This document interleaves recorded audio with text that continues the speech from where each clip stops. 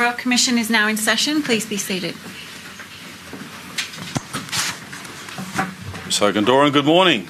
Are we ready to proceed? Yes. Thank you. Commissioners, over the next three days, our hearings turn to hazard risk reduction measures to mitigate the serious impact of bushfires on people, communities, and the built and natural environment. We will focus our investigation on prescribed or planned burning measures, mechanical fuel load reduction, other methods such as livestock grazing, as well as Indigenous land and fire management practices. We will hear evidence that prescribed burning involves the deliberate application of fire to a predetermined area under specific conditions or prescriptions to achieve resource management objectives. That is, how we use fire to fight fire in advance of the fire season. Where undertaken for hazard reduction purposes, prescribed burns are intended to burn slowly and less intensely than a bushfire, and are intended to reduce the mass and alter the structure of fuels on or close to the ground. It appears common ground that prescribed burns can mitigate but not eliminate the risks associated with bushfire. The objective of these burns is to support other risk management measures, including fire suppression, urban planning, and building regulations. In these hearings, we will also explore other measures of managing or controlling fuels, including mechanical clearing, such as mowing, slashing, or thinning, applying herbicides, and grazing with livestock. Commissioners, these hearings respond directly to three parts of your terms of reference. Term of Reference B requires the Royal Commission to inquire into Australia's arrangements for improving resilience and adapting to changing climatic conditions. What action should be taken to mitigate the impacts of natural disasters, and whether accountability for natural disaster risk management, preparedness, resilience, and recovery should be enhanced, including through a nationally consistent accountability and reporting framework and national standards. Term of Reference F requires the Royal Commission, for the purposes of its inquiry and recommendations, to have regard to the ways in which Australia could achieve greater national coordination and accountability through common national standards, rule making, reporting, and data sharing with respect to key preparedness and resilience responsibilities, including for land management and hazard reduction measures. And Term of Reference G requires the Royal Commission to have regard to any ways in which the traditional land and fire management practices of Indigenous Australians could improve Australia's resilience to natural disasters. In preparing for these hearings, a substantial number of compulsory notices have been issued to fire management authorities, scientists, researchers, environmental academics, and the broader community, which material will be tendered in evidence shortly. That material, together with the Commission's literature review published yesterday on the website, expose a considerable debate as to the effectiveness and benefits of different vegetation related hazard reduction activities. These debates were also present in many of the public submissions lodged with the Commission. This morning, we will commence with a consideration of the Commonwealth Government's responsibilities in hazard reduction, the division of responsibilities as between the Commonwealth and the states and territories and explore a national overview of Australia's forests and their tenure, management, and relationship with fire. We'll then move to a panel of academic experts who will address the different types of hazard reduction activities, including prescribed burning, identifying the common ground and knowledge gaps, the current research, and the opportunities for improving the Commonwealth's role in coordination and information sharing. Then this afternoon and tomorrow, we will move to the heart of these hearings. We will run four panels consisting of representatives of the various state and territory government agencies involved in fire risk management and hazard reduction planning and implementation. Through these panels, we expect to hear about the what, the why, and the how. What are the drivers of fuel load management? Why is fuel load management undertaken? How is the hazard risk to people, communities, and the environment sought to be reduced? And what is done to measure the effectiveness of those hazard reduction activities? The states and territories currently use different fuel load management strategies, in part because they have different natural environments, although there are commonalities across the jurisdictions. The Commission would therefore be assisted by these witnesses so as to better understand the different objectives and priorities, the strategic decisions that are made, and the variety of approaches to different types of land tenure. From our first hearings, the Commission would also have an appreciation of context. A major limiting factor on the efficacy of prescribed burns appears to be fire weather. There appears broad agreement that once the Forest Fire Danger Index, referred to as the FFDI, exceeds 50, that is, severe, extreme, and catastrophic fire weather conditions, bushfires become weather dominated.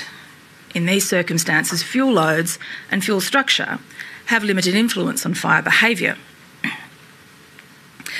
The evidence also indicates that the majority of bushfire related property losses occur in weather dominated fires when the FFDI exceeds 50, as it appears happened in the 2019 2020 bushfire season. Of course, such conditions do not persist continually for extended periods, and when conditions moderate, there are opportunities for suppression that could be assisted by reduced fuel loads. Reduction in fuel loads, even in extreme conditions, it appears should reduce fire intensities and consequent risk. Put simply, even at the extreme, if there is no fuel, there can be no fire. This is of critical importance at the bush urban interface. So we continue our investigation of hazard reduction activities by next focusing on measures taken on private land. One theme emerging from the public submissions was the uncertainty and complexity in navigating the bureaucracy when individuals and businesses want to take personal responsibility for managing hazard risk.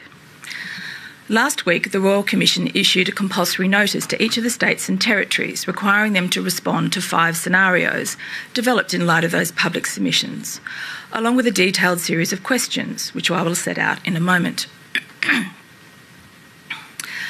As to the scenarios, in scenario one, a homeowner in a rural urban interface bordering a state forest wants to upgrade their home and clear vegetation and trees to create a fire break. In scenario two, a farmer in a rural area wants to minimise bushfire risk by undertaking hazard reduction burns on their property, mechanical clearing of a portion of the forested bushland on their property, and to graze their livestock in the bordering national park. In scenario three, a property developer wants to build a residential development bordering a threatened ecological community. In scenario four, a public agency is tasked with building public telecommunications infrastructure in forested bushland in a rural area.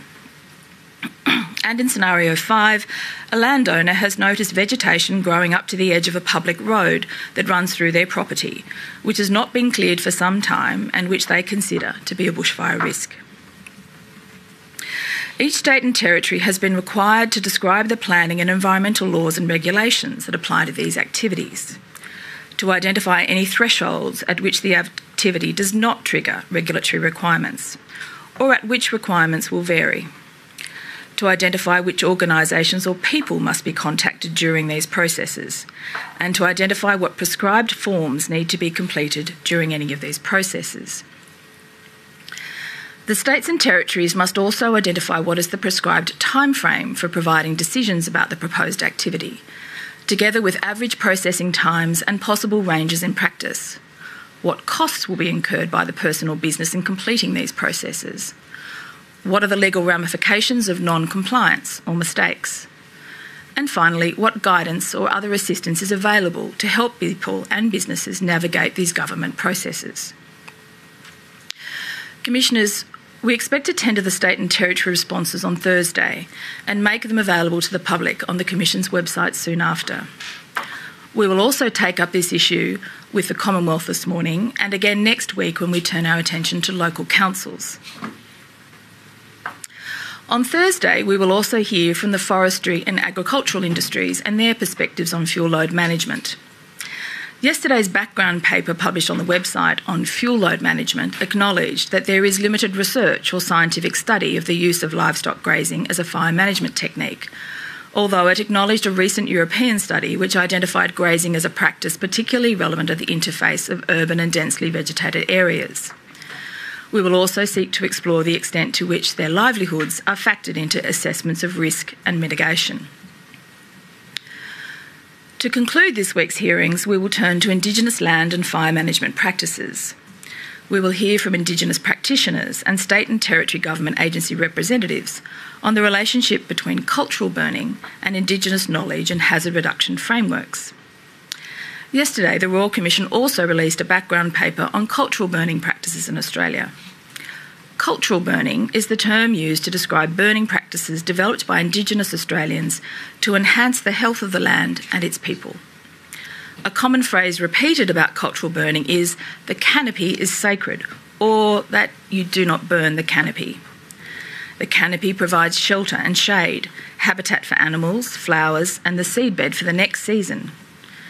It is said a cool fire should not touch the canopy. A hot fire may destroy it. Indigenous Australians have used fire to shape and manage the land for over 60,000 years. Whilst these practices have been widely disrupted over a number of generations, the evidence will show that there is a growing recognition of the value of cultural burning. The majority of cultural burning occurs in northern Australia, with over 70% of projects occurring in the Northern Territory, Queensland, and Western Australia. In the southern states, partnerships with industry, research institutions, and governments are reinvigorating the use of cultural burning, and hybrid systems of land management are being developed. Finally, I want to say a little more about the public submissions lodged with the Commission and also the status of the Royal Commission's ongoing investigations. Yesterday, the Royal Commission published on its website, as I said, most of the public submissions it has received to date. Commissioners, since 2 March, 1,735 submissions were received, which covered a range of issues. Over 1,000 have now been published on the website. The submissions offer insights into the lived experience of people affected by natural disasters in Australia. The submissions also provided an opportunity for individuals and organisations to share their knowledge and their expertise on issues related to the Commission's terms of reference. 1,302 submissions were received from individuals. Of these, 48% reported being directly affected by the 2019 2020 bushfire season, some in multiple ways. 45% reported living in a bushfire affected area. 22% reported being evacuated. 22% reported suffering a personal or financial loss. The Royal Commission also published an interactive map which shows many of the individuals who made a submission are located in severely fire affected areas. The map was developed using an online tool designed to support Australian government agencies to share data. The map also allows data to be overlaid to better understand the built, natural, and social environments impacted by the bushfires. We also remind people that they can continue to, they can continue to contribute to the Commission's work through the 2019-2020 Bushfire History Project by submitting videos or photographs taken during the bushfires or their ongoing recovery.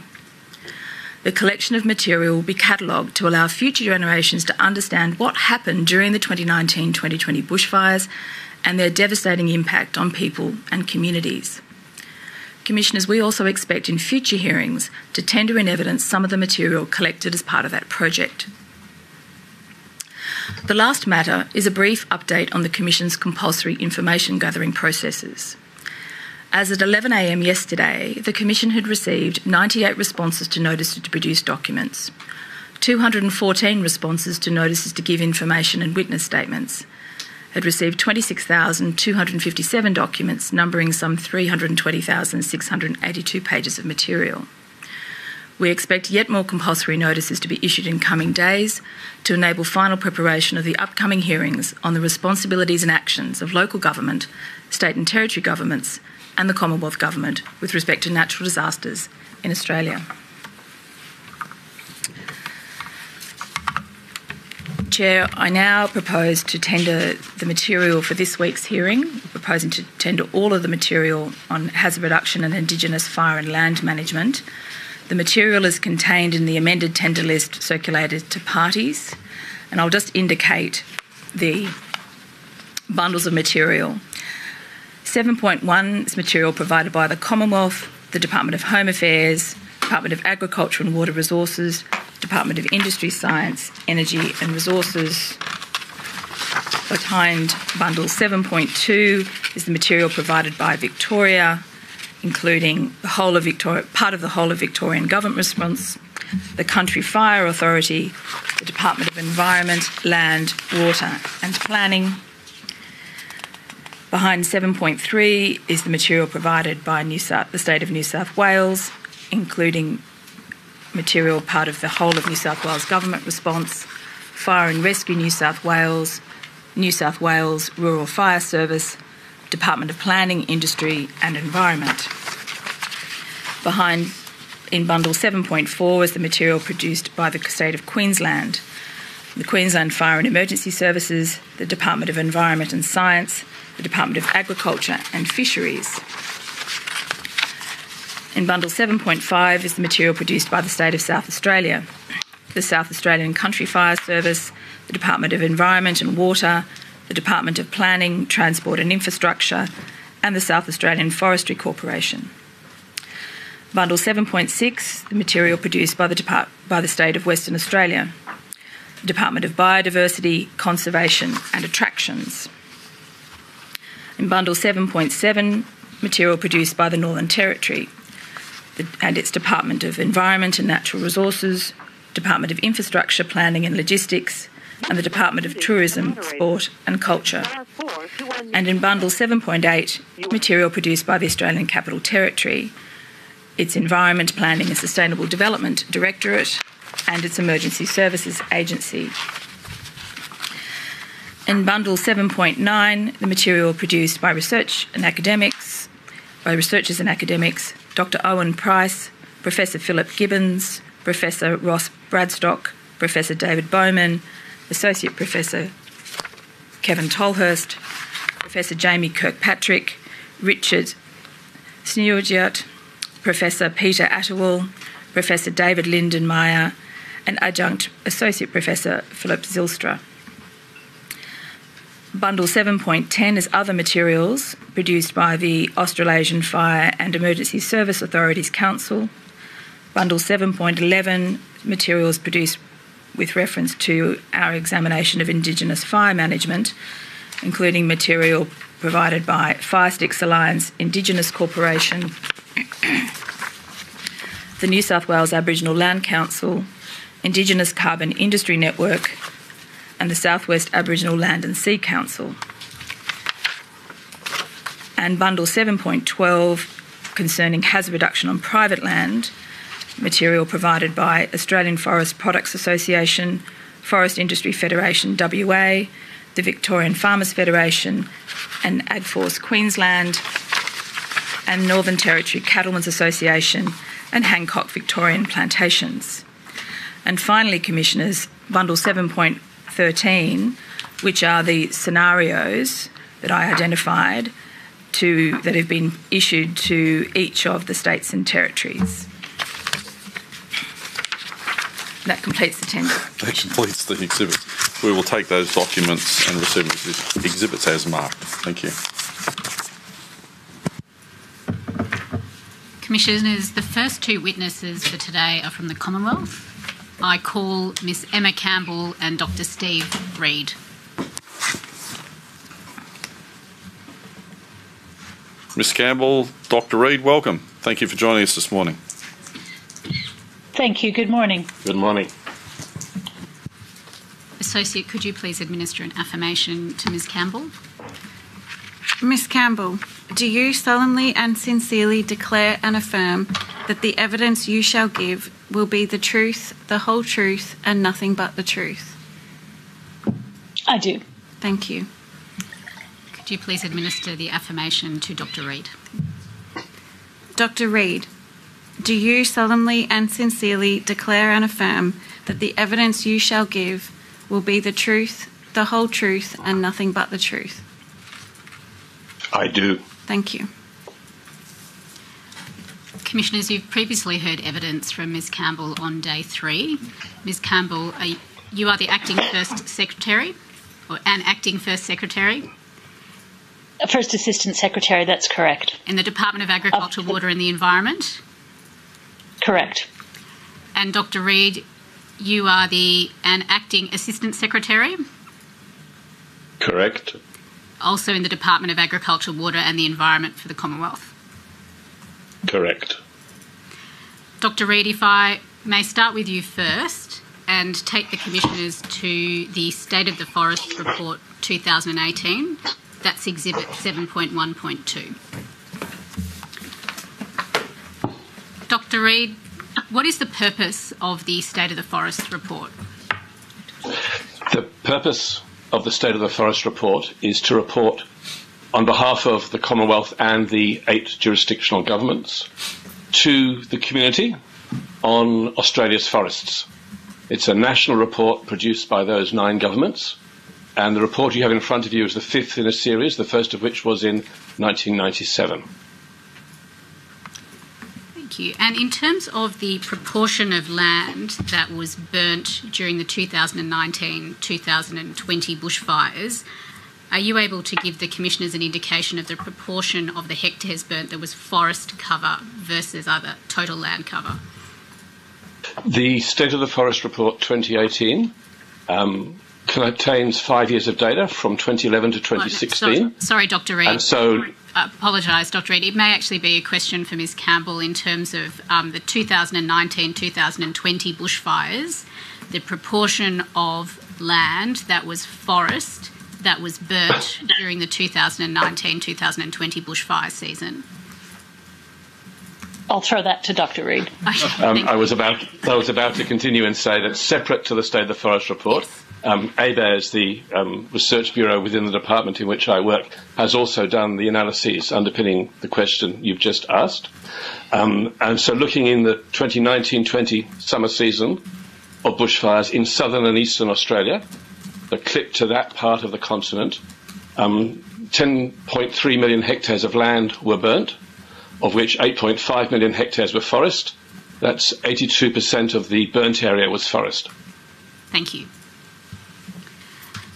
And if I can take you now to the State of the Forest report, which I think you've just said is a five year snapshot. Correct. And when was this report published? This report was published um, December 2018 and released in, I think, very early February uh, 2019 on our website and it covers the period from July 2011 to June 2016. But where there's data from previous reports that are also relevant and comparable, we do show trends over longer periods of time. Um, evidence operator, if you could please go to page 16. Thank you. And zoom in on the map, please.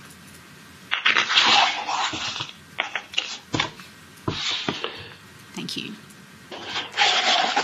And so, Dr. Reid. And while that's page while that's page 16 of the PDF, that's page two of the State of the Forest report. Yes. And Dr. Reid, if you could please um, talk to this map and explain what this map is showing. This map shows the area of Australia at the end of 2016, July 2016, that is forest. Um, so this is a national data set. Um, the white on the map there is non-forest. The colours are forest areas, the majority of which, of course, are the green colour there, which is our native forest. You can also see small areas of the pink commercial plantations, for example, in southwest Western Australia and the Green Triangle region in Victoria and uh, South Australia and elsewhere. Um, there's also very small areas of other forest, which is forest which we have not had the ability to classify into those previous two categories. Um, the important point about this map is that it's a national data set compiled from a very wide range of other data sets provided by the states and territories, um, and also provided from remote sensing and satellite platforms as well, used across the Commonwealth. and while it's the national data set, it's been produced in collaboration with the states and territories, because the authorship of the States of, of Forest report is those nine governments through a number of, of committees. So it's not a Commonwealth government only product, this is a national product. The total area of forest you see there is something over 130, I think it's 134 million hectares across Australia, about 16% of Australia's total forest area. It's 130. And of course, the distribution is, as you would imagine, the wetter areas of southwestern, eastern, and northern Australia um, are where the forest is located. So just, just for the benefit of the commissioners, it's 132 million hectares, um, 90, 98% of Australia's forest area. That's the number for native forest, Yes. and you need to add the two million hectares of uh, two million hectares of plantation to that to get the total forest area of 134 million hectares. Thank you. Okay. We might turn to the next map.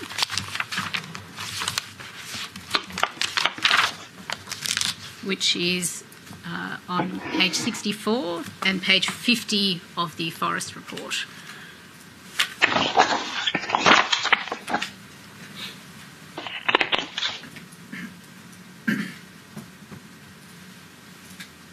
Thank you. And so, Dr. Reid, can you explain what it means by crown cover class? Yes. The forest footprint we saw on the previous map is the same footprint of forest that's used through all the maps in the State of the Forest report, and all the attributes are related to that forest area. This map shows the first of those attributes, which is crown cover class. We define forests in Australia as treed vegetation or mallees more than two metres tall with a crown cover of more than 20%, which means that the projected foliage, when you put it down onto the ground looking from above, is more than 20% of the land area. Within the crown cover from 20% up to 100%, we find three structural types that we attribute woodland, open, and closed forest. Woodland forest is 20 to 50% crown cover, open forest 50 to 80%, and closed forest 80 to 100%. and they relate to the, the classic woodland forest we know that's quite open in the drier parts of Australia. Closed forest is a more typical taller eucalypt forest, which there is still some light coming through the canopy. And closed forest would be our rainforests, whether uh, temperate and cool temperate in Tasmania, up to the subtropical ones on the Queensland um, coast and hinterland. Um, it's also worth noting in this context that the white areas on the map here that are not forest, because their crown cover is less than 20%, often still have trees, just less trees than required to classify as forests. So areas of sparse woodland or savanna country across northern Australia may still be marked as, as white on this map if their crown cover is below 20%, or yellow on the map if they fall above the 20% crown cover. And again, you can see that the wetter areas of Australia have um, forest with a greater crown cover, and the drier areas of Australia either have no forest or more open forests and woodland forests. Thank you. So, if we then can move to the next map, which is on page 67, page 53 of the report. And this is Australia's forests by forest type.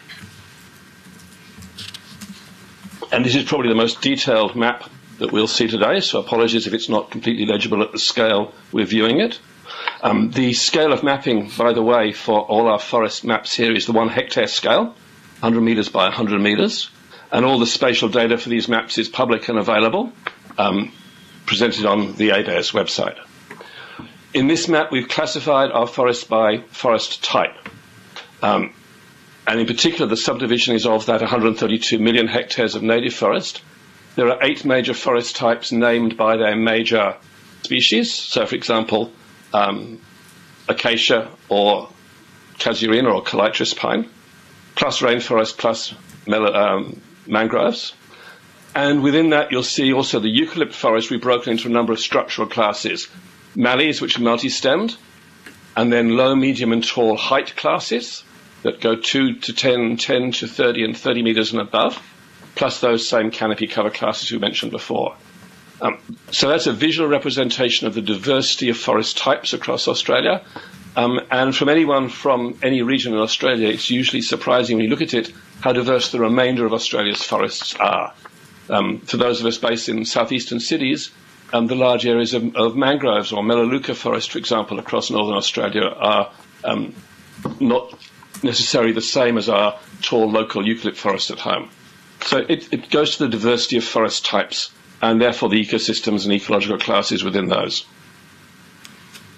And the commercial plantations that are identified on this map as well, can you explain that classification? Those are the 2 million hectares we saw a little more obviously on the previous map that were pink there.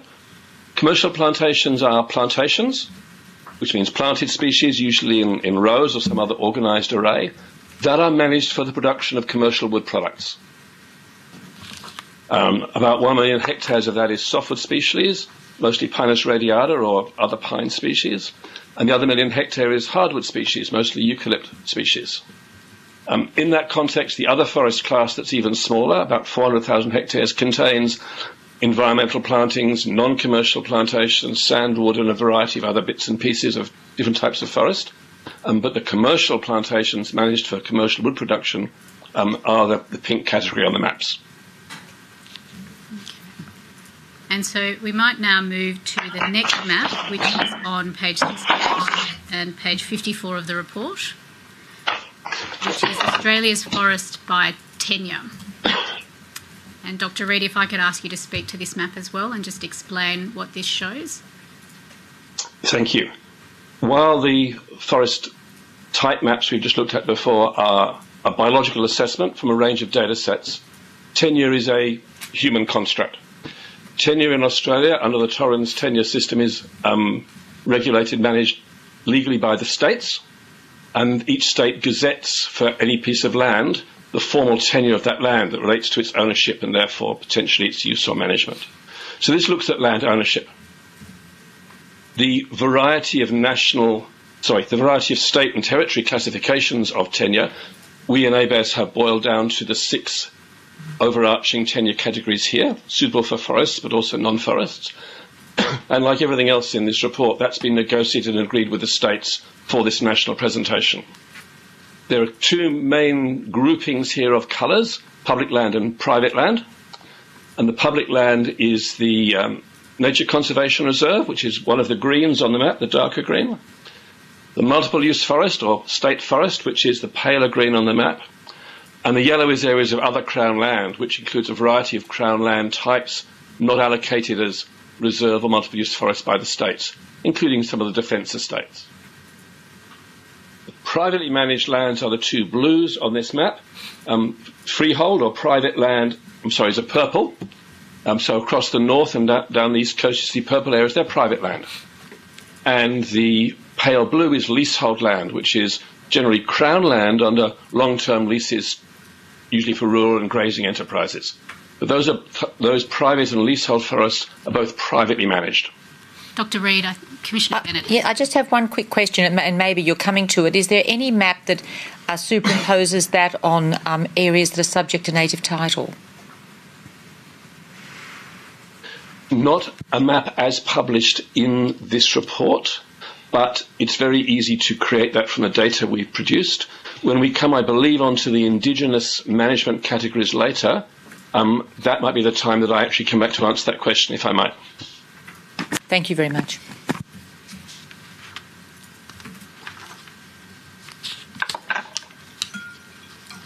Dr. Reid, was there anything else you would like to highlight in this map? Otherwise, I'll move to the next map. The only thing I think to, to point to make, and it's for, Uh, for foreshadowing a future point we'll come back to, which is tenure is legal ownership.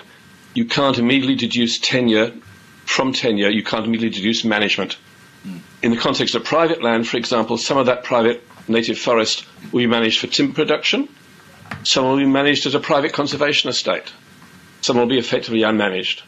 So it's a step to jump from tenure to management, but it's one window into those possible management categories for each land type in Australia. Thank you.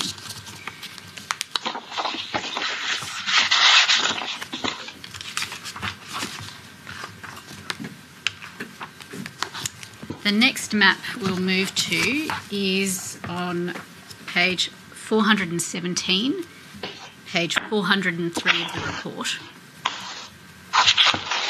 the Indigenous Forest Estate by Land Ownership and Management category. And Dr. Reid, if you could please explain what this particular map shows. Thank you, and this is the map I was referring to in my previous answer to Commissioner question. Um, we've looked previously at the forest type across Australia, then the tenure. this is a third independent assessment of our forest land. And as before, the white is non-forest and anything coloured here is forest. Um, one of the the State of the Forest report is broken up into 44 different indicators that cover the complete range of values of forest land. It's a report to the community. It's not just about conservation or forest, forest management for timber. Everything from water and carbon, and in this case, indigenous management is covered. Um, to do that, ABARES, in conjunction with the states and territories, needed to create categories for indigenous management and ownership and access and use and, use and rights, because that is one of the indicators that the international system of indicators we use mandates. For um, biological assessment, we go to the states and territories, uh, satellite aerial photographs. For tenure, as I said, we go to the gazettal requirements at each state and territory.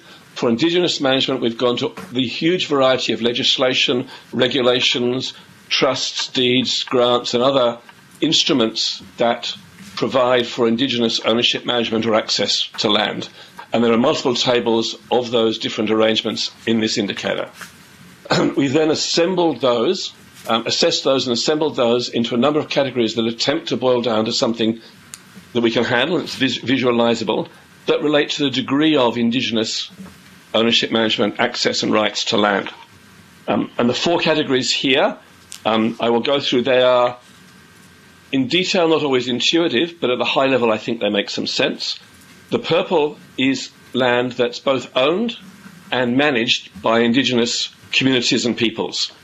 And I use the word communities and peoples because, of course, we're not looking at individual private freehold here. We're looking at communities and, and, and, and uh, uh, community groups and peoples where there is some arrangement in place for a large amount of land to be owned and managed in this way. You can see that's mostly in Northern Territory and northern Queensland, and from our other analyses, that's mostly on private freehold tenure as well. Um, and you'll notice, for example, that um, Kakadu National Park is in there as purple because that's actually privately owned land by Indigenous communities. Its management arrangements with the Commonwealth Housing National Park, but its tenure is private, and so it comes in as owned and man- managed by Indigenous communities here. Um, indigenous managed land is blue, and that's a lower level of Indigenous interest.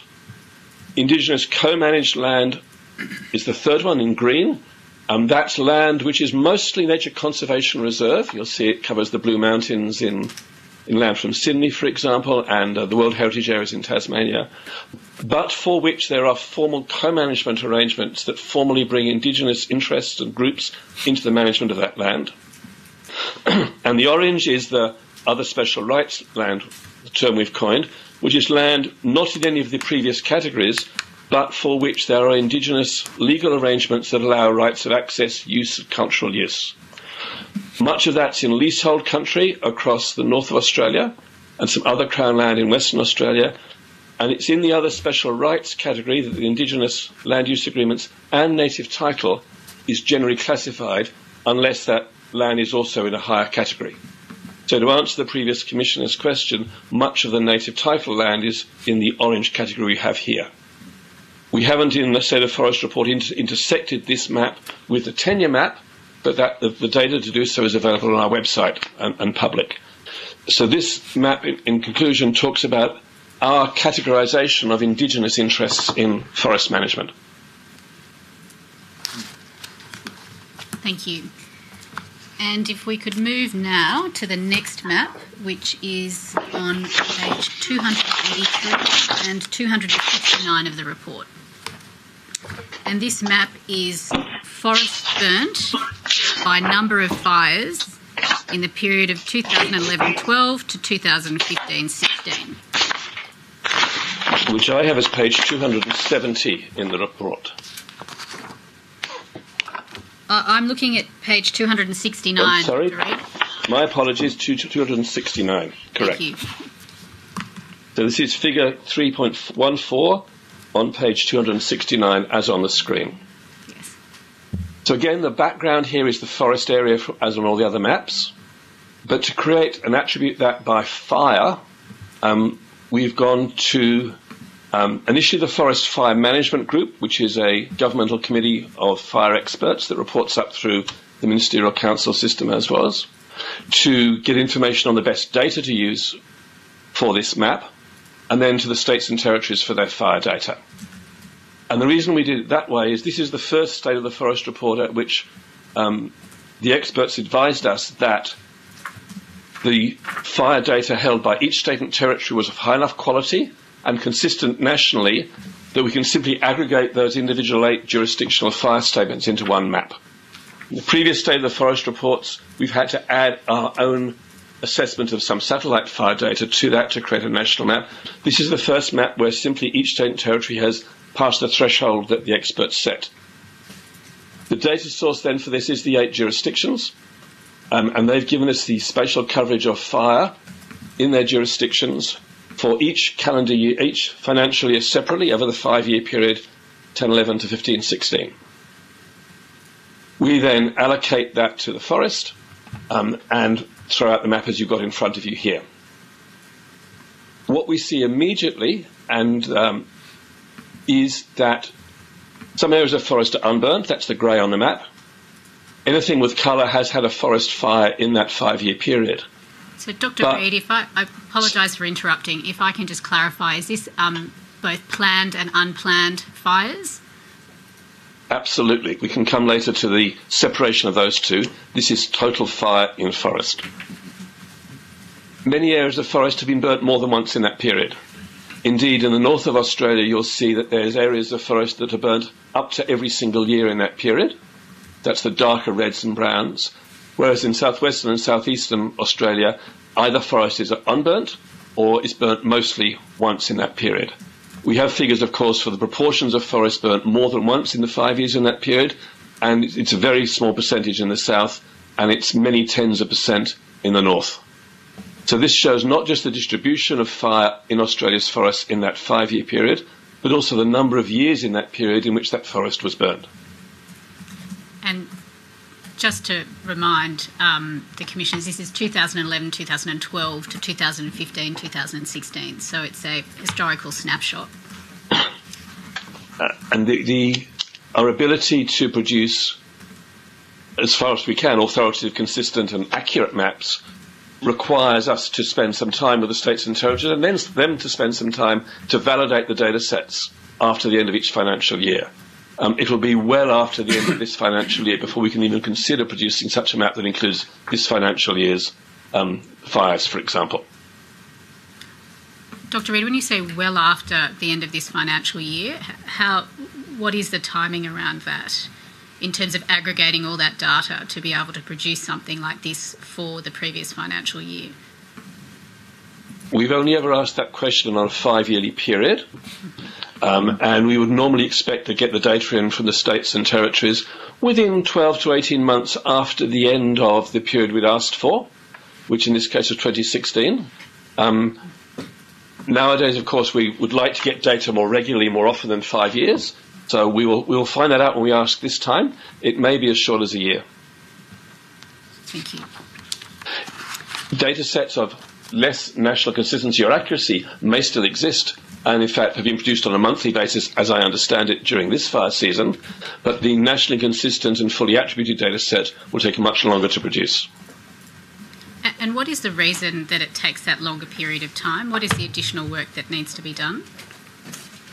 I think the most important component of that additional work is that you're integrating it, as I understand it, at each state and territory level, data from a number of sources. Okay. You're integrating a number of different satellites that have different ways of telling if an area is burnt, from either smoke plumes or hot spots or changing colour of the canopy from the scorch.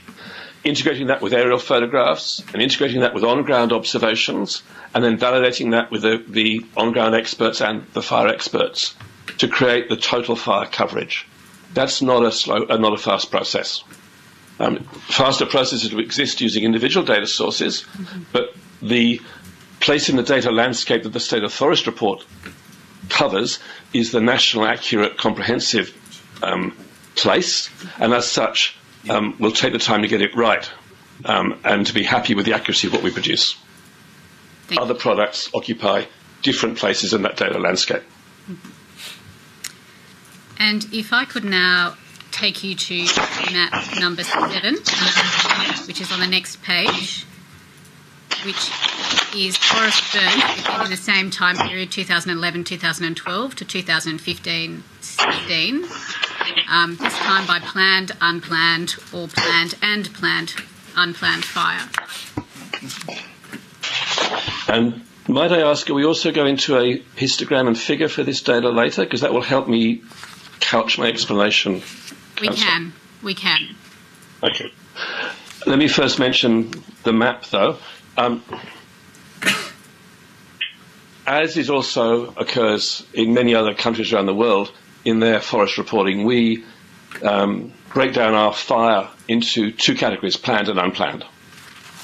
Um, that's not uh, an attribute that we uh, uh, give at the Commonwealth level. We go to the states and territories again for their judgment as to whether the, these fires are planned and unplanned. Um, often they'll know by each individual fire because of its source of origin, or in some of the larger uh, areas of country across northern Australia, the season is the best surrogate for whether it's a planned or unplanned fire. Um, so this is again state and territory data made consistent and aggregated. Um, the second thing to note is there's a number of causes of both planned fire and a number of causes of unplanned fire. So unplanned fire can be lightning strikes, it can be um, arson attacks, it can be um, a, ra- a range of um, causes of um, bushfires for, un- for unplanned fire. For planned fire, it can be um, a fuel reduction burn, it can be um, a backburn in face of an oncoming bushfire, it can be a burn for ecological benefit, it can be a uh, um, there's a fourth category that escapes me briefly there. Oh, a post-harvest regeneration burn. So in the planned fire, there are a number of different categories. They're all called prescribed fires because they all have a, a fire management plan that goes in place before the light, no light decision is made. Um, I would expect the majority of the area of the planned fire to be fuel reduction burns, but I don't have data on that. We just get the data in totality from the states. The map therefore shows yellow areas which are subject to a planned fire once or more in that period, the five year period. The orange shows areas that had an unplanned fire once or more in that period, and the darker areas shows areas burnt by both planned and unplanned in that period. Um, the majority of the distribution of colours on that map actually mirrors the previous map, which is the fire frequency across Australia. Um, so there's that combination of fire frequency events and planned unplanned that creates this visual map you have there. You need to disentangle those when you look at it. If you look at an individual excerpt, for example, let's just use the southwestern Western Australia one on the far left there, you can see areas of unplanned fire, which are normally fuel reduction burns, and areas of planned fire, and very little areas that had both those two. Now, Dr. Reid, you also wanted to provide some further information um, by reference to the figure 3.16, which is on page 280, uh, 266 of the report, which shows uh, cumulative area of planned and unplanned forest fire by tenure. Again, in the same five year time period. Thank you, Council. Um, as with all large data sets, there are multiple ways you can slice and dice them. Here is an example of where we've plotted out by those land tenure categories we saw before the total area cumulative of fire in forests um, over the five year period. And cumulative means that if an area of forest is burnt multiple times, we count it multiple times in these area figures. Um, and you, again, you can see there, um, it's more easier, I think, to see here than on the map, that the total area of unplanned in Australia, fire in Australia, is greater than the area of planned fire. I, I think for this particular period, uh, six, in 60%, I think it was 61% of the total fire is unplanned and 39% is planned fire. And of course, you can see that the distribution or the ratio between planned and unplanned fire differs across different tenure types. I'll go into this cautiously for a reason I'll say in a moment.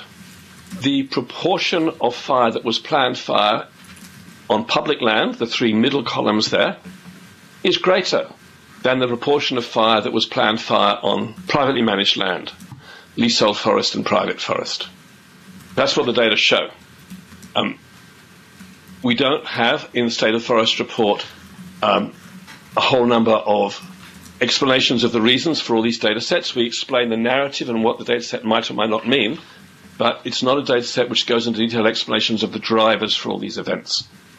For example, it may well be that the greater proportion of fire that's planned fire on um, public land compared to private land is that most of that public land by area is in the south of Australia, where different fire regimes exist. Whereas in the north of Australia, most of the land is leasehold and private forest, and different fire regimes exist up there. So this is an example of showing you where the data at one level show you a story, but to understand what the meaning of the story is, you have to prepare yourself very carefully. It may be that that's simply a northern-southern Australian divide. It may also be, of course, that the management intent on private land is different. It may be that, e- that there's more um, potential for doing planned burns on public land. That also may not be the case. You can't tell that, deduce that from the data. But I bring this data up just to show that across Australia there are differences in the proportion of fire that's planned and unplanned. Thank you. Uh, Commissioners, I don't have any further questions for Dr. Reid. Miss Amber Kapathy. I've got one. Just, I'm just trying to baseline of a, of a simple question. We go back to page two of the report, which is 16. Let's just put that map Thank up you. again. I've just got a clarification question. So you, you said right in your introduction, I'll use this as a reference, this, this map, that we had 132 million hectares of forests plus 2 million plantations, so 134 million hectares of total forest in Australia, or which that depicts. But right at the start, you said the 2019 2020 fires burnt 10.3 million hectares in southeastern Australia. So, first question on that map, what is defined as southeastern uh, Australia, please? The definition of southeastern Australia for that area burnt in this last year Yeah. are, u- are used um, is an area called, and this should be in the um, submission of data from our department previously to the Commission, Yeah. is an area that's called the Preliminary Area for Environmental Analysis for this season. And that was set in um, early in the, the new year, 2020, as the area against which we would report um, the area of fire um, in the summer bushfire season in southeastern Australia. It covers southwestern Australia as well. It covers all of Victoria and Tasmania, um, most of New South Wales except for the inland corner, and some of southern Queensland. And within that area, um, up until 28th of April this year, 10.3 million hectares of land were burnt, of which 8.5 million hectares were forest. Yeah. No, So that's the area which our, our department and ABARES reports against for the summer bushfire season in, of this year in southern Australia. Okay, so it's southern Australia, so it's southwestern Australia as well. It includes southwestern and southeastern Okay. and up to some of southern Queensland. So you're not responsible for reporting on the entire size of the bushfires for 2019 2020 across Australia, only the southern Australia. When we come to assemble State of the Forests, the next iteration of the State of the Forest report, we will of course cover all of Australia's forests. No, we But for the understand that. request for the but for the request for the bushfire season we've just been through, for our bushfire team in the department for the National Bushfire Recovery Agency, the data we've submitted has been for that area of southwestern and southeastern Australia called the Preliminary Area for Environmental Analysis. Thank you. I appreciate that. As, as you would appreciate, we're actually having a hard time finding the figure of bushfires for Australia in 2019 2020 because of the different definitions and areas that, that we're looking. But you, you gave a very good clarification then, so I appreciate that very much. Thank you. Can I ask one, Chief? Yeah. Um, Dr. Reid, just coming off the back of the chair's comment there, uh, does the preliminary area in Western Australia or southwestern Australia include the Great Western Woodlands around Kalgoorlie? I believe it does. Thanks very much. Ms Am- Amber Kapathy, we're, we're happy with that. Thank you. Thank you. If I might now turn to Ms Campbell. Thank you, Dr Reid. Campbell, what, if I understand it correctly, there are three broad types of land um, owned and controlled by the Commonwealth, and that's the national parks that fall within the environment portfolio. There is then some other land, such as the defence land and airports, and other Commonwealth land of that nature. Is that correct?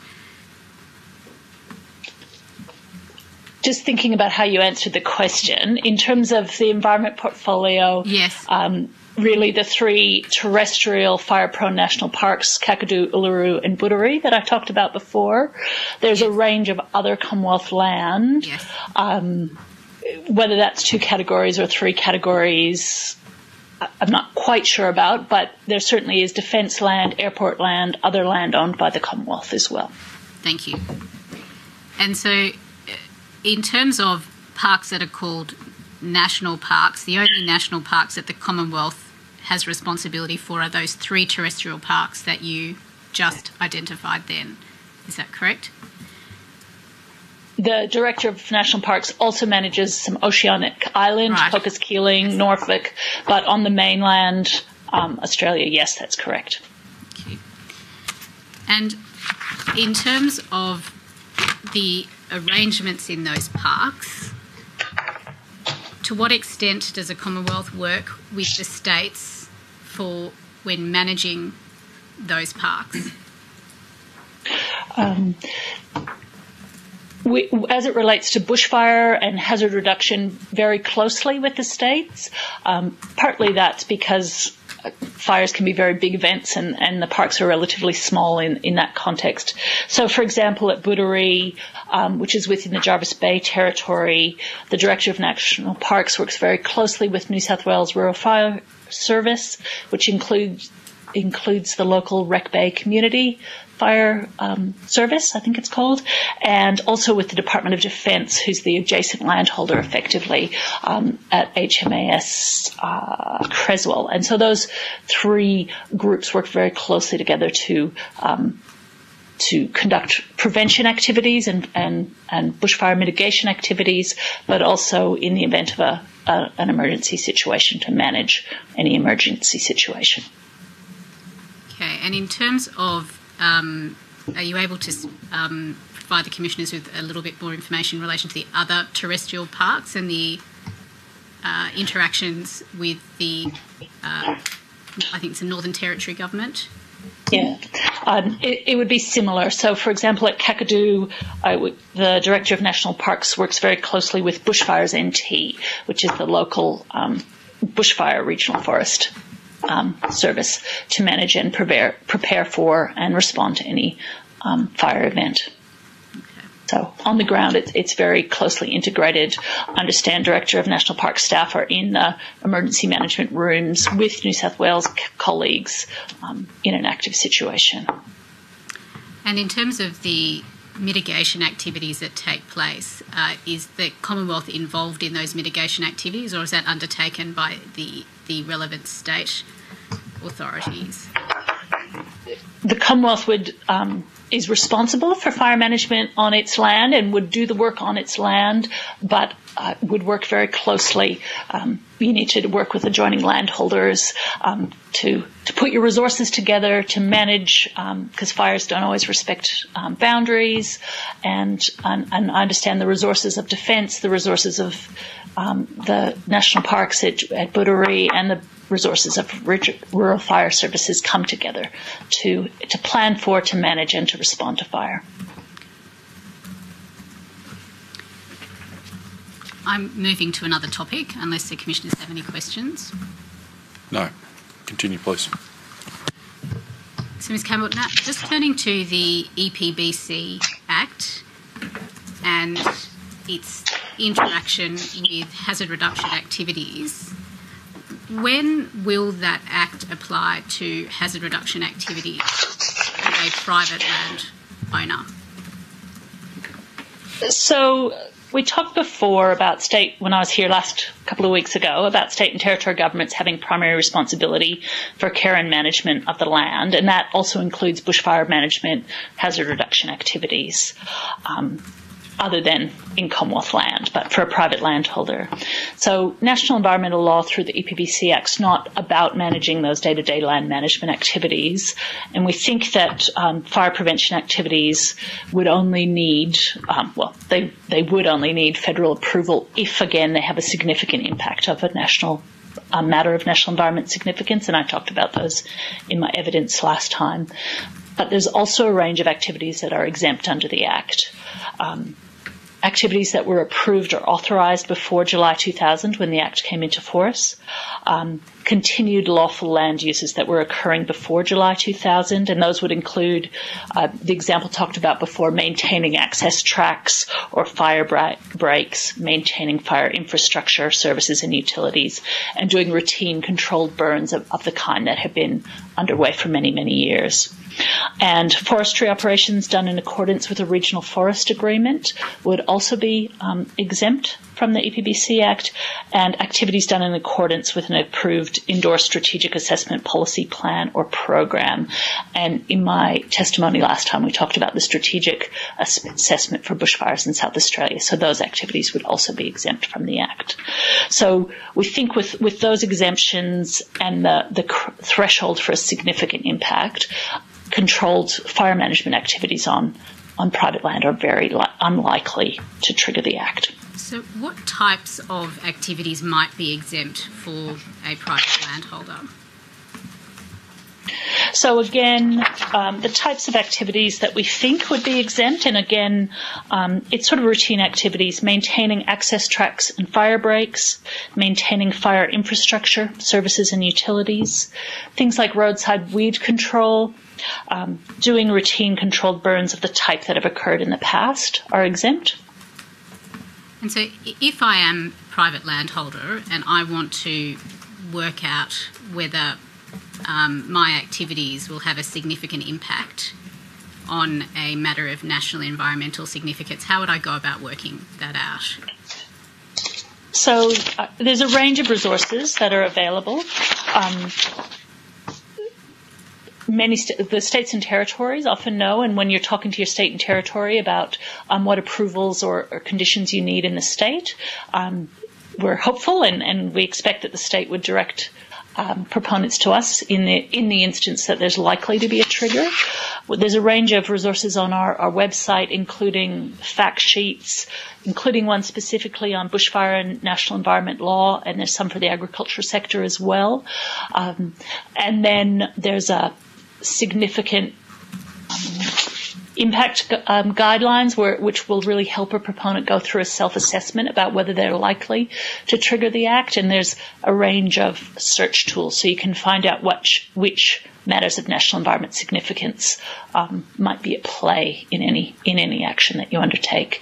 And then, of course. Um, a, a, very simple thing to do is to call us or, or, send us an email and, and we can really work through with potential proponents. It's called a pre-referral discussion and that often can be a very quick conversation and, and, and really answer the question right there, then and there, whether something's of um, interest to the Commonwealth under the EPBC Act.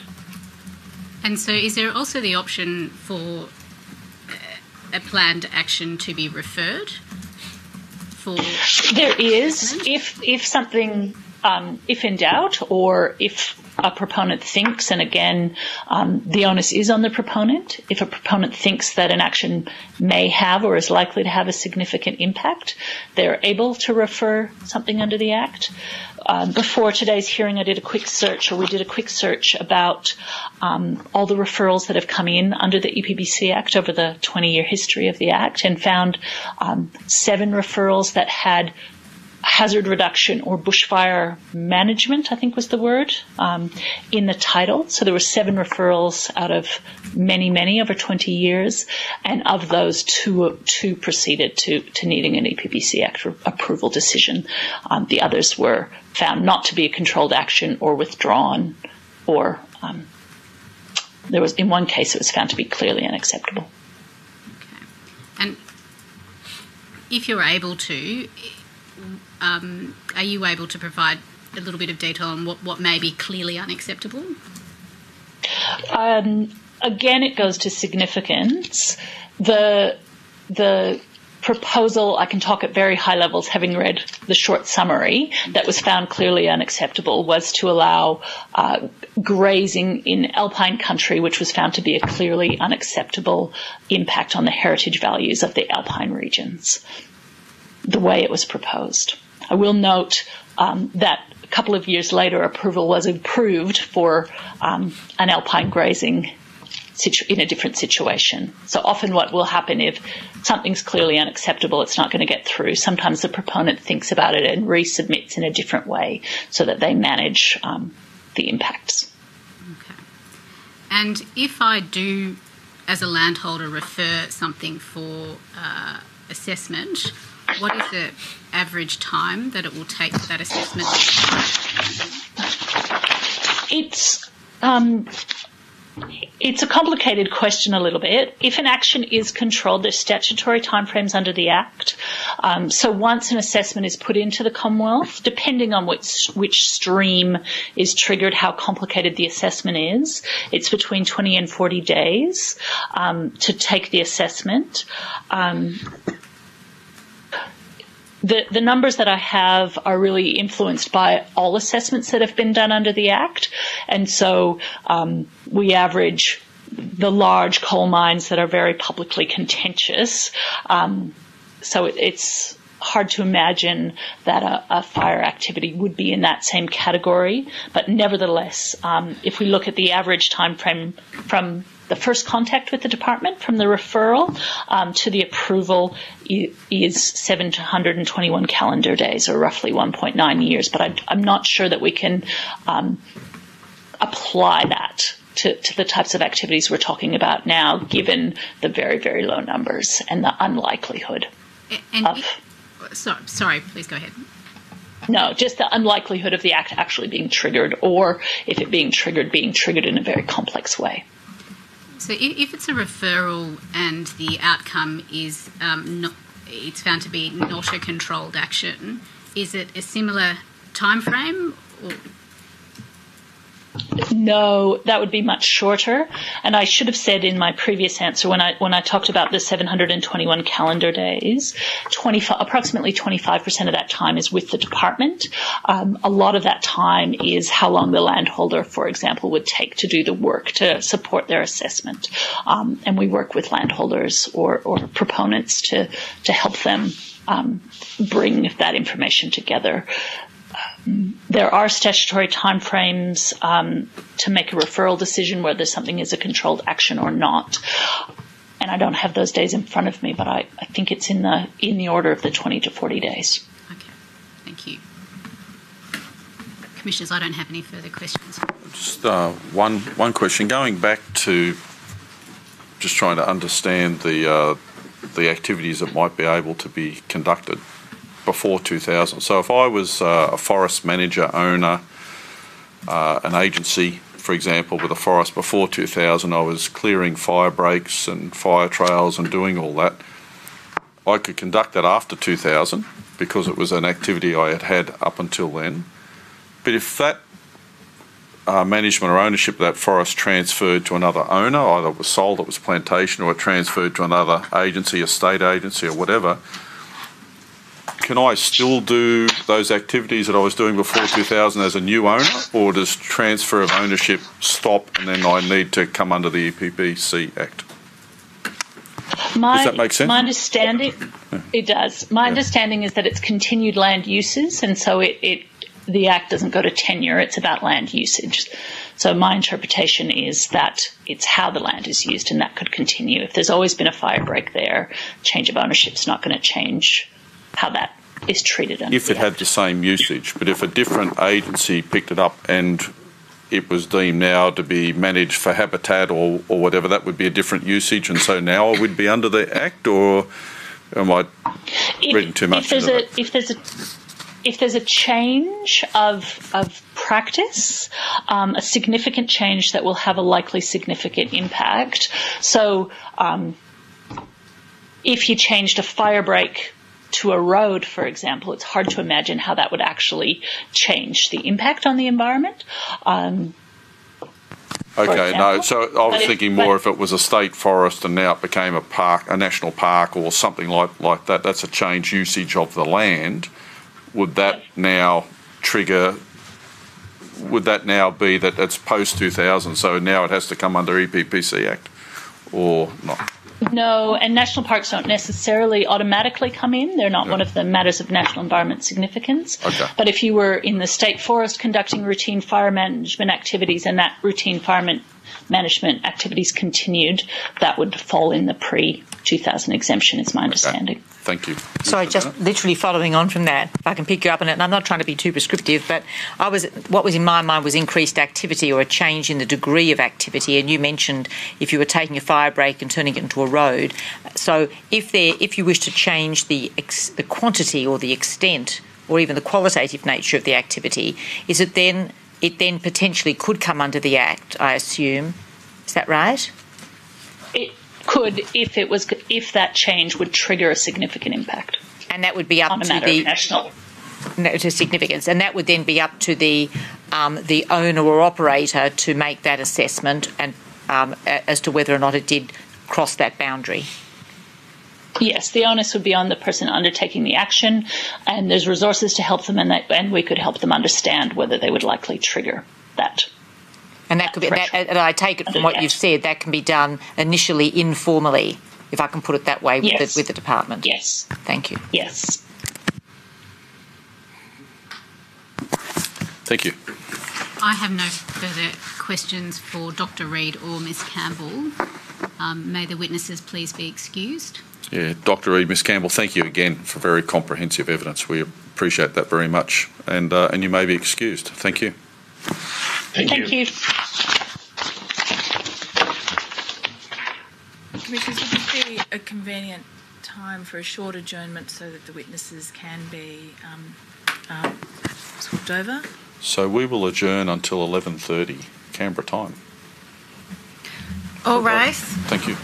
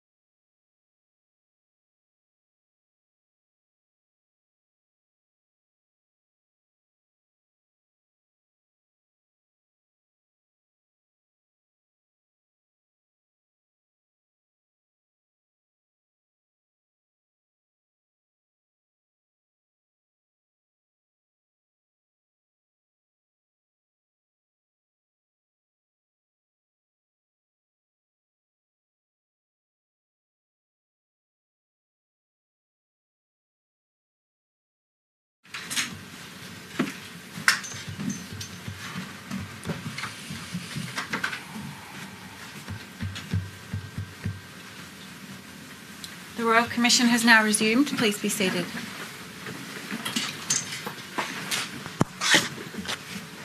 Ms Amber Kapathy. Thank you, Chair.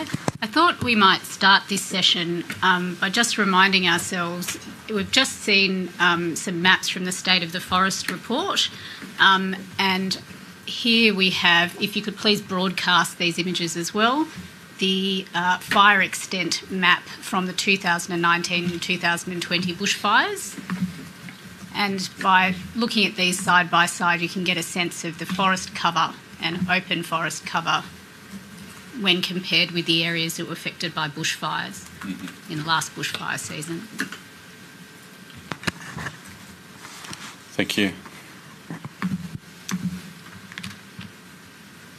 So the next set of evidence will be from a panel of researchers involved in fire behaviour and fuel management.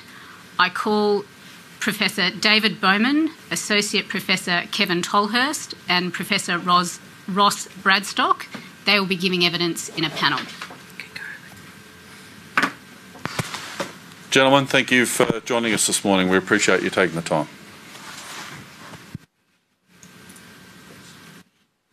Associate, you. could you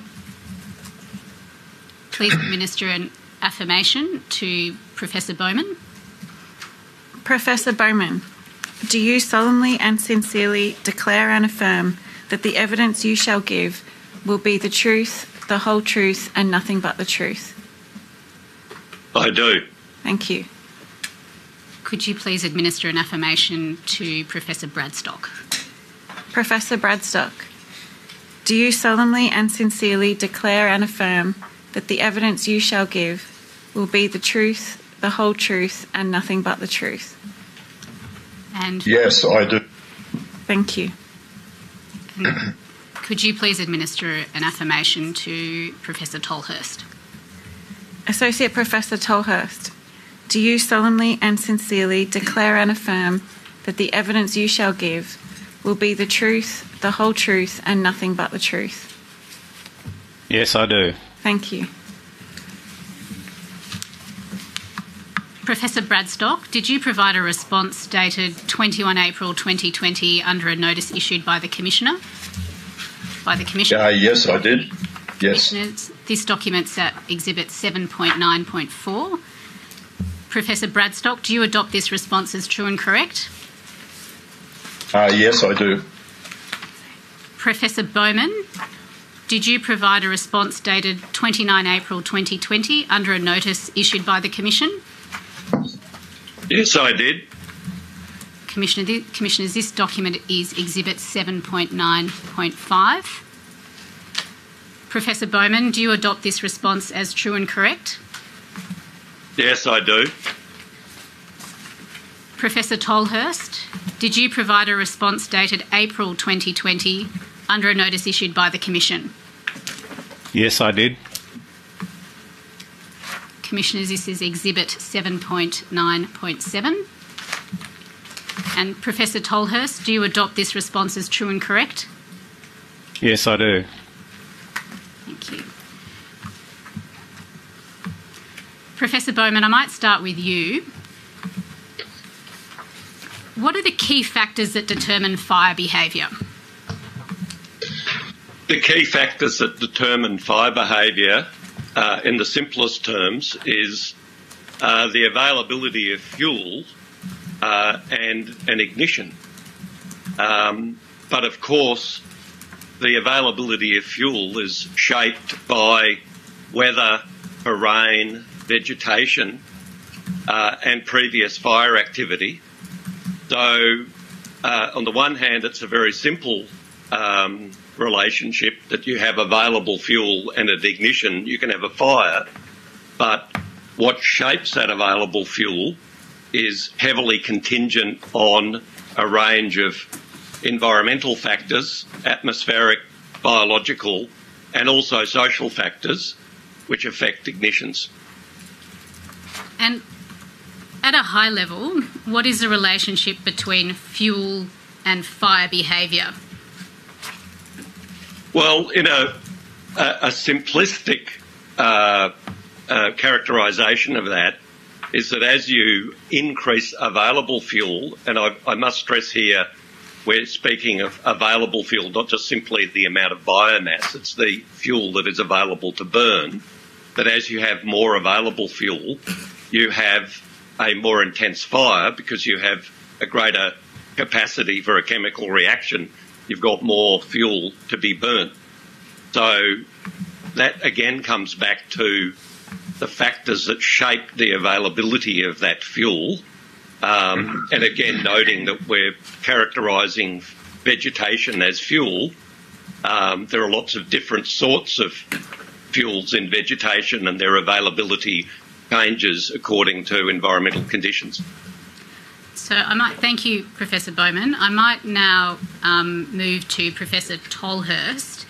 And Professor Tolhurst, could you please explain what the different types of fuel may be that could be available to a fire? Well, typically the uh, main fuel that's focused on is the fine fuel, and the fine fuel is best described as being the fuel that's burning in the flaming zone of the fire. So it, it's fine, meaning that it uh, dries out quickly, it heats quickly, ignites quickly, and so is uh, largely responsible for the early development of the fire and the spread of the uh, flaming front. However, in major fire events, large fire events, um, there is also coarse fuel, which should be considered because uh, that tends to be dead woody material like branches and logs, uh, even dead standing trees, and uh, some more of the um, uh, live vegetation in some cases. The heat from which is contributing to the convection column, so the smoke plume, uh, which basically integrates the energy of the of the uh, the fire. So the fuel is adding energy in the form of chemical energy. The weather is adding energy. The terrain is adding energy. Uh, the environmental moisture adds energy, and the um, atmospheric instability adds energy. And fire integrates all of those sources of energy. So when we're looking at fuel, the available fuel, as uh, Professor Bowman was uh, referring to, it's not only the, the, fine fuel that we should focus on, but also the coarse fuel as more components of the energy get uh, incorporated into the, the, the power of the fire. And in terms of fine fuels, are there different layers of fine fuels that may be available as fuel for a fire? We've adopted a, a, process for assessing fine fuel, which puts uh, fuels into strata, and it, again, it go, comes back to this availability. We talk about surface, near surface, elevated, bark fuel, sorry, canopy. Um, Professor Tolhurst, if you could um, explain examples of what falls within mm-hmm. the surface layer, um, the near surface layer, and each of the layers you're describing. Okay. So the surface fuel tends to be uh, predominantly uh, dead uh, plant material, so dead leaves, dead twigs, dead bark on the ground. So it tends to be largely horizontal, uh, tends to be dead, and uh, tends to provide the greatest continuity of fuel across the uh, the landscape. So it's really important to the spread of fire. Near surface fuel, on the other hand, is connected to the surface, but tends to be more vertical in orientation and often includes uh, live components. So things like grass tussocks, sedges, and small shrubs can be considered um, near surface fuel, but their uh, moisture and flammability characteristics differ from the surface fuels. Then we get into elevated fuel. We're talking more about the shrub layer, if you like, but there's usually some physical separation between the surface fuel and the shrub layer, and the flames need to be a certain height before uh, that shrub layer, the elevated fuel, gets incorporated. So that's part of the availability uh, question. The bark fuel we're talking about is the bark on the stems of the trees. And the bark fuel is really important in providing uh, embers and uh, overcoming discontinuities of fuel across the landscape and through a spotting process, but it also uh, can significantly increase the intensity of the fire by calling, uh, causing mass ignition. And then the canopy fuel is um, basically the leaf and twig material in the top layer. So when we're talking about forests, it's the basically the tree canopies we're talking about. Uh, and again, it will only get incorporated into the, the fire if the severity of the, the weather and the terrain and the, the fuel conditions underneath are sufficient. So its availability is dependent on the, the site weather and, and fire behaviour uh, conditions.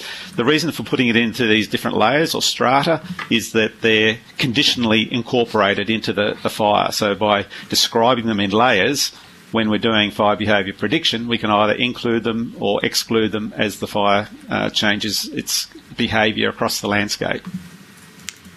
And is if if a fire is more intense, is it more likely to be um, affecting the higher layers, or is that um, it, again does it depend on terrain, weather conditions, and the other factors that you described before? Well, it, it's depend on the stage of development of fire. So when a fire first starts from a point ignition, um, whether that from it be from an ember or a lightning strike or a um, uh, a match, um, it's basically just the surface and then the near surface fuel that gets incorporated. And as the fire grows in size and scale, then other layers get incorporated.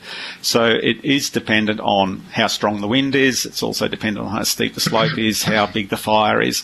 So the uh, progressive incorporation of those different layers does depend on the intensity of the fire, but that's driven by uh, those other energy sources as well. And likewise, when a fire tends to uh, die down, so perhaps because conditions become uh, more benign, then uh, progressively those layers are dropped out of the um, the equation, so they're not no longer available to the fire per se. So the canopy fuel is the first one to, to basically drop out, if you like.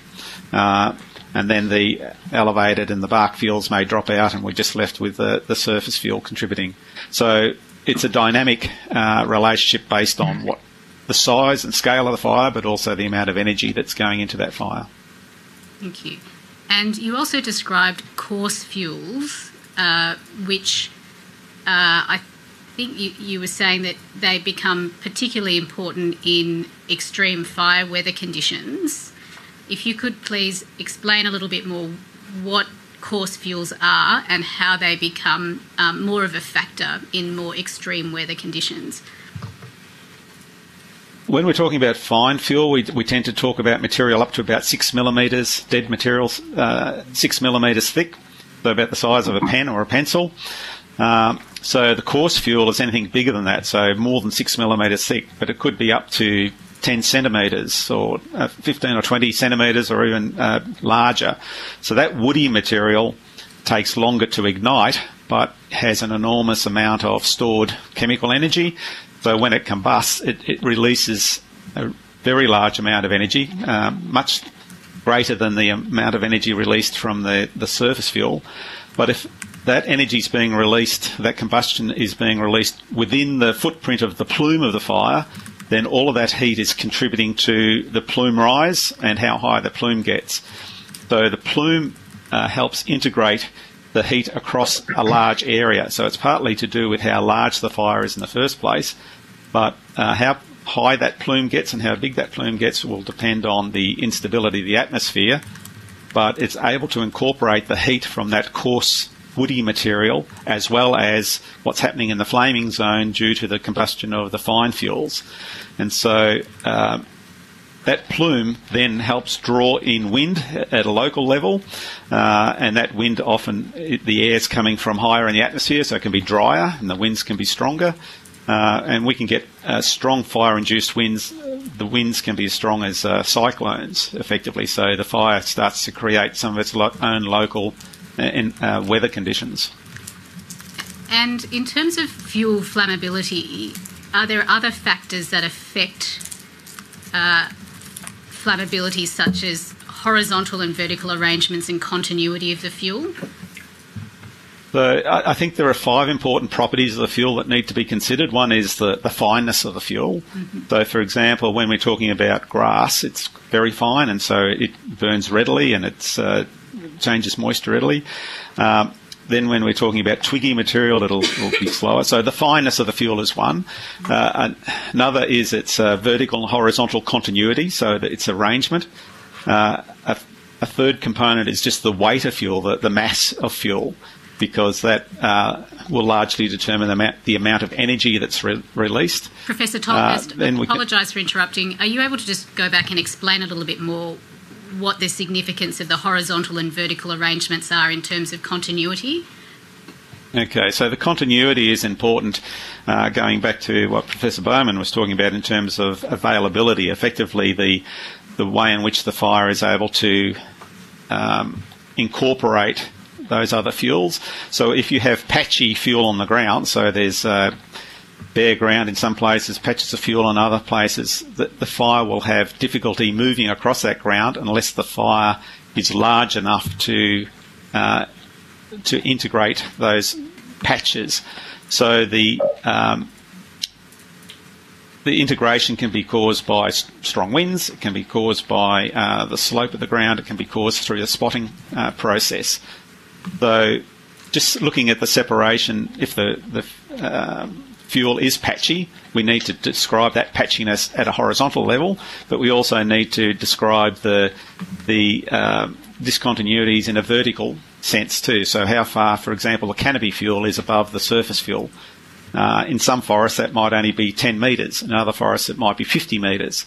So there's a vertical continuity that needs to be overcome for the fire to be able to capture the energy from um, those other potential fuel layers to make them available fuel to be incorporated into the energy release. So, apart from the continuity, there's also the, um, if you like, the flammability of the fuel, which is often related to the species mix. So, uh, some species, for example, will have a lot of natural oils, and some species may have, in fact, a high level of um, inorganic uh, chemicals in them, which may, may actually be fire retardant. So the, the species mix, uh, the flammability of the fuel is important as well. So there are, there are basically uh, five components of uh, fuel that need to be considered when assessing the fuel, and it affects flammability and the ease of ignition and the, the rate at which they might burn. Thank you. Professor Bradstock, do you have anything that you'd like to add to the description that Professor Tolhurst has just provided? Uh, no, not at this stage, no. So, the next topic I'll move to is now hazard reduction activities, and if I might bring you in, Professor Bradstock, uh, what is the purpose of hazard reduction activities in the context of fuel and fuel load in bushfires? Primarily, hazard reduction activities aim to alter the mass or the loading of fuel and the structural arrangement of fuel um, in a way that uh, um, seeks to mitigate the potential intensity of a subsequent unplanned fire. So does that that would include rate of spread, flame height, severity, intensity? So if I understand it correctly, hazard reduction activities are designed to influence the behaviour of fire. That's correct. Yes. Um, yeah. Generally speaking, either implicitly or explicitly, aim is to ameliorate um, the behaviour of a subsequent unplanned fire um, through not only reducing the mass or loading of fuel, but also um, tinkering with those discontinuities that Kevin explained. In other words, uh, trying to impose heterogeneity in a um, uh, uh, you know vertical and horizontal sense. Professor Tolhurst, I saw you raising your hand. Yeah, um, uh, not disagreeing with what Professor Bradstock has just said, but it, we need to be clear. It's not the fuel that's the, the hazard per se. So when we're reducing the hazard, as Professor Bradstock was saying, we, what we're trying to reduce is the amount of radiation. We're trying to reduce the amount of embers. We're trying to reduce the amount of uh, convective heat generated. So the, um, it's really the embers, the smoke, the radiative heat, the convective heat. They're really the hazards, if you like. So uh, the the uh, reason for having um, uh, hazard reduction is to reduce the number of embers being produced or reduce the radiation levels or the, the convective strength or the amount of smoke that's being produced. So um, we do that through modifying the fuel. Sometimes the fuel is considered the hazard, but unless the fuel is actually burning, it's not a hazard. It, it's uh, So what Professor Bradstock was saying is correct, but we just need to be clear that the hazard relates to when it's actually burning. Thank you. And Professor Bowman, did you have something that you wanted to add? Oh, the only the only caveat um, which is important to understand because of ecological processes, there are strong feedbacks. So as uh, uh, as you manipulate or modify an environment, uh, you know, to change fire behaviour, because that's effectively what we're talking about. One of the consequences of that can be that you change the fuel types and therefore you change the risk profile. And that's, uh, that can in some cases be a perverse outcome.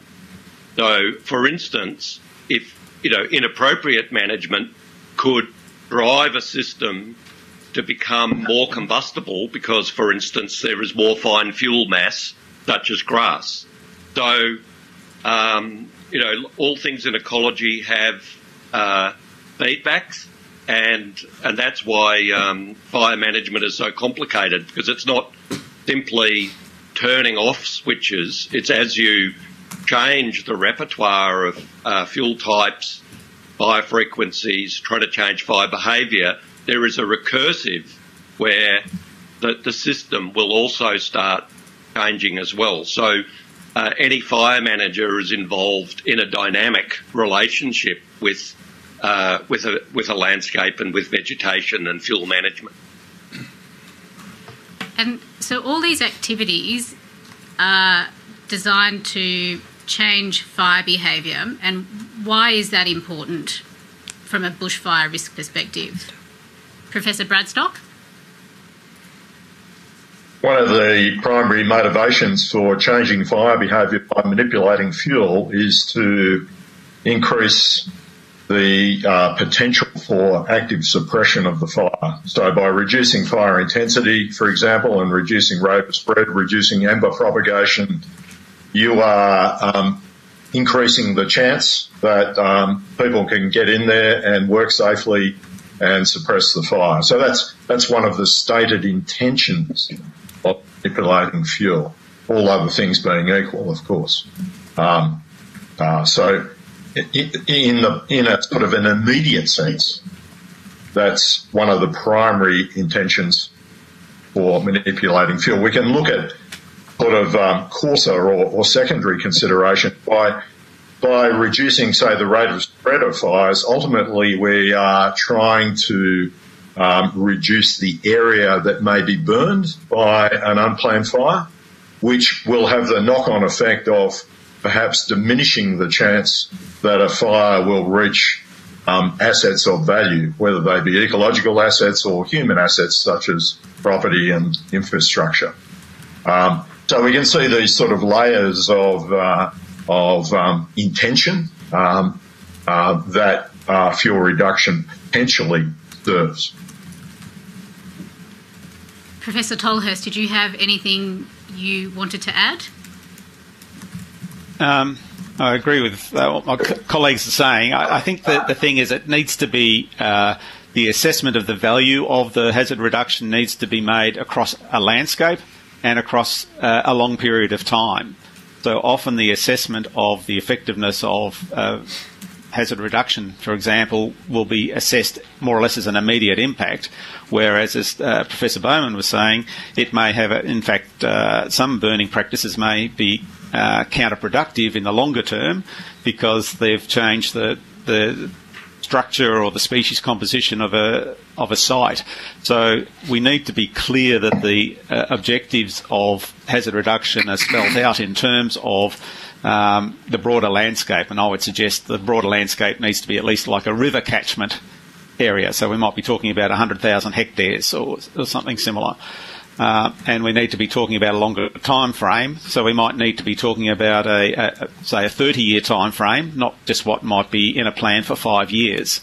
We need to be looking at the longer term um, implications of the hazard reduction. It's not just a, an operation on a 12 month to be viewed on a 12 monthly basis or even a three year or five year basis. I, will come back um, at some stage at, later in the evidence to assessment and evaluation of hazard reduction activities. But Professor Bowman, um, was there something you wanted to add at this point?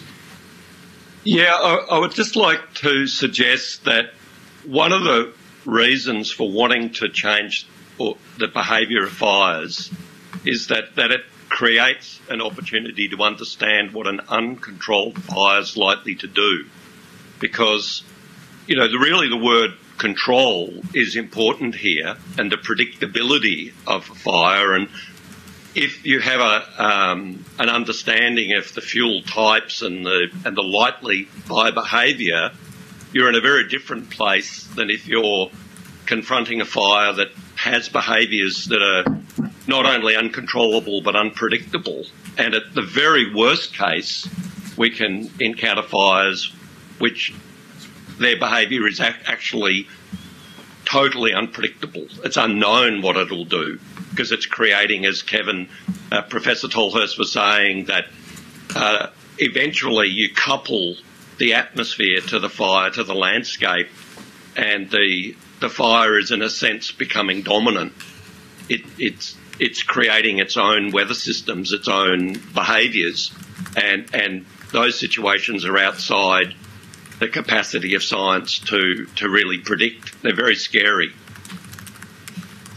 Uh, Professor Bradstock, did you have anything that you wanted to add at this point? We are coming back to the issue of assessment and evaluation, but just responding yeah. to um, Professor Bowman or Professor Tolhurst.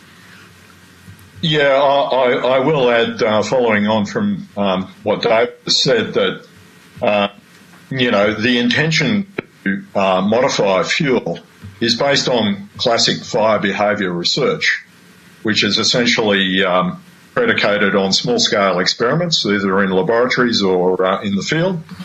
So our understanding of the potential to manipulate fuel and the potential to influence fire behaviour is rooted in uh, uh, what is relatively small scale work. Um, uh, uh, the sort of phenomena that um, uh, David has talked about um, are essentially, you know, beyond classical fire behaviour um, science. Um, know, that's an emerging area of fire behaviour science, and our ability to predict and understand all those factors, such as inter- inter- atmospheric interactions, uh, relatively, um, you know, sort of new development or new discipline within the arena of fire behaviour science. And our ability to represent that in modelling and to understand the implications for uh, fuel manipulation, consequences of fuel ma- manipulation is very limited. So we've got a spectrum of knowledge and predictive tools.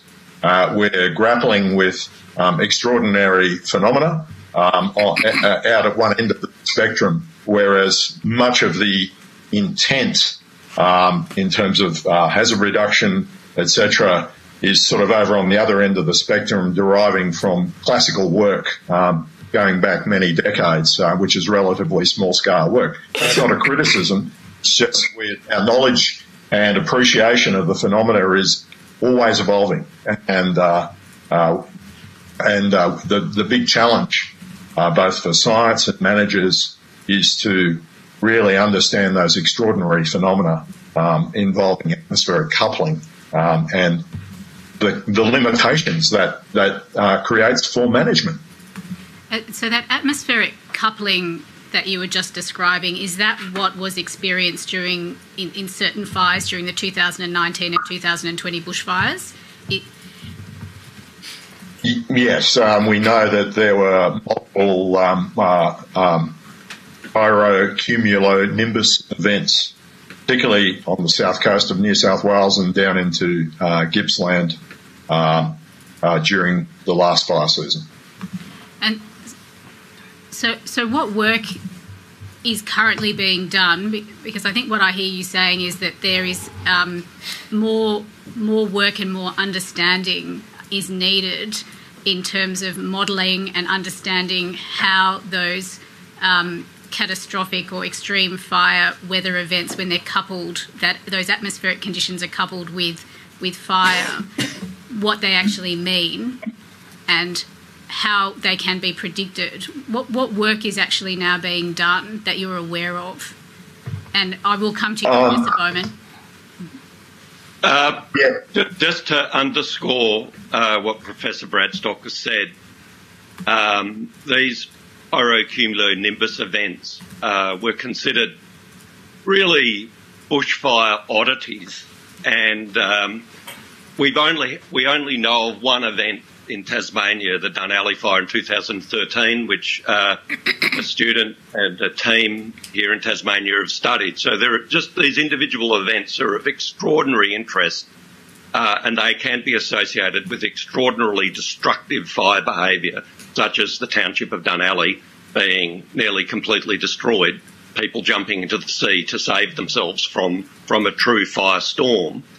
Um, unfortunately, this last summer, uh, there, there's been a tally. Um, Jason Sharples and uh, and colleagues have been keeping uh, records of these things, but unfortunately, this last summer there was a near doubling of the of the record of these events in one event, and that that is that assembly of data goes back about 30 years. So something happened this last summer, which is which is truly um, extraordinary because what we would call statistically a black swan event, we saw a flock of black swans.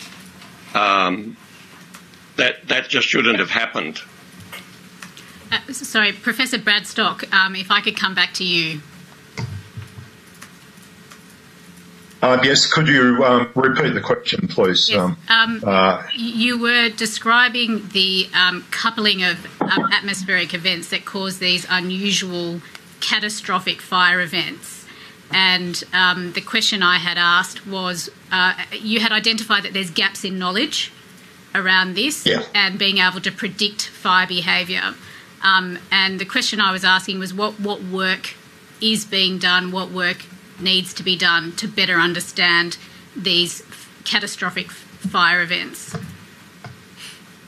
Um, yes, you, there's a lot of work going on. Essentially, you know, looking at the physics of the events. Um, so you, know, you might characterise it as applied physical research, um, understanding the the mechanics of the meteorology and the way in which um, it interacts with uh, you know the energy release from fires. So.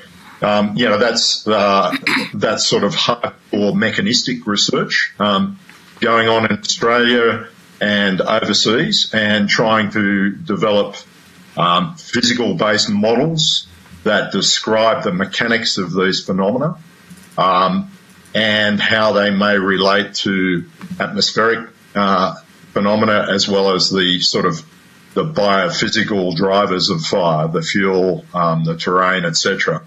There's another branch of work also going on which is essentially geographic and historic um, as David has alluded to, which is simply um, uh, trying to identify where and when such events have occurred and what correlates, the geographic correlates are, the weather correlates, and um, trying to piece together some, you know, descriptive um, pattern of um, uh, of these events that relates to the meteorology, certain aspects of the landscape, vegetation types, etc so that we can more or less identify areas that may be prone um, to these events. We can distinguish areas that are prone versus non-prone.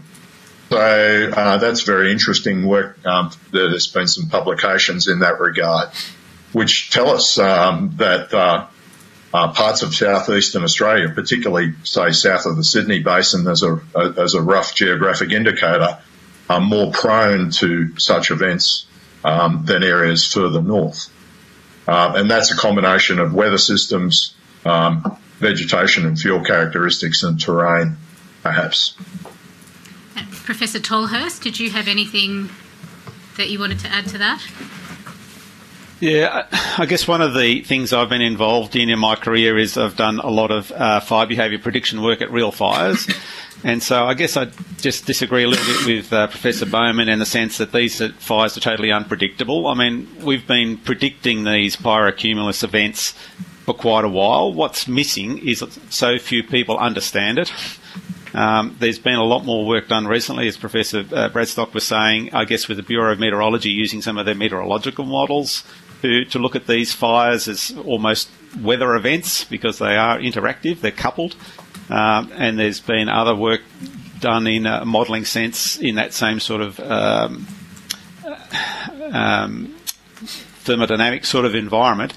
But we've, uh, colleague and I produced Phoenix Rapid Fire, which has convection and spotting process that actually models these fires quite well. I mean, the Dunalley fire, there was an independent assessment done of that. The, the Phoenix model was within 9% of the um, the, the rate of spread of that, that fire, so it wasn't unpredictable really. 9% is pretty good. Even experimental fires are plus or minus about 30% uh, uh, predictability. Uh, the uh, a lot of fires that have occurred with these pyrocumulus have been well predicted, providing the inputs have been put in uh, correctly. So we do know a lot about it. Ne- there's a lot more we need to know but we need to be looking at fuels and the landscape and the weather systems in a more holistic and dynamic way. So it's something that we tried to do with uh, uh, Phoenix, and it goes part of the way there. But it's an area uh, that needs to go beyond, as Professor Bradstock said. A lot of the old experiments have been based on small areas, uh, a couple of hectares. Well, a lot of the scale of the factors that we're talking about don't occur at that at two hectare sort of levels. That's right. They, they need they need to be uh, much larger um, scaled experiments uh, using satellites, uh, aerial platforms, and uh, radar and so on to actually be able to track them, monitor them, and uh, quantify them so that they can be uh, better understood. So I'd say we do have some tools already, and we have had for 20 or so years, but um, it's making sure that they, they're getting used. And a lot of the training that we do for firefighters still talks about surface fuels and just that watch out for pyroconvective uh, activity. Well, we can do much more than just watch out for pyroconvective activity. There's uh, uh, in conjunction with the meteorologists, we can do a lot to actually forecast um, the uh, where they're going to co- occur, as uh, Doc, uh, Professor Bradstock was saying. Um, those sort of analyses have been done in um, in southeastern Australia to see geographically where they might occur. There's a lot more we can do there, but we need to acknowledge fires are very much a three-dimensional dynamic process, not a two-dimensional surface process. Uh, Professor Bradstock, was there anything else that you wanted to add uh, before I, am going, and Professor Bowman, I'll come to you too, uh, uh, before I move topic onto hazard reduction activities? Uh, no, I, I won't add anything to that. Professor Bowman? Thank you. Um, are you asking me to make a comment? Oh, I was wondering if you, you had anything that you wished to say oh, in response to um, Professor Tolhurst. Oh, yeah. So, um, in, in connection to the Dunalley fire, um, that we've published a paper recently on that, working with some of the experts, including Jason Sharples and Paul Fox-Hughes in the Bureau of Meteorology. And it is true that there are some indicators that can give some forewarning, uh, in, including geographical location of the likelihood of an uncontrollable fire but I would dispute the fact that there's predictive capacity of particular pyrocumulonimbus events. Um, that's that's in other words, we're talking something a decision support tool, for instance, is in development by Jason Sharples, but the idea of pinpointing these events um, is is not true. And importantly, fire behaviour models break down when they're confronted by these events because the systems start generating their own weather systems, and, and that creates a, um, a, a modelling paradox because because we have really a quite a limited understanding of the meteorological processes of these systems. So um, we probably have to just beg to differ, but I am in a good position because I've just recently published a paper on the Dunalley pyrocumulonimbus uh, with some leading experts, and I'm confident in my assertions. Um, Commissioner Bennett. I, I, I, see. I think Professor Tol- Tolhurst wanted to make a comment, but I just have one. It's probably a very naive question. In fact, it undoubtedly is. But with all the, um, you know, use of machine learning and um, what is happening with heuristics and the use of various modelling and using computers. Do you feel that um, that we are maximising that sort of technology, bearing in mind we have so much that's unknown and it's developing as we our understanding is developing? And I think Professor Tolhurst said it depends on putting in the right data, and I appreciate that. But do you feel that we are maximising technology um, to be able to get better predictive tools? I'll start with Professor Tolhurst. uh, thanks, Commissioner. Uh, look, I think uh, I, have been running a, a fire uh, behaviour analyst course for a number of years now Austra- across Australia. And one of the things that we do routinely is look at aerological diagrams. So we're looking at the profile of the atmosphere to see whether or not uh, there's a potential for fires to become pyrocumulus. And, and we can predict that fairly readily. So we, we do that routinely. So I, I, guess it's not so much the technology, and there's always going to be room for improved technology, but there's a need for increased training for uh, people to understand the the the, um, the existing level of information and how to use it. And fire behaviour analysts. Uh, have been specifically trained, I guess, to be able to use the available knowledge. So whether it's satellite imagery, whether it's uh, these um, atmospheric profiles, which are produced on a routine uh, basis across Australia, the aerological diagrams. They're used a lot for the aviation industry, but uh, they're also very useful for fire. Um, we use those very successfully to uh, predict um, that fire behaviour. And when people say you can't predict it, it's just because they haven't understood how to do it. I mean, inf- a lot of the information is actually there. So we there's this disconnect between our level of knowledge and science and the skills and knowledge of the people actually applying it. There's this massive slippage. We can do more and more research, but unless it's actually being uh, taken up and used, then uh, the science gets way ahead of the operational, um, I guess, ability to, to, use it.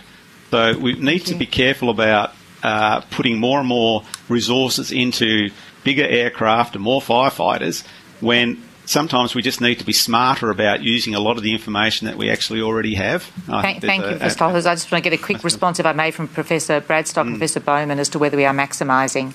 I heard what you said. I'm just, um, I just want to know about if, what their views are about maximising technology. Uh, thank you, Commissioner. Um, in very general terms, um, uh, fire science and management has um, undergone essentially almost a revolutionary era of change in about the last 25 years. Um, with the advent of, uh, um, you know, satellite information, geographic information systems, um, uh, you know, a, a, rapid expansion in computing power, all these things have transformed in my lifetime and career the way that we can view fires, um, the potential for analysis, and um, and obviously the um, potential for um, op- operational responses, planning, and policy development. So right across the board, we can see fires and analyse them and try and understand them and respond to them in ways that were almost impossible to comprehend 30 years ago. Um, so we're seeing dramatic uh, change um, which reflects the the you know the rapid um, development of technological capacity. I was really looking at the question. Example, sorry, I was really looking at the question of using. Uh, predictive technologies, machine learning, better to predict. I understand, you know, better to predict yeah. um, the, with these new weather events whether or not that, that it's not so much responding as we have, you know, as we do get the information during the course of a fire, but rather being able to predict fire behaviour um, by reason of the changing weather patterns that we've that you've spoken about. Um, Professor Bowman. Yeah. Uh, Commissioner, if I if I might add that one of the things that's critically important here is that many of these extreme fire events um, are unique uh, phenomena, and if you're an astronomer, you might think of them as as a you know as, an extraordinary uh, observation and you can't undergo an experiment. We can't create fires like this experimentally. Sorry to interrupt. Are you saying that they are unpre- that in your view there is no uh, you, there is no ability to predict?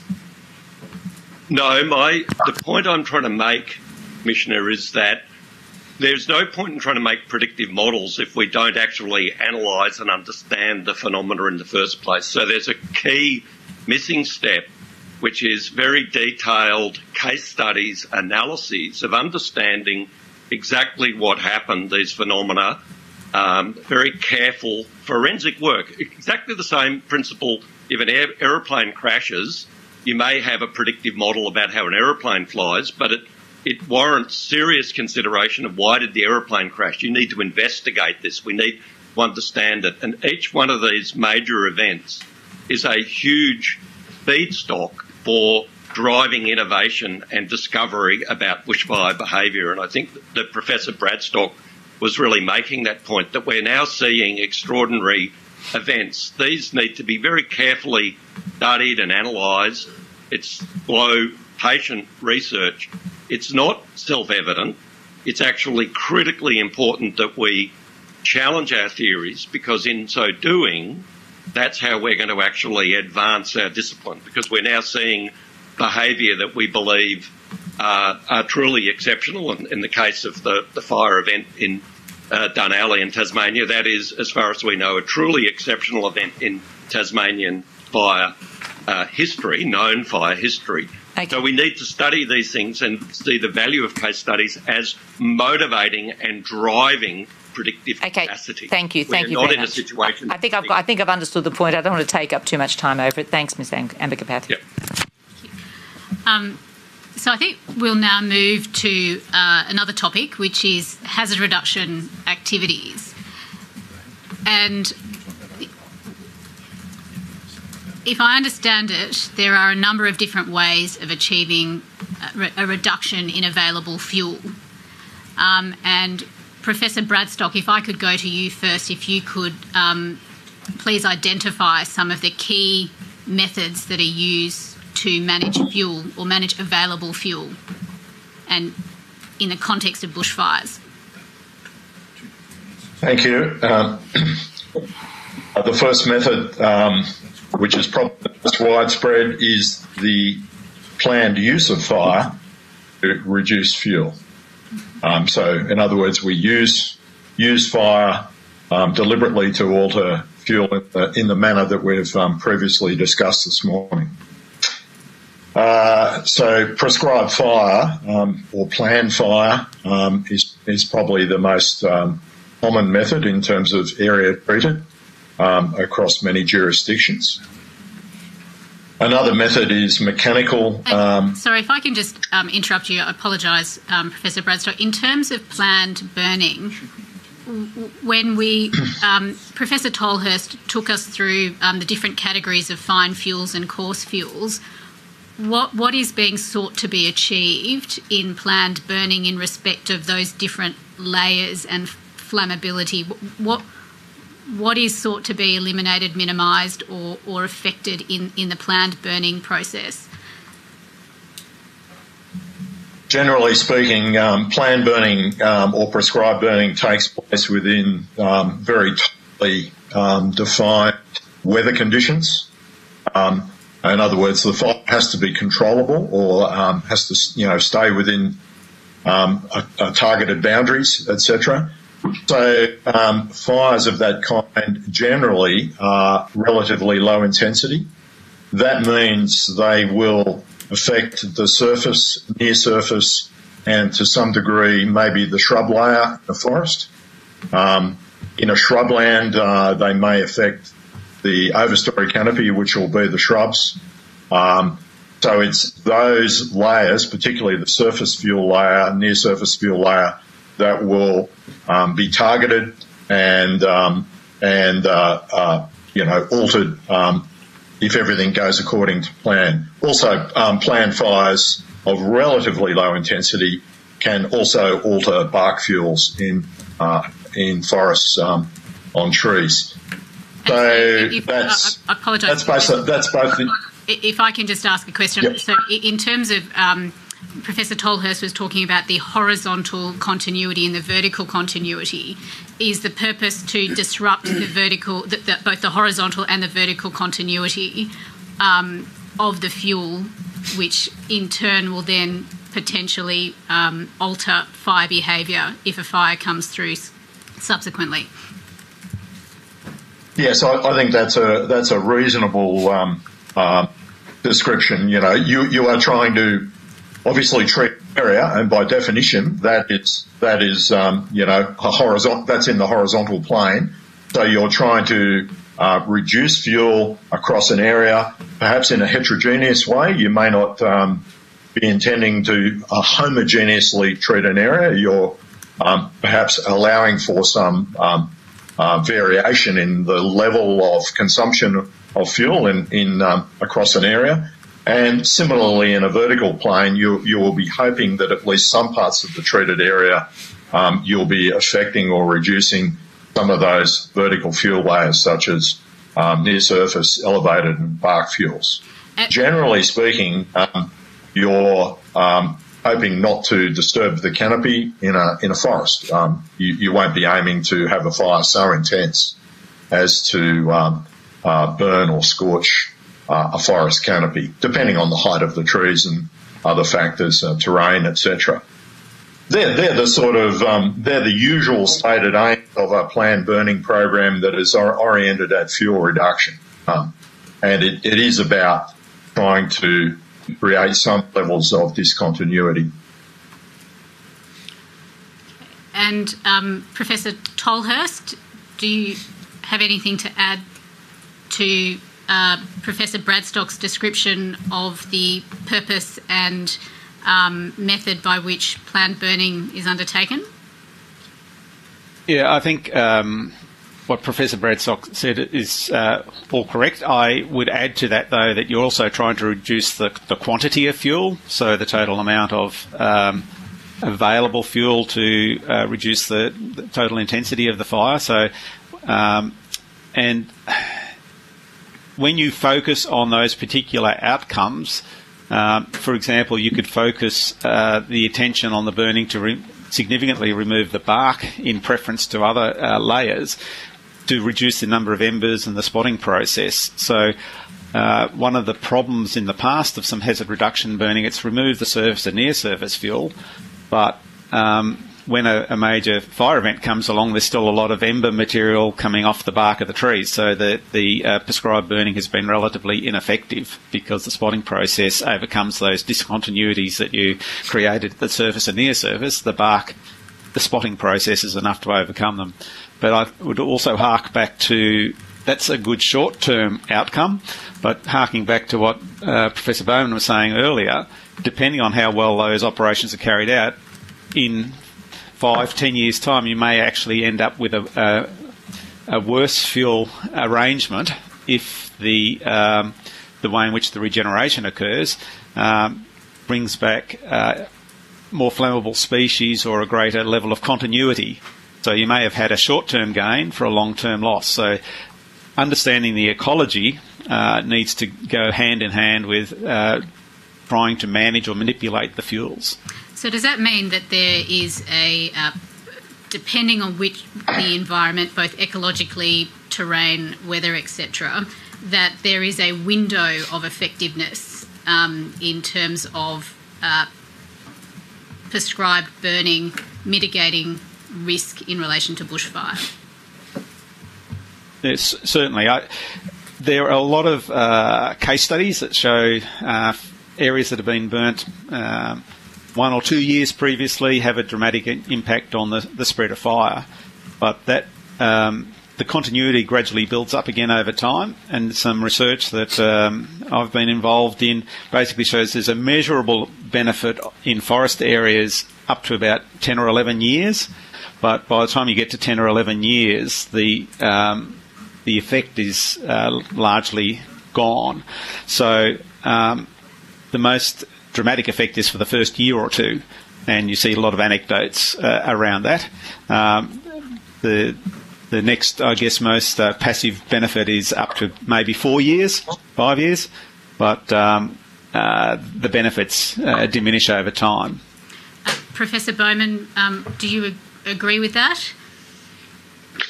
Yeah, that's right. The one uh, critical caveat that we need to make when we're discussing prescribed burning in a landscape is that there are many elements in the landscape that are not amenable to being um, burnt because they have the wrong uh, fuel structure, the wrong fuel type.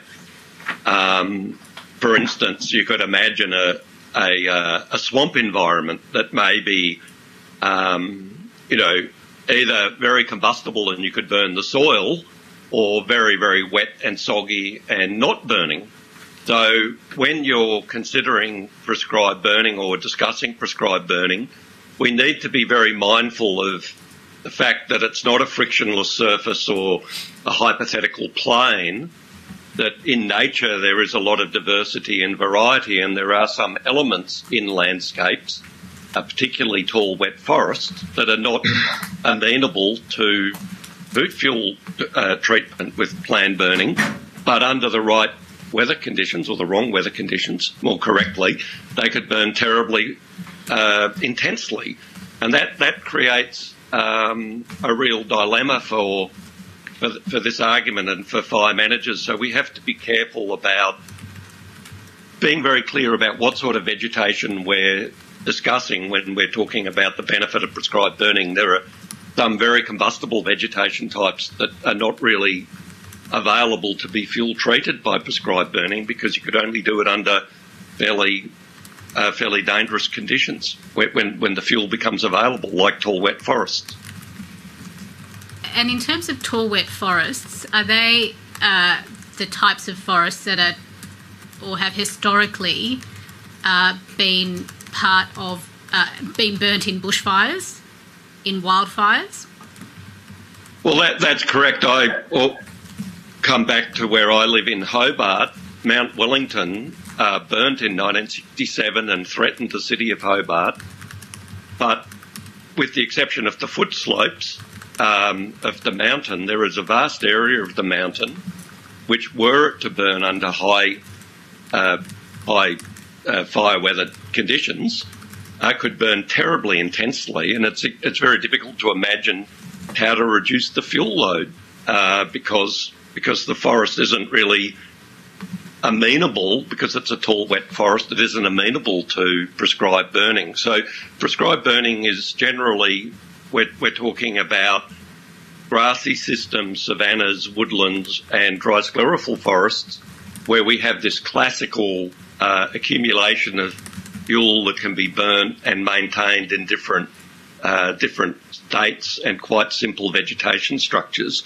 Um, but we have to be very mindful that there are mosaics and there are different vegetation types that you just simply can't burn safely. Um, Professor Bradstock, do, do, you agree with that? Uh, partly. I mean, uh, um, tall wet forests are, you know, do pose a paradox, as David has indicated. They're often too wet to deliberately burn under the sort of benign weather conditions in which you conduct prescribed fires. Um, but of course, under uh, really bad drought conditions, they do dry out, and then when you have bad weather, they will burn with um, phenomenal intensities. Um, potentially some of the highest intensities ever recorded on Earth. Um, but I would go back and say that we have a reasonable understanding of the window of effectiveness, uh, particularly through systematic analysis of fire severity data, um, which shows that the window of effectiveness of treated areas, um, well, you know, areas uh, where prescribed fire has been carried out or even the effects of antecedent wildfires. Um, we can examine that window as Kevin has indicated. Generally speaking, it's around five to 10 years, though it is highly contingent on the weather conditions at the time in which a wildfire moves through a fuel reduced area. So under the most dire weather conditions, um, uh, such as a catastrophic fire danger index. The window of effectiveness of antecedent treatment may be extremely short, um, a year or so, in terms of producing some measurable level of reduction in fire intensity. Um, under benign weather conditions, it may be more of the order of five to ten years.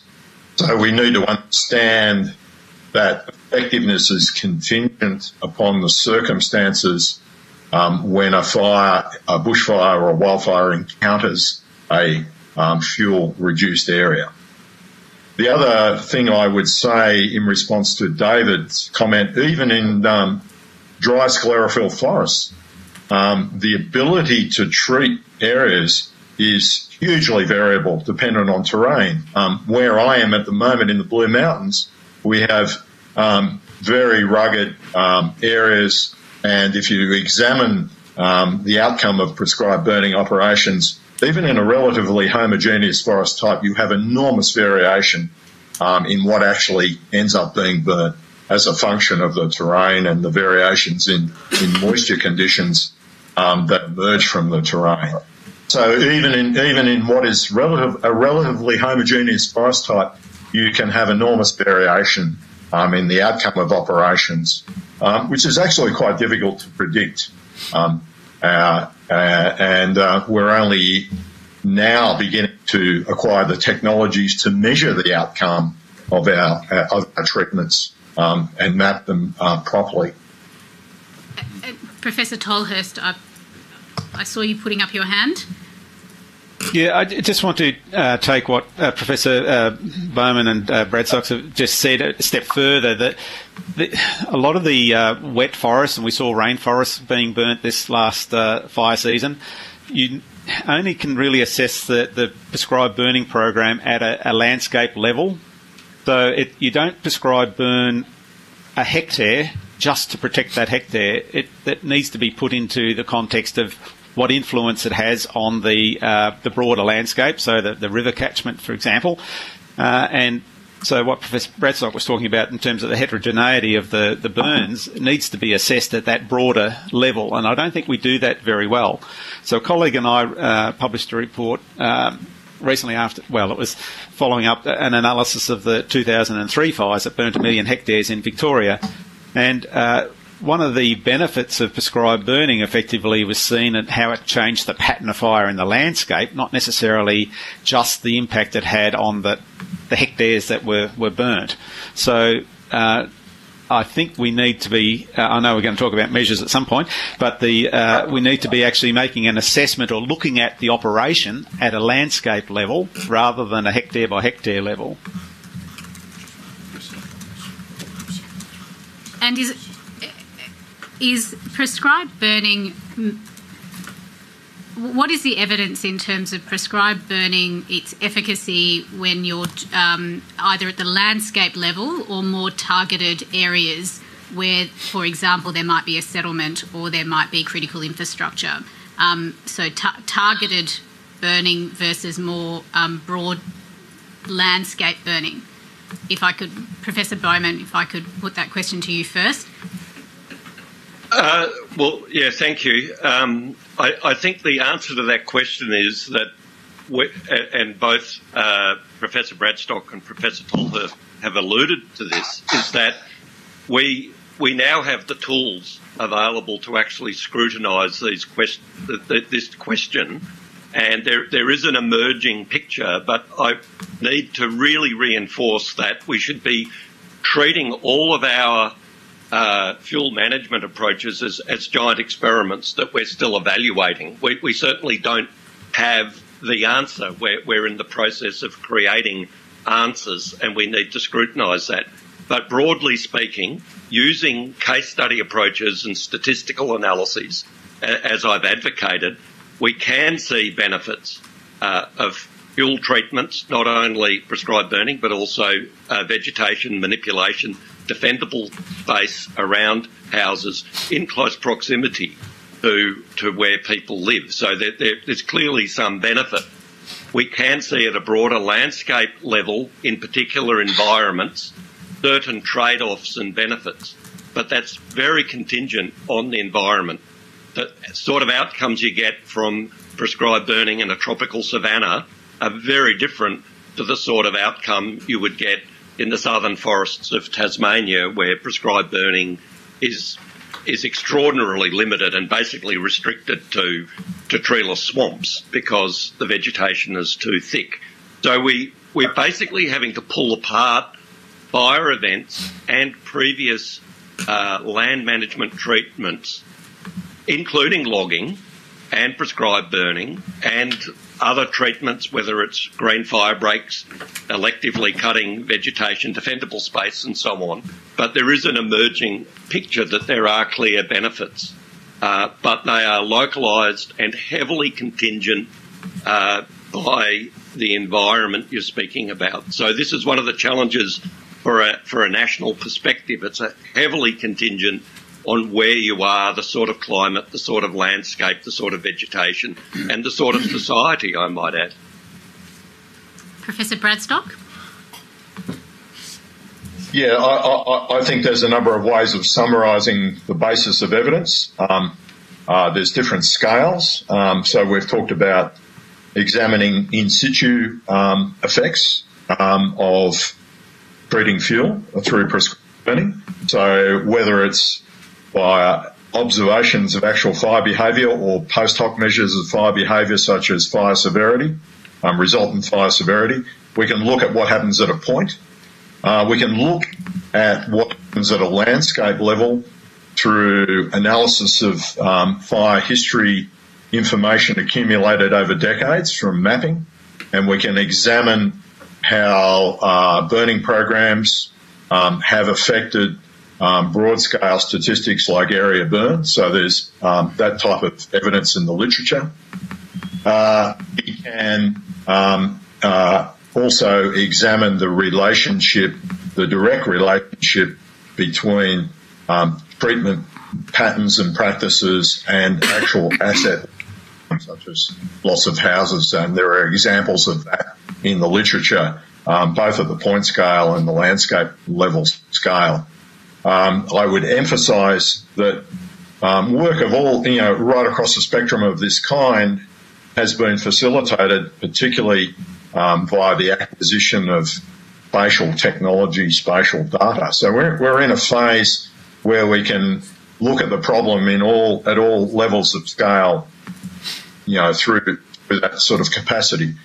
The other um, way of examining the effectiveness of treatment programs, what I might call treatment strategies over the longer term, as Kevin has indicated, you've got to look at um, large time scales and spatial scales, is through modelling, the application of models such as Phoenix Rapid Fire um, into, um, uh, you know, to represent what happens in, in landscape scales. You can actually conduct experiments whereby you can set up alternative strategies of burning over over time and space and examine their performance um, on thing, uh, in terms of um, the resultant effects on things that we value, assets we value.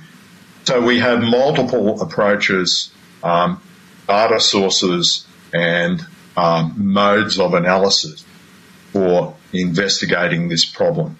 Um, it's not one or the other. It's actually about how multiple lines of evidence fit together to um, begin to build a picture and an understanding of effectiveness of treatments. And I would emphasise, as crude as they are, our application of fire behaviour models into a spatial and temporal environment through simulation um, provides an actual experimental testbed um, for drilling into this question.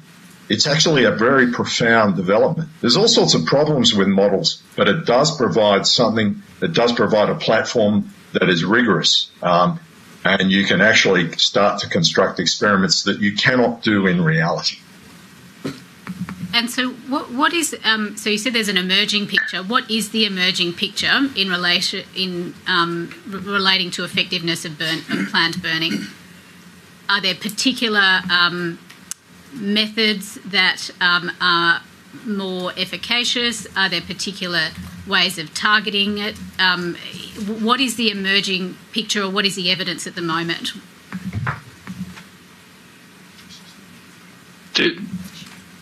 Oh, I'll, go first if you like, but um, we're at a we're at a point in time where those different approaches um, to looking at effectiveness can be channeled into the question of understanding how prescribed burning as a fuel reduction measure alters risk. Um, for me, uh, risk is the ultimate measure of effectiveness. so what, what do I mean by risk? I mean the chance or the probability of loss of a defined magnitude um, or something of value. So we can uh, examine the probability of uh, losing uh, 100 houses um, over some defined timescale. Um, so uh, that's important. That's an important measure of um, uh, or way of looking at effectiveness um, because it relates to the paradigm of management that we're actually in at the moment. So most agencies um, profess um, to uh, undertake bushfire management uh, within the lens of uh, of risk, um, risk reduction, risk mitigation, um, etc. It's in policy documents, yeah. it's in legislation, it's in if planning. I could just, if I could just interrupt for one second, I apologise. So, if you use that as your measure, um, what what is the current yep. evidence? Uh, sorry, could you repeat the final part? I, I lost you there. If you use um, that measure in terms of um, risk, and I think you used one indicator was the probability of saving 100 houses. If you use a measure like that, what is the current evidence in relation to the effectiveness of different types of um, prescribed burning?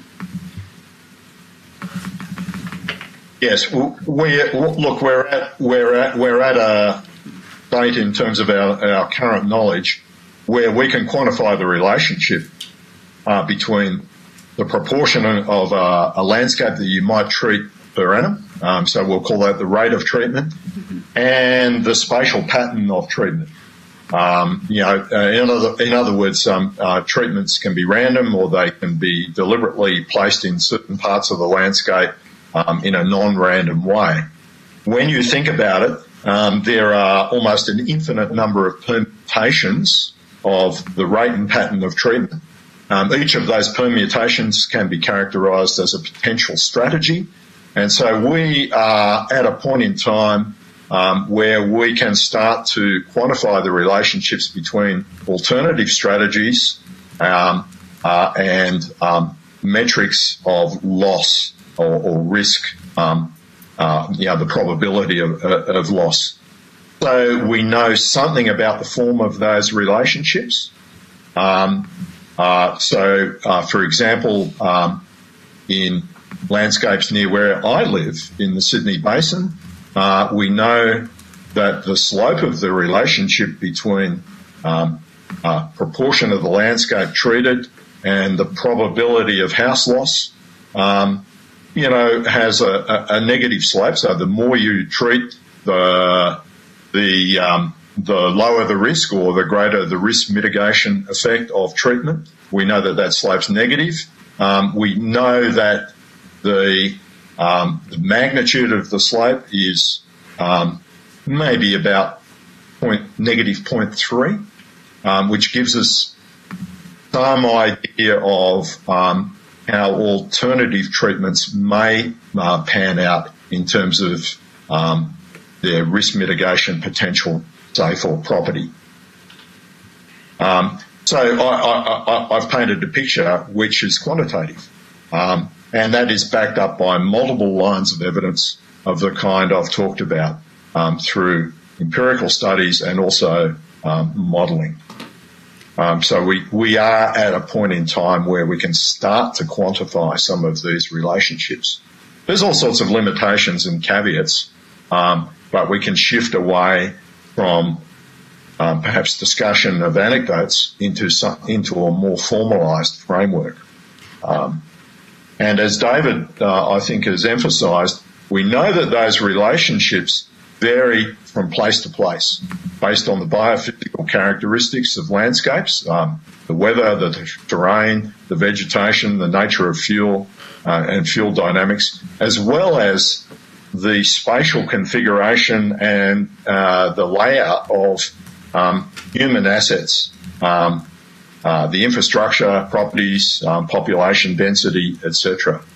Um, also, those human factors feed back into fire because people, um, you know, are a prominent ignition source, uh, uh, complements natural ignition sources such as lightning. So, Professor Bradstock, Um, if I can, if I can, um, if I can, I apologise for interrupting. I'd like to, um, Professor Bowman, Bowman, if you'd like to, um, you had something you wanted to add.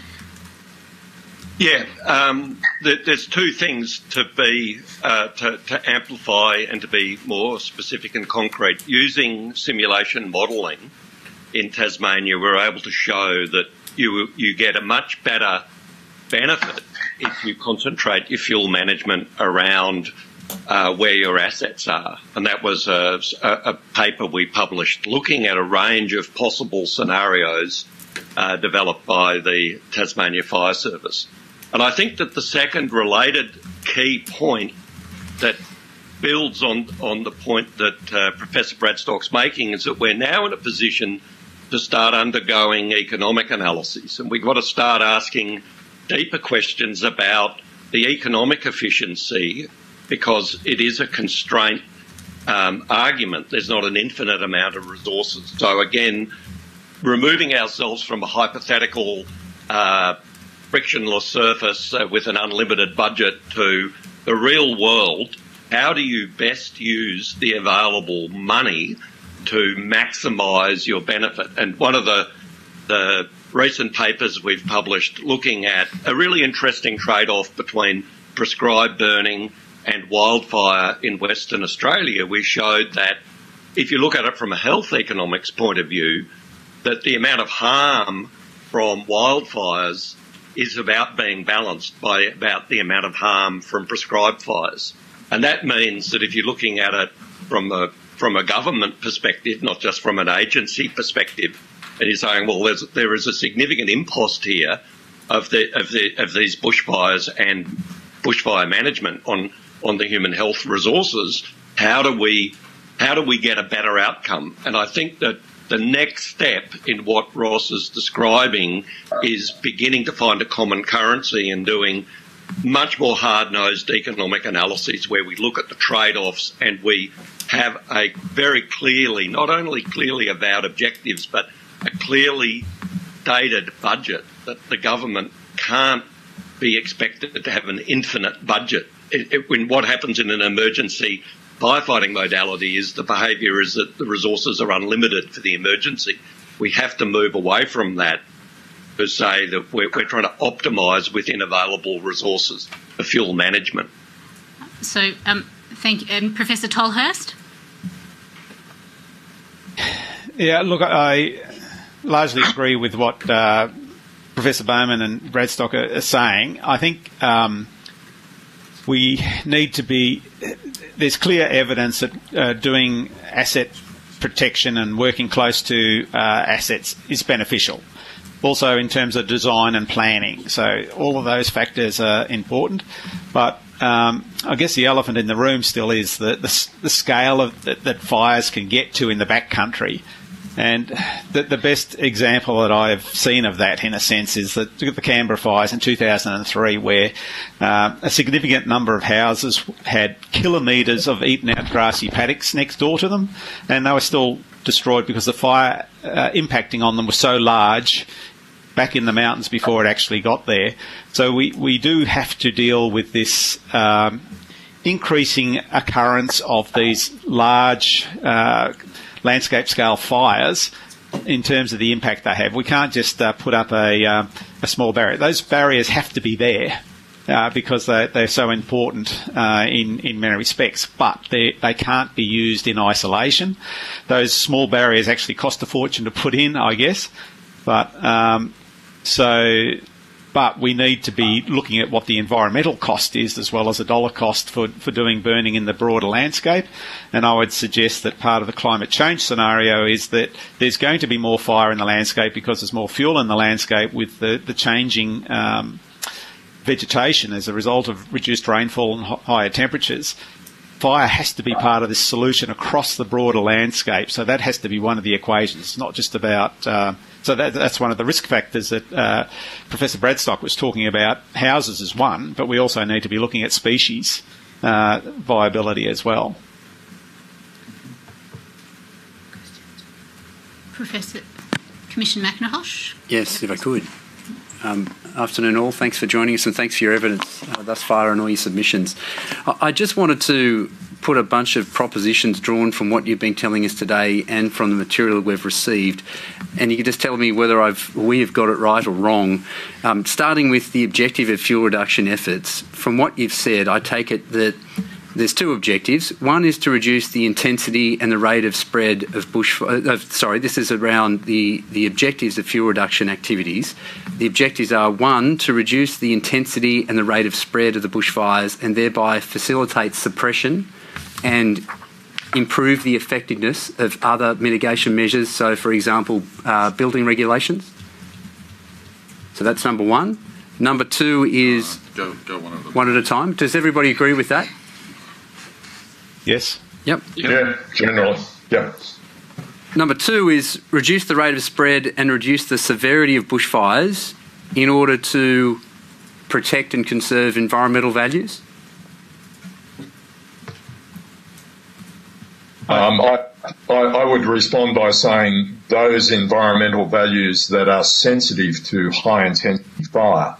Um, so there are, you know, um, things like koalas uh, or arboreal mammals are obviously going to get um, hammered in high intensity fires, but there are other, other biota which are quite comfortable with high intensity fires. So, um, so it depends on um, it depends on the the entity um, or the species or even the ecosystem service and its sensitivity to fire intensity. Thank you, Professor Brad, Bradstock. Uh, Professor Bowman or, or Tolhurst, do you have any anything to add on that? Uh, yeah, I would add, I suppose, I, I uh, like Professor Bradstock, I have a conditional uh, element uh, to that statement in that um, it's reducing the severity of the fire uh, the extent of the severe fire. It doesn't mean you're not going to have severe fires, but hopefully the extent of that would be reduced because the uh, there are other energy sources that the fire is uh, gathering, uh, which includes the weather and the terrain and so on. So we still, even with a, prescribed burning, uh, more prescribed burning in the landscape, we're going to have severe fires, but you're trying to reduce the, the extent of those and perhaps the uh, increase the heterogeneity in those. Thanks very much.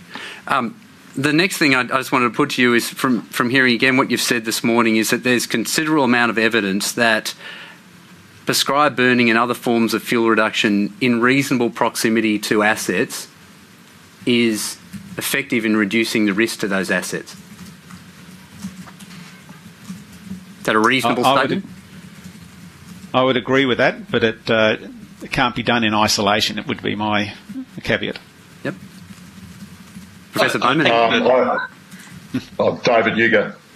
Uh, I think the, the key thing is, um, again, this is a, one of the traps in this entire discussion. Um, the key thing is probably fuel management um, and, and, quite intensive fuel management is important in you know creating defendable space and increasing the likelihood of asset survival. But it might not necessarily be prescribed burning, um, or it may be prescribed burning coupled with other fuel treatments such as uh, thinning um, native vegetation to make it more amenable to prescribed burning. So we, we have to be very careful that we're not representing um, fuel treatment um, as prescribed burning. It's it's a more complicated and contingent, nuanced um, proposition. Thanks, Professor Bowman. Bradstock, did you have any? Yep. Yeah, um, uh, I would agree with um, David. Um, you know, we have to look at the complementarity of treatments. Um, uh, I would also add there's published evidence to show that treatment in close proximity to built assets, you know, such as developments, uh, is um, more expensive than treating areas further away in the landscape. However, it is more, even despite that expense, is more cost effective in terms of risk reduction um, for those. So um, that's not to say you wouldn't treat areas elsewhere in the landscape for other reasons, but if you want the most cost effective strategy for protecting those assets or, or mitigating risk to those assets, then treatment in close proximity um, appears to be the best option at this stage based on the evidence. Thanks very much. Now, and if, if I might add, when you take a more holistic perspective, and that's why in combination treatments are important, a major constraint on prescribed burning in close proximity to to populations is the smoke hazard, um, which, as I said, can end up being as injurious um, to human health as, as wildfire events. So there there are some very complicated trade-offs and an open mind and and an economic analysis I think is really important. Yeah, thanks for that. The, I, I, the next thing I want to turn to is the landscape burning. I think um, Professor Tolhurst um, picked up on it before. And from what I hear from the three of you and in the literature, it seems like landscape burning can be effective in helping to reduce risk to uh, the values, things that we value, but it depends on how and where it is done. Is that a fair statement? Uh, Professor yeah, Tolhurst?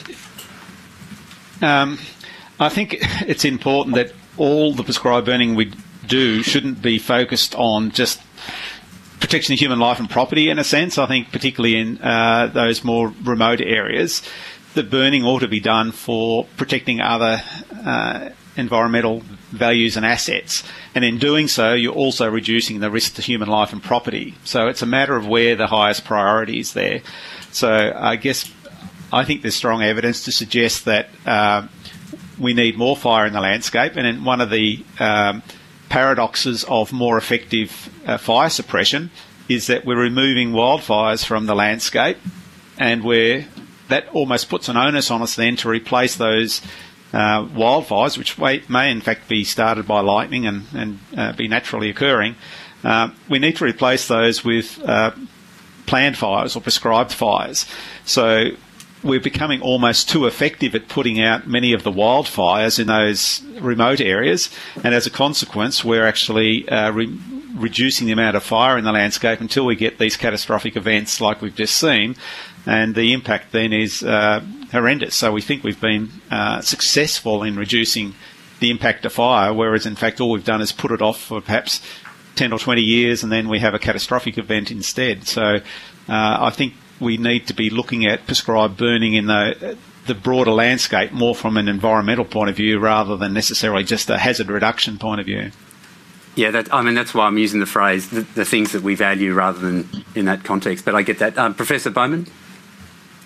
Uh, if I could add, I think a, a really important question is uh, the creating landscapes where natural ignitions are able to burn. Um, this this hinges on two things having the ability to predict the likely behaviour of a fire and knowing that your assets are well defended from a fire would if you if you had those things were improved then fire managers can in a sense not have to take responsibility for applying fire to the whole landscape. It can allow natural processes to occur as well. At the moment the, the way Professor Tolhurst is sort of representing it is that we have a, a situation where all uh, uncontrolled ignitions are put out and then the society is obliged to go and put in controlled ignitions. Um, another version of reality is that some of those natural ignitions are understood to be safe enough to be allowed to burn. And that comes back to fuel treatments um, and also to fuel barriers around our assets. Yeah, um, if I may, uh, if I may respond to both of those comments. Um, yes, there's obviously a prioritisation um, of um, you know things that we value, um, but then there's the reality that um, agency budgets are very limited. they're not open-ended, and the opportunities for burning are relatively few in most of our temperate environments. Um, so agencies have to thread the needle. Um, life and property is mandated as the number one priority um, in, in you know bushfire management, uh, and so there may be compelling reasons to do stuff out in the landscape, um, but um, when you've got limited budgets and limited opportunities, um, then uh, uh, people will be brutally exposed if they do not prioritise treatments in a cost-effective way to uh, mitigate risk to people and property. The second thing I'd say is I think um, the notion that we are suppressing most or all unplanned fires, I just don't think is true. Um, we off some of them uh, through suppression. But uh, to give you an example, the Gospers Mountain Fire in the in Wollemi National Park, um, possibly the largest forest fire in recorded history in Australia, burned across an amazing diversity of age classes, um, created both through planned burning programs and past wildfires. That's a very remote area with very little ground access.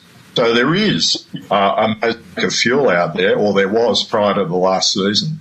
Um, so um, uh, and and uh, managers and, and planners during those operations, you know, would have been making decisions based on on those patterns of past fires, etc., uh, in terms of their control strategies. So I don't think it's quite as simple as saying, you know, we're ultra effective in in uh, suppressing all fires. That may vary, of course, across environments uh, according to climate and forest types, etc. We have to be careful about generalising too much there. Thank you pick up on one of those because it comes comes back to I mean this question, and I think you just raised it, Professor Bradstock, of what the experiences were in the last fire season. And I, you know, going back to what I think was descri- uh, described before is that I don't remember what it was a family or a mass of black swans for what was originally a single black swan event. I mean, d- does your opinion about I mean, I understand everything you've said about the benefits of prescribed burning and the methodologies used and the um, the use of past evidence to uh, enable evidence based predictions to take place, but also bearing in mind what Professor Tolhurst has said about the, um, the impact of weather changes uh, in the totality of the energy that is produced during a fire. To what extent, um, I understand that a lot of the things you've said about prescribed burning apply in the ord- in what I would call the ordinary course of event events. But is there anything about let's say let's assume that these um, extreme weather conditions which occur more regularly every year. Let's be ex- let's be very negative about it. Um, does that impact at all on your opinions of, of what we do about the, the, sort of hazard reductions that you've described and the efficacy of them? And I think Professor Bradstock, I mean, we heard it anecdotally that firefighters were saying that you know it just they just jumped everything the fires. So I'm just wondering if I, you know, I mean, I, I know we don't have an evidence basis upon which to make all of these predictions, but I just wondered whether how that possibility impacts upon your opinions. Um, if I may go first. Uh, yep. um, think of fire behaviour um, in very simple terms, um, being controlled by two dials. I'm an analog sort of person. You have a fuel dial and you have a weather dial. You know, and if you look at the structure of fire behaviour models, um, you know, that's that's one way of thinking about it. As you, you can try and turn down the, the fuel dial, um, and that's what we're intending to do through fuel reduction or, or, you know, via prescribed burning or other means. But as the weather dial is being turned up through climate change, that's counteracting the effect, the effect of turning down the fuel dial. That's a very simple no, no, thank analogy. You. That's very helpful. Yeah, and when we actually formally do that in models, um, such as using things like Phoenix Rapid Fire or other simulators, when we put in climate change, um, you know, induced um, increases in the severity of fire weather, we find that the efficacy of prescribed burning, in other words, that those changes to the fuel dial, um, diminishes. Uh, you know, as um, as measured by risk to things of value um, that you might put into models like that. So um, climate change is is going to diminish the efficacy of fuel reduction. Um, all other things being constant. Thank you, um, Kevin. Possibility that um, fuels could change in the future, but that's that's a general sort of picture of where we're at in our understanding. Thank you very much. Professor Bowman. Thanks. Uh, one of the major concerns um, that that is emerging is that there's an interaction between fire and drought. So, notoriously resilient uh, ecological systems like dry sclerophyll forests, if they're challenged by drought and fire, and drought and fire go together, there's evidence that the recovery, these increasing frequency of these fires and droughts, the recovery is actually um, more limited. And the the the, the concerning um, conclusion of, of that evidence is, is a theory that eventually the landscapes themselves are going to change uh, because the capacity for the landscapes to support the current vegetation um, is not going to be possible under the emerging climate. So, in other words, we can imagine these fire events as a form of an equilibrium, a very disruptive re-equilibrium, um, as the the carrying capacity of the landscape of fuels and carbon and vegetation is being re-equilibrated, and large quantities of carbon and, and vegetation structure are going to be essentially vaporised and and converted to to gas, um, and there's going to be you know a profound change in the vegetation. We are beginning to see that, for instance, in the Australian Alps, where uh, things like the snow gum vegetation, which very resilient, um, resprout a plant, but it's being hit by drought and recurrent fires. That there's concern that these systems may um, start collapsing in on themselves. And, and the analogy I use, it's really the the sort of the biospheric or the vegetation equivalent of an ice sheet breaking up as the climate is becoming uh, more fire prone, drier. The old vegetation types are going to not just slowly change and migrate, but be burnt up. Um, and this is this is a very concerning idea. It's not proven. Uh, and then how we manage that transition, because basically we may be looking at a staged transition that we realise we have to reduce the vegetation structure in a way to help the vegetation adjust to the changing climate and to the increasing risk of fire. Thank you very much. Professor Tolhurst, did you want to add anything? Look, uh, you know, I guess I largely agree with uh, what Professor Bowden just said. We, we're going to, we're going through these climate change scenarios. Fire has to be a part of that, and, and we have some control over what that fire looks like. And to go back to something that Professor um, Bradstock said earlier, in Victoria, the number of fires less than 10 hectares um, has changed from about 95% to 99%. So there's been a statistically significant increase in larger, well, in either the smaller fires or the larger fires. It, it's we've actually um, more fires are being put out. So 99% are being kept below 10% whereas uh, 20 years ago there were only 95% of fires being kept below uh, 10 hectares. Okay. So, um, so I think we, the reality of the new world is involves fire. Thank you very much. Sorry, if I can take it back to Ms. Amicapathy. No, no. Um, that actually now um, covers all the topics that I was hoping to cover uh, this morning. I'm also conscious of the time too. Um, I have no further questions. No, I think the uh, the three witnesses this morning and the literature that we have uh, and all the notices gives us uh, a good idea of, uh, of where we need to go with this into the future. So, gentlemen, we appreciate that very, very much. Thank you. Chair, if the uh, witnesses could please be excused. The witnesses can be excused. Thank you. Thanks. Thank you. Thanks a lot. Thank you. All right. With that, we'll uh, take an adjournment for lunch until 14:15 Canberra time. Thank you. All rise.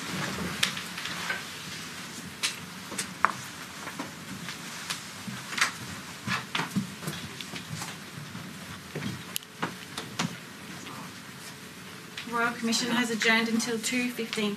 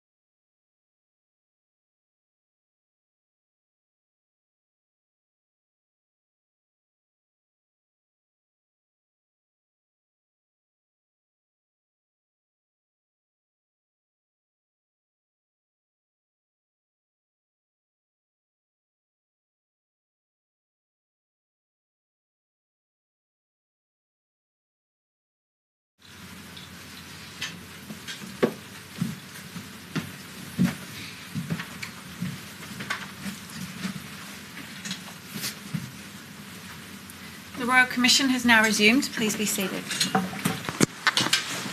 Mr. Tokley, good afternoon. Good afternoon, uh, Commissioners. Good afternoon, Chair. Uh, Chair, Commissioners, this afternoon we'll be looking at the first of the uh, state and territory panels. Uh, and this afternoon we will have participants from uh, Victoria, uh, South Australia, and Queensland that have been nominated by the various states. Um, without further ado, I'll call the participants um, for the first panel, and they are Mr. Chris Hardman, the Chief Fire Officer, Forest Fire Management Victoria, Mr. Alen Slijepcevic, the Deputy Chief Officer, Bushfire Country Fire Authority Victoria. Yeah. Gentlemen. I'm here. Good, good afternoon, gentlemen. Uh, Mr. Hardman, will you take an oath or affirmation? Uh, affirmation. Mr. Hardman, do you solemnly and sincerely declare and affirm that the evidence you shall give will be the truth, the whole truth, and nothing but the truth? I do. Thank you. Ms. Slijepcevic, will you take an oath or an affirmation? Affirmation, please. Mr. Slijepcevic, do you solemnly and sincerely declare and affirm that the evidence you shall give will be the truth, the whole truth, and nothing but the truth?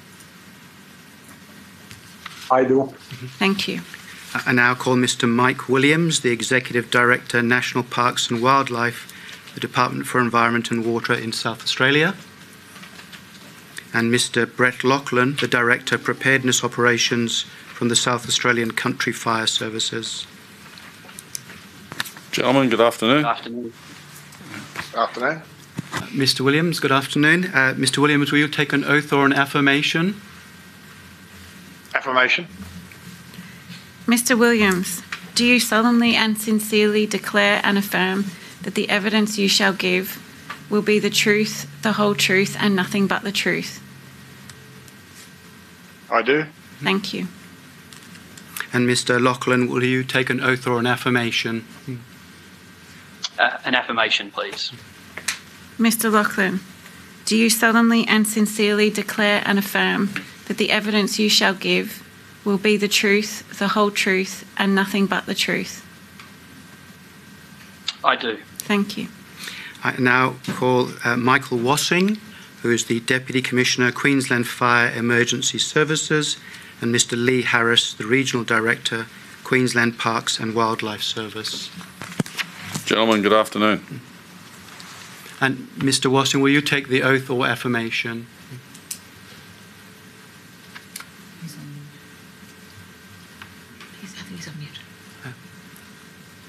Mr. Uh, Wassing, can you hear us okay? Affirmation, please. Thank you very much for unmuting. Hmm. Mr. Wassing, do you solemnly and sincerely declare and affirm that the evidence you shall give will be the truth, the whole truth, and nothing but the truth? I do. Thank you. And Mr. Harris, will you take the oath or the affirmation? Affirmation, please. Mr. Harris, do you solemnly and sincerely declare and affirm that the evidence you shall give will be the truth, the whole truth, and nothing but the truth?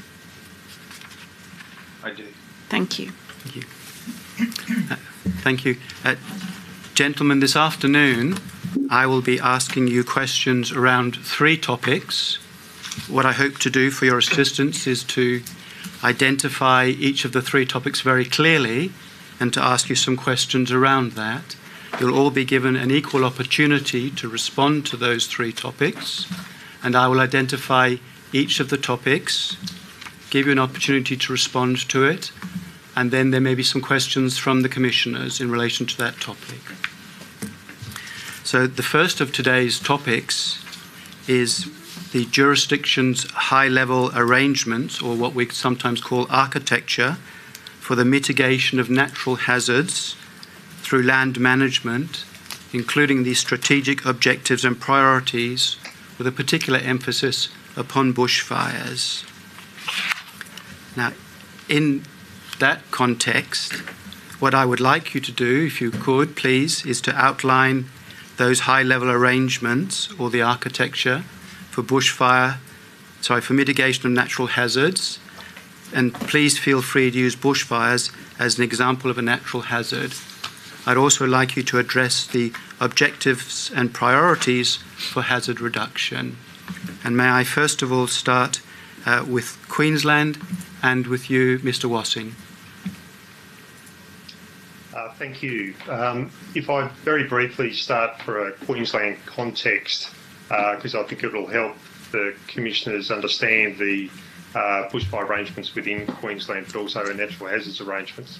So, for context, Queensland is approximately uh, 1.8 million uh, square kilometres in size and uh, approximately 120 different vegetation types. So, it's quite a complex, large uh, state with respect to natural hazards and bushfires. Um, in in terms of uh, the aspects of prescribed burning, and, and, I'll come to our arrangements very quickly. Prescribed burning is uh, for, for, Queensland terms is uh, can be attributed to different types of burning activities. So it could be for cultural purposes, it could be for ecological purposes, or hazard reduction purposes. Um, the reason I outline that uh, up front is that it helps understand the context of our Queensland arrangements. So for Queensland Environmental Services, certainly for us, we're not a landowner or a land uh, manager per se, but our responsibility is to coordinate on behalf of Queensland Government the activities for bushfire, including prevention, preparedness, response and recovery, and, um, and also for other aspects of disaster management arrangements, which I'll come to in a moment. Um, to facilitate the bushfire requirements specifically within Queensland, uh, we have a governance arrangement that starts at a state level, a state interdepartmental committee that sets the strategy and policy environment for the bushfire arrangements within Queensland. And the, the membership of that committee uh, is fundamentally across government departments that are relevant to the bushfire environment, uh, including land management agencies, uh, has a representation of research bodies, uh, and key infrastructure organisations as well, and other key stakeholders uh, associated with that. We then have uh, seven regional interdepartmental committees, uh, very much a similar membership to what you would see at the state level. Uh, and that, the role of that uh, level provides, if you like, a landscape level of planning and support to the local arrangements. The local arrangements are reflected in what we call an Area Fire management group and there's just over 50 Area Fire management groups across Queensland covering uh, the majority of our council areas. The Area Fire Management Group fundamentally provides the um, uh, tactical, both planning and coordination of the mitigation activities, but also other parts of prevention, preparedness, response and recovery arrangements, but fundamentally focused in terms of hazard mitigation um, and in the context of an annualised bushfire mitigation plan and uh, also with respect to what we call Operation Coolburn, and I'll come to that in a moment. The membership of that local committee, uh, again, uh, cross representation of government departments, uh, but certainly community representation groups that are relevant to that area, uh, stakeholder groups such as, and certainly the local council and others. And that environment is uh, focused in terms of a collaborative planning environment for risk identification as, as well as implementation of mitigation activities. Um, the, the key aspects of uh, the Area Fire Management Groups in terms of mitigation is to operationalise, if you will, what we call Operation Coolburn. Operation Coolburn in Queensland runs from the 1st of April to the 31st of August every year. And uh, during uh, or preceding that, that process or that time frame, the Area Fire Management Groups established what we call a bushfire uh, mitigation plan, and that is focused on uh, the high risk locations for uh, mitigation activities leading into that season. So it is a season by season proposition. It does have uh, longer term strategies informing what are the, the longer term intent for the planning environment in terms of risk reduction, but fundamentally establishes an annualised program uh, with respect to that. That group also monitors that uh, the implementation of that and is a collaborative exercise in terms of the identification of the risk, the mitigation activities, uh, which are framed around either hazard reduction burning, mechanical means of uh, fire breaks or fire trails, and community education and community uh, engagement. On a, on a broader level, um, all of those arrangements sit within the Queensland Emergency Risk Management Framework, which is an all hazards risk management framework that covers uh, the hazard, the vulnerability, and exposures elements of risk or disaster management. So, in the context of bushfire, whilst we are absolutely dealing with the hazard elements of the bushfire risk within Queensland through the arrangements that I've just described, um, it also is informed by data information intelligence from uh, all of the collective parts of the uh, governance arrangements and elsewhere to inform also the exposures and the vulnerabilities of that. And by way of example, very quickly, when I talk about the exposure elements, that's really fundamentally in the context of bushfire, where the bushfire risk meets uh, people, community, infrastructure. Um, and in the context of exposure, uh, sorry, uh, vulnerability, that considers other factors like community demographic or vulnerabilities within utility aspects, uh, say water, power, or otherwise. Um, so beyond the hazard component, uh, the risk management framework is also informed by those elements of vulnerability and exposure. Thank you very much, Mr. Wassing. Mr. Wassing, I was wondering if you could now please provide an overview of the objectives and priorities for bushfire hazard reduction activities undertaken in Queensland. Uh, so, in terms of the objectives, uh, it uh, is premised on the principles of uh, protection of life, uh, property, and the environment. And uh, those principles are applied both in our prevention and preparedness programs as well as our response programs. And in fact, um, with the arrangements that I've just described, where we actually have aspects of the mitigation programs at an area fire management level that are um, unable to be achieved uh, or not uh, to the same extent that we would like them to be achieved, um, based on those principles, they are carried forward into our response uh, arrangements, into our planning arrangements for the response context, of which the same principles apply. So we actually carry that residual risk, if you will, into our operational setting. Um, the the principles of the the life protection and uh, property infrastructure and uh, and environment um, are then framed in what I described around the Queensland Emergency Risk Management Framework around those elements of both the hazard, the exposure, and the vulnerability elements of that. That then informs the different treatment types that are most suitable uh, for the uh, mitigation activity or the asset or the protection of, of life or property in particular um, but also balanced with other land use types. So in some cases, hazard reduction burning, for example, might not be the best uh, activity given that the fuel that we're burning might actually be uh, required by uh, for agricultural purposes by a local farmer or landowner. Uh, do, do the objectives and priorities uh, differ in different parts of the state? Uh, the, the, uh, they can differ in terms of the, the fundamental premise is consistent in terms of the protection of life, property, and the environment, and the framework and the guidelines that inform those are, are consistent across uh, the entire governance set by the state interdepartmental committee. So those elements of uh, hazard uh, exposure and risk and the frameworks and the informing data and information uh, however, through the collaborative planning arrangements of the area fire management groups, uh, they are localised, um, recognising that the local landowner and, and uh, uh, land managers are responsible for enacting those treatments, and so it uh, can be applied differently depending on the different land ownership arrangements and responsibilities, but informed consistently by the guidelines and the policy and strategy. Thank you. And is it fair to say that the objectives and priorities are driven by a risk based approach?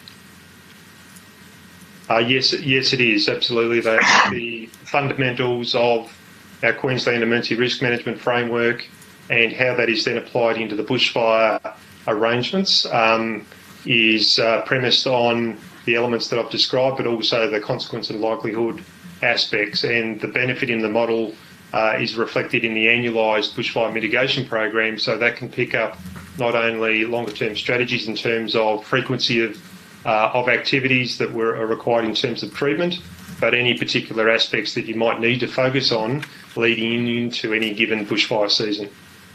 Thank you very much, Mr. Wassing. Uh, I might now turn to Victoria, please.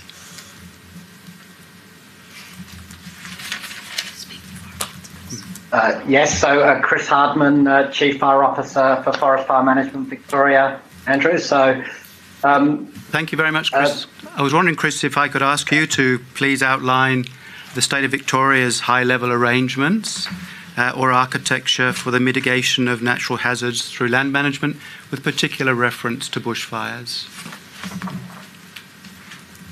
Sure. So, Victoria has had a, a long uh, history of devastating bushfires and uh, since Black formed every part of how we deal with uh, bushfire uh, suppression and preparedness and uh, risk mitigation in Victoria.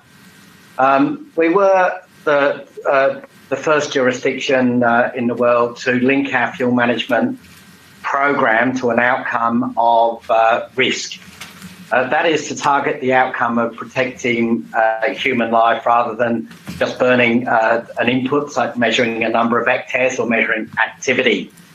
So, uh, Victoria's Safer Together policy, uh, which is a government policy, set a risk target of around 70% of the maximum possible bushfire risk. And the 70% target uh, aims to reduce the impact of fire in the landscape by almost a third and all of activities can be measured against uh, that target. So the bushfire risk is calculated on the basis of uh, sophisticated computer modelling, rapid uh, Phoenix Rapid Fire, and we assess the risk by simulating 11,500 fires over the whole landscape in Victoria, including 40 kilometres into New South Wales and South Australia. Um, we assess the effects of all fire in the landscape, so natural fire and planned fire, and uh, and and we evaluate all of those on fire history, and that establishes the level of residual risk that we're trying to uh, affect and manage.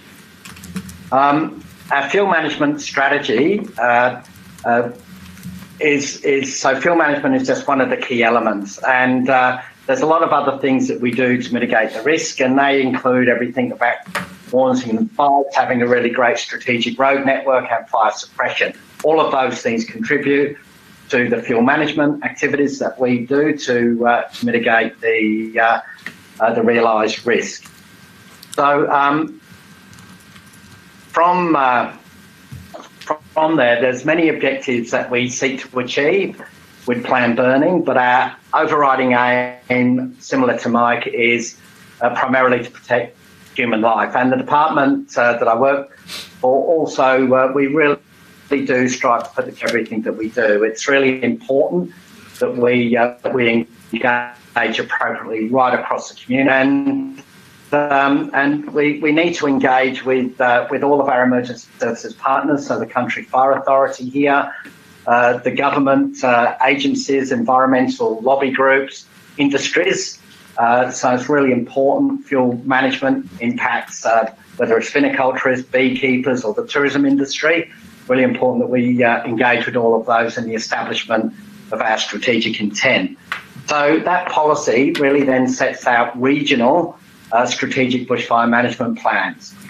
And um, and these plans uh, last for about five years. And uh, we're in the process of updating all of the plans in Victoria as we speak, and they'll, they'll be updated later this year. The first step in our planning is identifying and mapping the values at risk uh, in all of our regions, for example, affected communities, critical infrastructure, gas, electricity supply, water catchments, threatened species.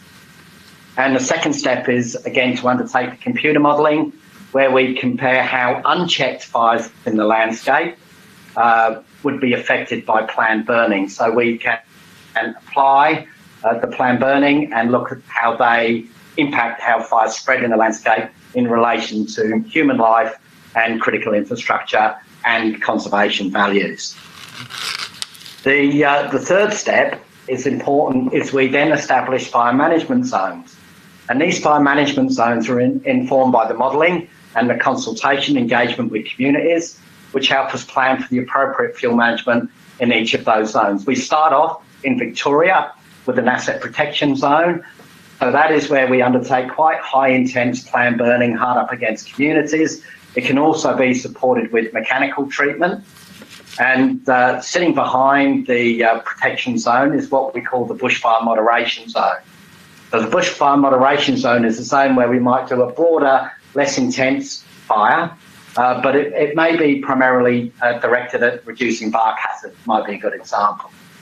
Then uh, beyond that, we have the landscape management zone. That's where we apply uh, large-scale landscape mosaic burning, and the benefit of that is when the lightning strikes come across uh, Victoria, uh, if those fires do occur in those areas that have been fuel reduced, it does really support with suppression. And then, of course, on top of that, we have the plan burn exclusion zones. Those exclusion zones are vegetation communities in Victoria that do melt at fire. So whether it's a cool temperate rainforest or a cool or a tall uh, wet ash forest. So exclusion of fire from those uh, landscapes is is important. And and finally, flowing out of the um, uh, the approach we take with the region-wide uh, strategy plans. We then, in partnership with the CFA, uh, we implement a strategic bushfire, uh, a joint fuel management plan, and the joint fuel management plan is a statewide uh, program of fuel management works across public and private land. And, and the land is broken up into geographic regions. The program is a rolling three-year fuel management works uh, uh, established uh, to be, and the program cover, covers both burns undertaken by Forest Fire Management Victoria and the CFA, and then we come together to deliver burns on many occasions. Each regional plan uh, sets out specific activities, and that program of work is adaptable, it's agile, it's flexible, it's a dynamic plan, so we review it every year and uh, and some of our local firefighters, for instance, if if we can't achieve a year one.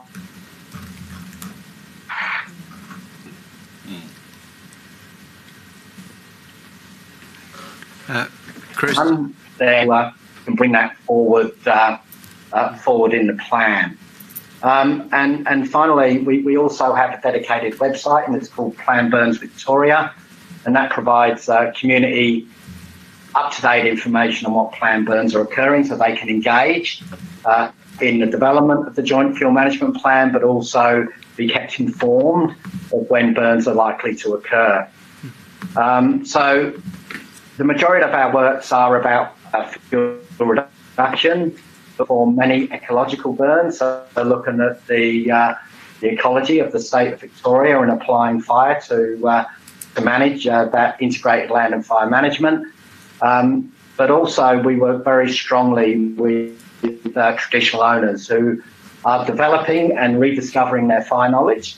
And I know uh, the Commission will be hearing more about this uh, later on, but uh, we do uh, do everything we can to remove the barriers for tra- traditional owners uh, to conduct planned burning on public land. Th- thank you very much, yes. Mr. Thank you. For, sorry, thank you very much, Mr. Hardman. I was just wondering, and it may be. Um, a question that would go to Mr. Slijepcevic. Um, do, do the objectives or priorities that you've mentioned vary according to land tenure, or is the approach uh, tenure blind? So the, the objectives of uh, bushfire management activities in Victoria are actually spelled out, or the objective is spelled out in a state bushfire plan. Uh, which is a document produced by Emergency Management Victoria, working together with with uh, Forest Fire Management Victoria and CFA. And, and the strategic objective of, of activities in Victoria is to reduce the impact and consequence of bushfires on human life, on communities, essential and community infrastructure, the economy and the environment. So it's a principle-based uh, so, uh, document that's got a number of principle guides uh, that guide bushfire management activities. So one is around the leadership, so that uh, emergency management commissioner and the fire service agencies are accountable on behalf of the Victorian government for leading other agencies, the community, and individuals to make appropriate uh, arrangements to reduce the impact of bushfire.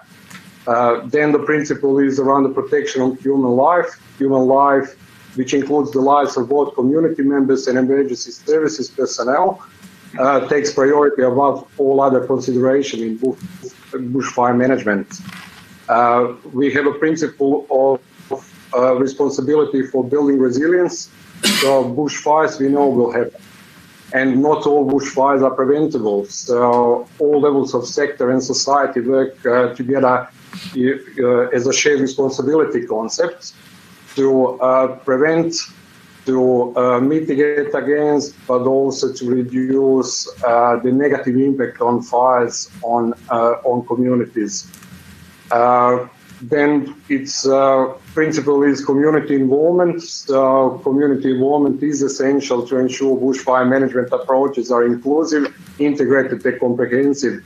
And I can probably describe that best beyond the shared responsibility concept is about number of, of uh, actions that are required. So one is uh, what's required is, is a shared risk understanding. So that's where we're working with the communities and with uh, businesses to, to bring the understanding of, of risk to, to the same level. And uh, agencies like FFM and CFA uh, have a number of tools and the programs that, that help bring, uh, uh, educate and bring the understanding of the risk.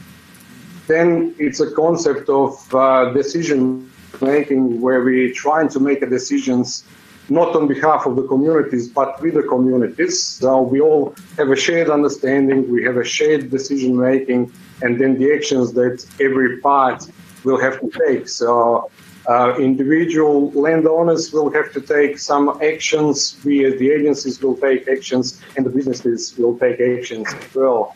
So that's where again the agencies, uh, like uh, two of our agencies, work very closely together in uh, providing the right advice and helping uh, communities and the businesses to mitigate the risk on, on their land. Th- thank you very much, Alen. Uh, I might now turn to uh, South Australia, please.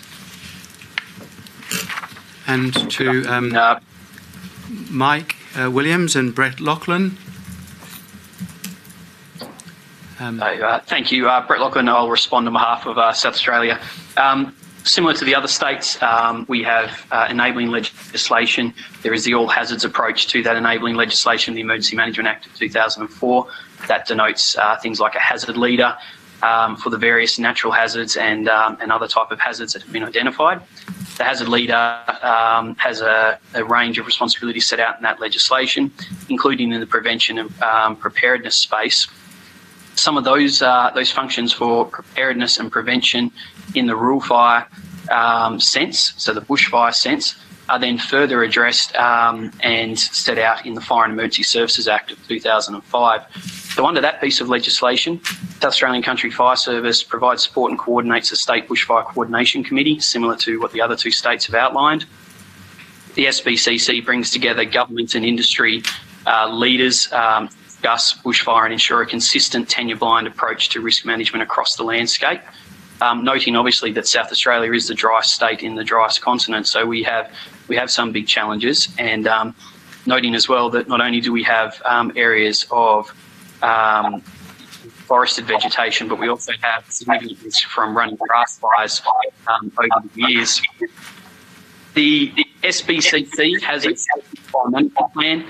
The, uh, the state plan has again, similar to the other states, set out those priorities and those working um, arrangements and relationships um, that do exist.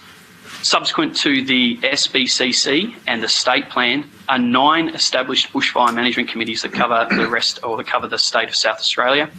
Each of the nine BMCs is responsible for, for creating and maintaining a bushfire management area plan.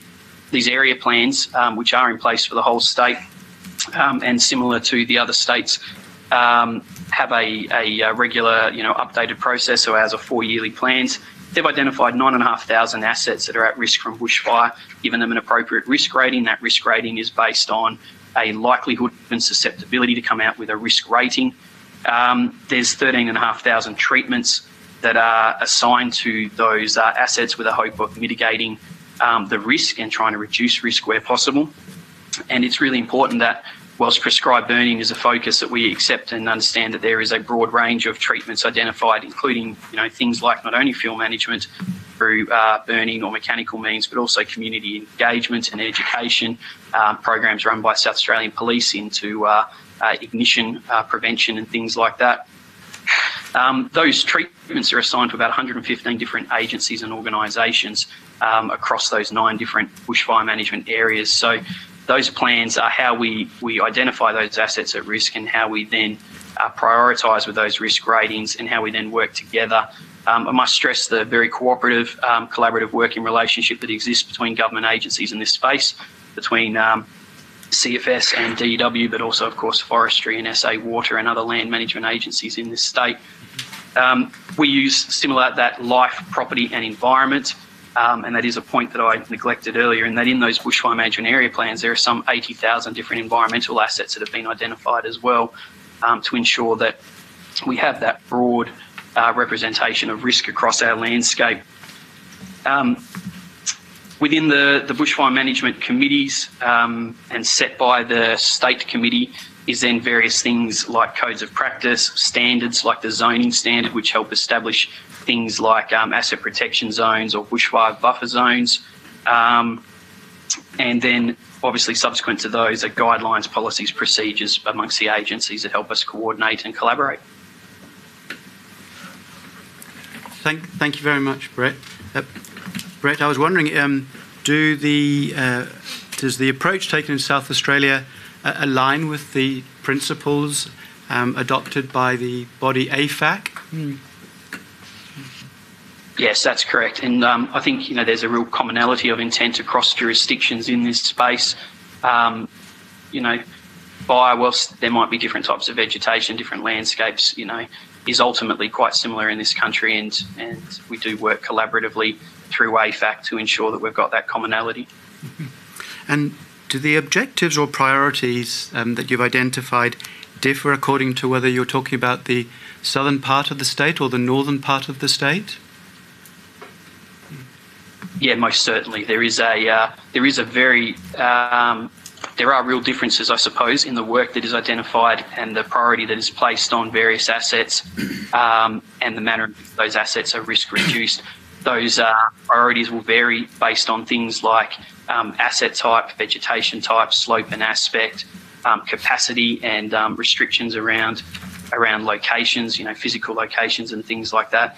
Obviously, the requirements of burning in the uh, heavily sloped, heavily timbered Mount Lofty ranges vary wildly to the APY lands in the north of our state where there aren't any forest um, and where we're instead dealing with you know, non-native grass species like buffel grass and things like that as our challenge. So there is some variance and again, um, as similar to the other states. Thank you very much, Brett.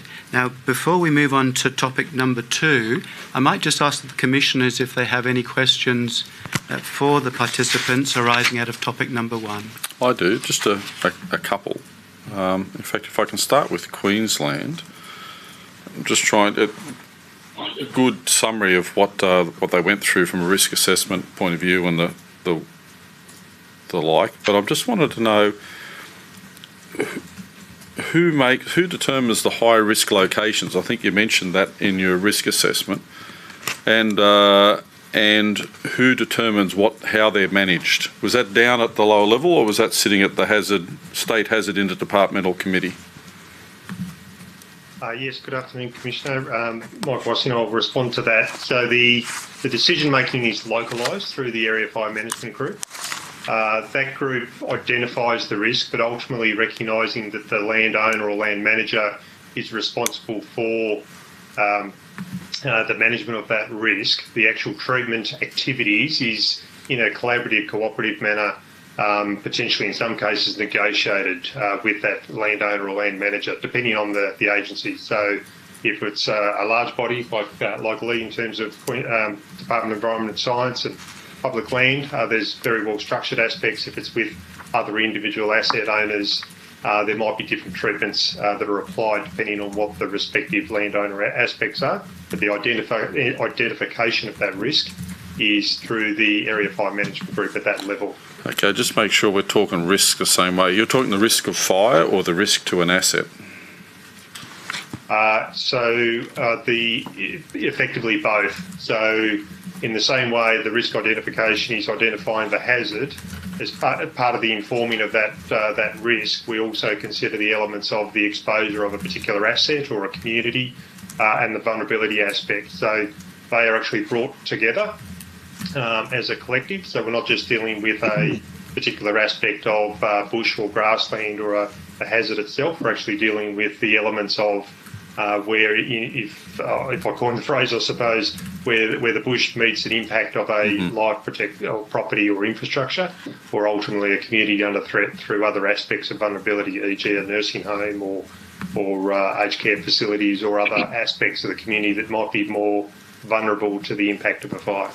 Okay, let's take it up up a level then. That's uh, community and uh, and and the like. But does the state have a list of critical infrastructure that that uh, the various local government areas or the local areas know, like you know, communications, power, water? Is there a set list for a state on what those critical assets are and cultural assets and the like that do need to be protected?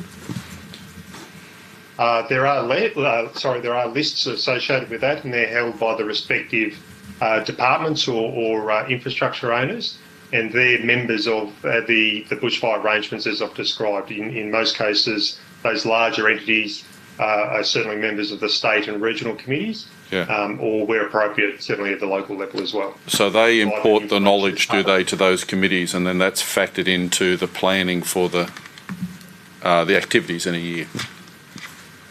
That's correct, Commissioner. Okay.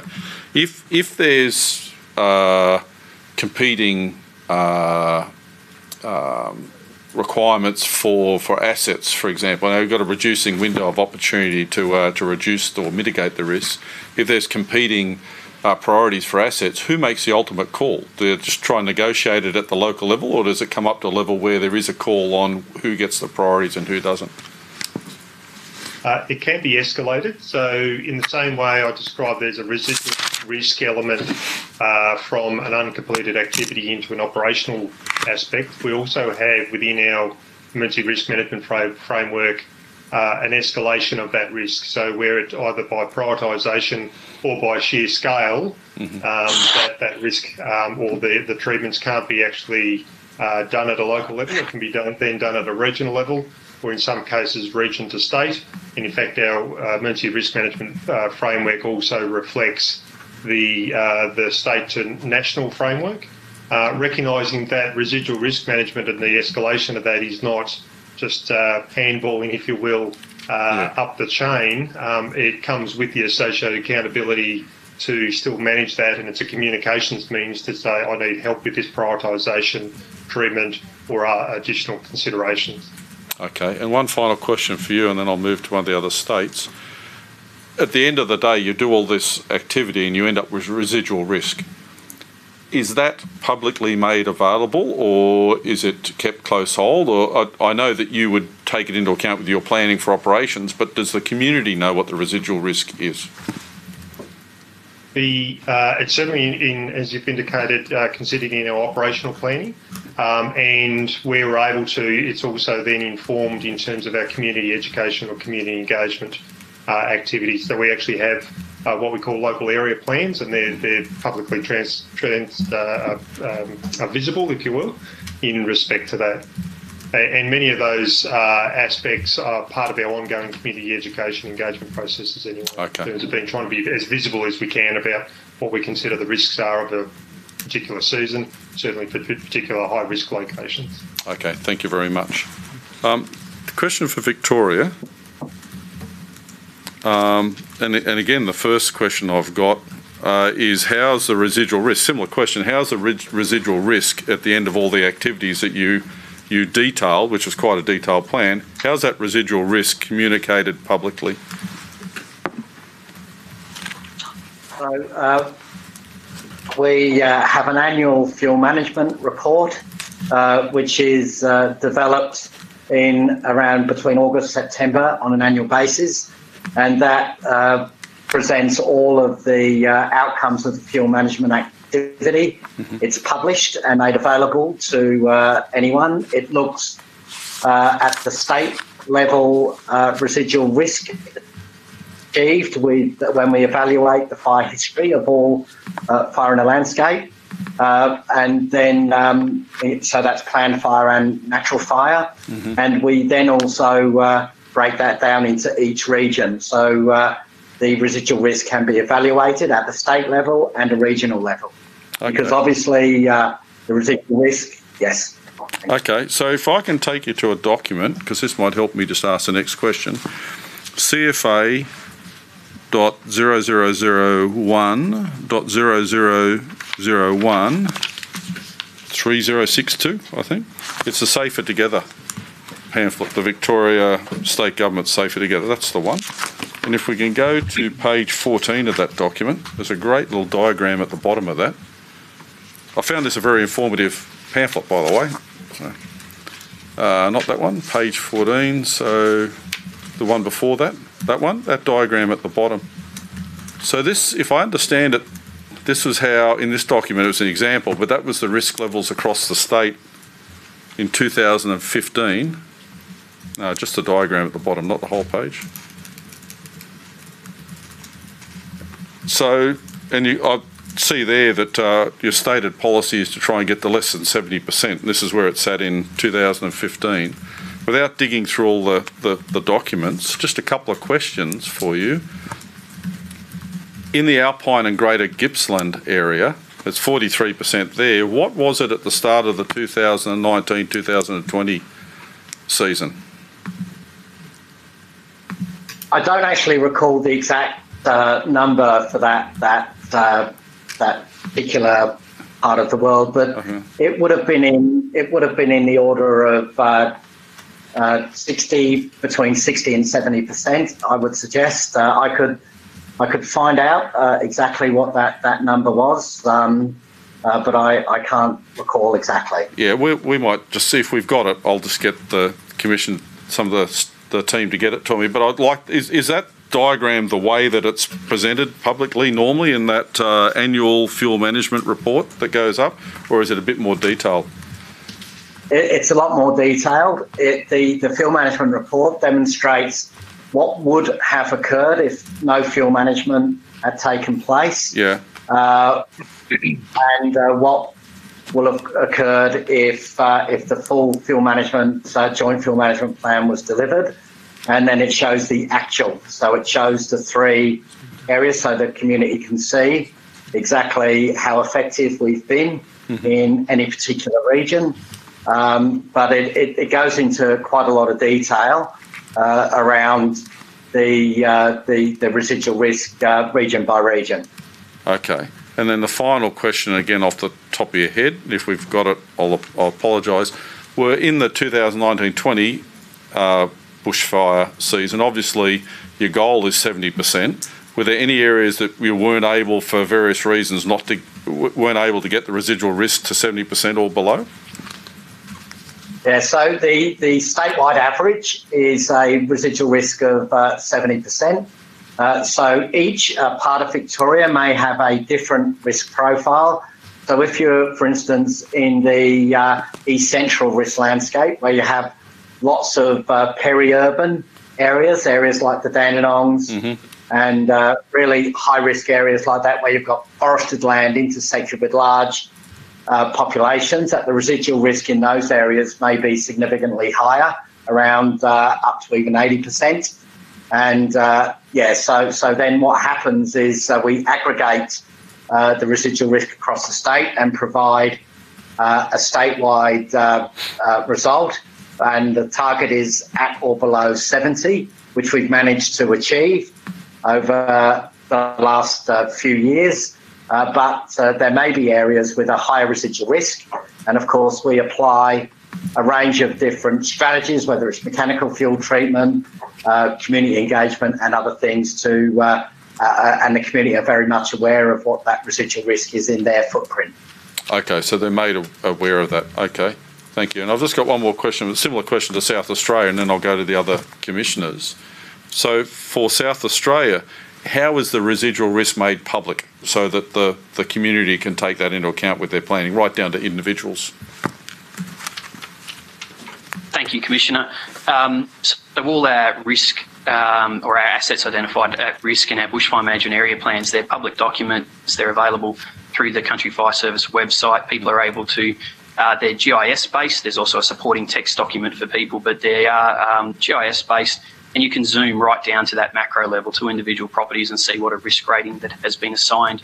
In terms of residual risk, though, I guess we, we don't lower risk ratings um, unless there's a clear case put forward by one of the local bushfire management committees for that.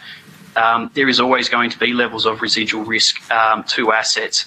If you were to consider the treatment method of low intensity prescribed burning, where you're taking out the understory, trying to reduce that leaf litter layer, um, you can still then have active crown fire go through that same area. If we've identified an area as being at extreme risk, and if it's in a forested area, for example, then there is there is every chance that under under the wrong type of weather conditions, those those very high level days of fire danger, those extreme and catastrophic forest fire dangers, where those uh, those treatments, you know, may not provide a level of effectiveness. So we don't actually lower those risks unless there's a very clear and um, cogent argument as to to why to do it, and for that reasoning. Okay, in that case, I just want to check if I understand the Victorian with that that map I've got up there. Uh, the Victorian, uh, they talk about uh, risk and then residual risk, and this is what we have as a residual risk. But you don't, you, you look at the risk and you do your mitigation measures, but then you don't have an assessment of what the residual risk might be of that. You just have a, the risk level stays the same. That's correct. And for those range of factors that I, that I outlined, determining the changes in vegetation that can occur.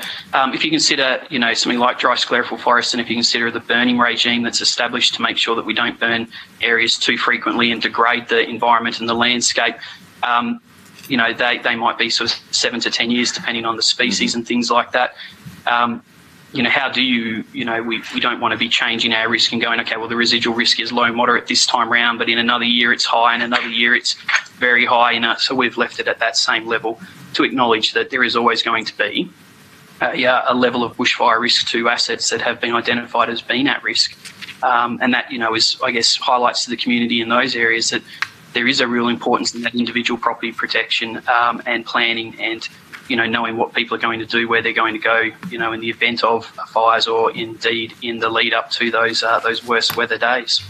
Okay, so how do you then state the? I guess we might get to it later. How do you state what the outcomes are of the hazard reduction activities that we're going to get to later on? How do you sell that to the community uh, that they're beneficial without being trying to be able to demonstrate it a little bit better?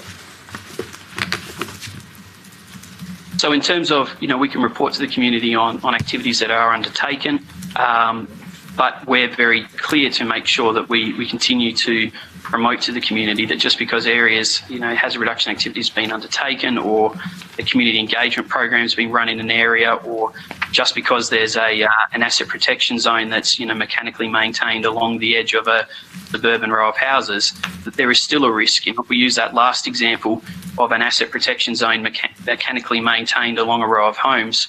Um, whilst that might reduce the direct flame contact and flame intensity against those assets, those assets are still at risk from ember impact. I mean, in this season alone in South Australia, we saw fires that generated spot fires and embers, you know, 10 to 20 kilometres ahead of the main fire. So, um, you know, reducing that that risk, removing all that residual risk to those assets over a 20 kilometre, um, you know, area is, is perhaps just not, not as feasible. So that's why we leave that as is, and that's how we're, we're looking at those risk levels. Okay, thank you very much for that, Commissioner Bennett. Um, I just have one question. It's probably first directed to Victoria because, um, you know, you spoke um, about the simulations that you do, and I gather from the material we've seen, you do quite a sophisticated um, uh, simulation um, modelling of, of, of uh, to foreshadow things. I guess I was just trying to ask whether you did any simulations that um, actually predicted what happened in the 2019-20 um, bushfires, and if so, what did you do when you got them, sort of thing? I'm just trying to think. I'm trying to understand a bit more about the role of simulations in the sort of extreme weather event that we we just got.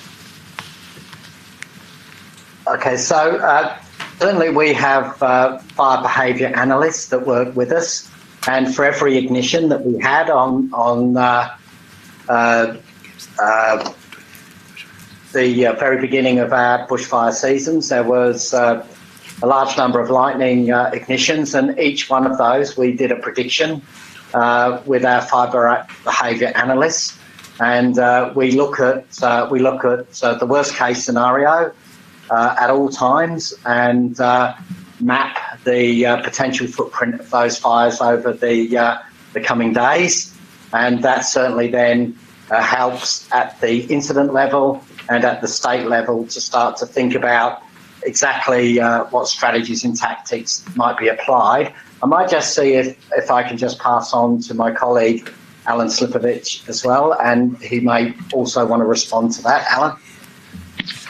Uh, think the question, Commissioner, was uh, around the modelling exercise before the fire season, not necessarily when the fire started.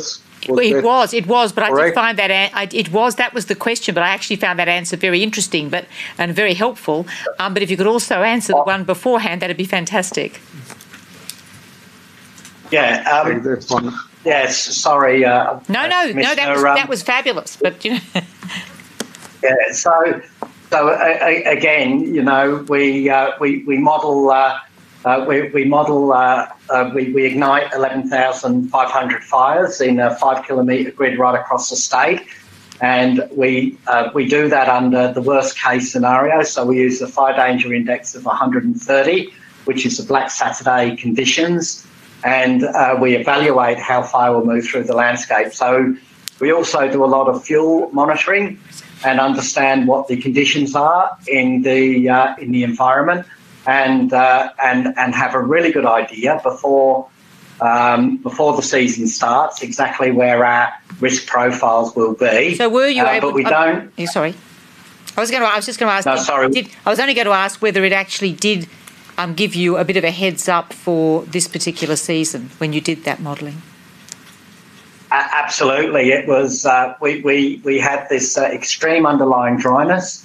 The fuel moisture was around one percent in the top one metre of soil. That meant the heavy fuels would be available to burn, which means that we knew we were going to have really dramatic uh, fire behaviour. Um, and uh, yes, we were very well prepared uh, for the extent and severity of the fires because we really did understand the uh, conditions leading into the season. But I might again.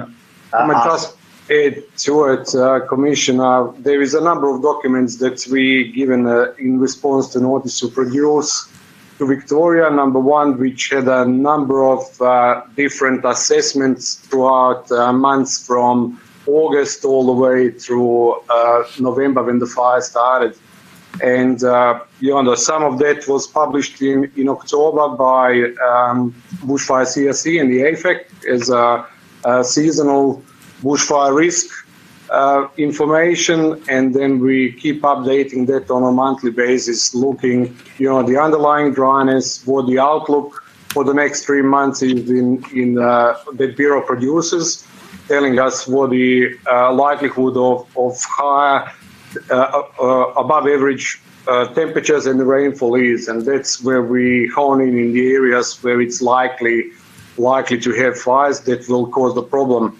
Hence, we then tailor our response and our readiness towards those areas to make sure that we jump on those fires reasonably quickly. Thank, and thank you very much. Thank you, and thank you for the provision of the material. But there's nothing like hearing the reaction um, live as from from, from the, those actually facing it that it actually did provide you with that. You know, the, the actual not the theory but the practice, if I can call it that, that it did actually um, assist you in, in preparing for uh, the fire season. Thank you. Thanks. Mr. Tokley?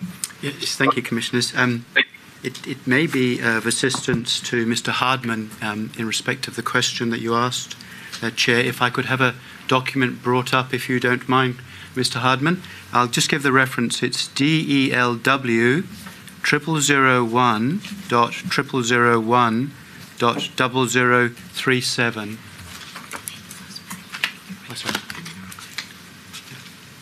And uh, that, if we could expand that a bit more, um, particularly uh, if we, if we go down to the text uh, underneath that, which says Figure 10.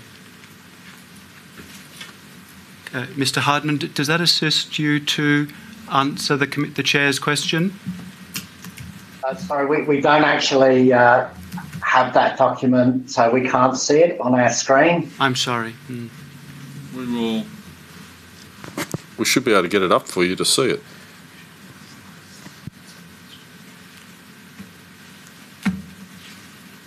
Okay.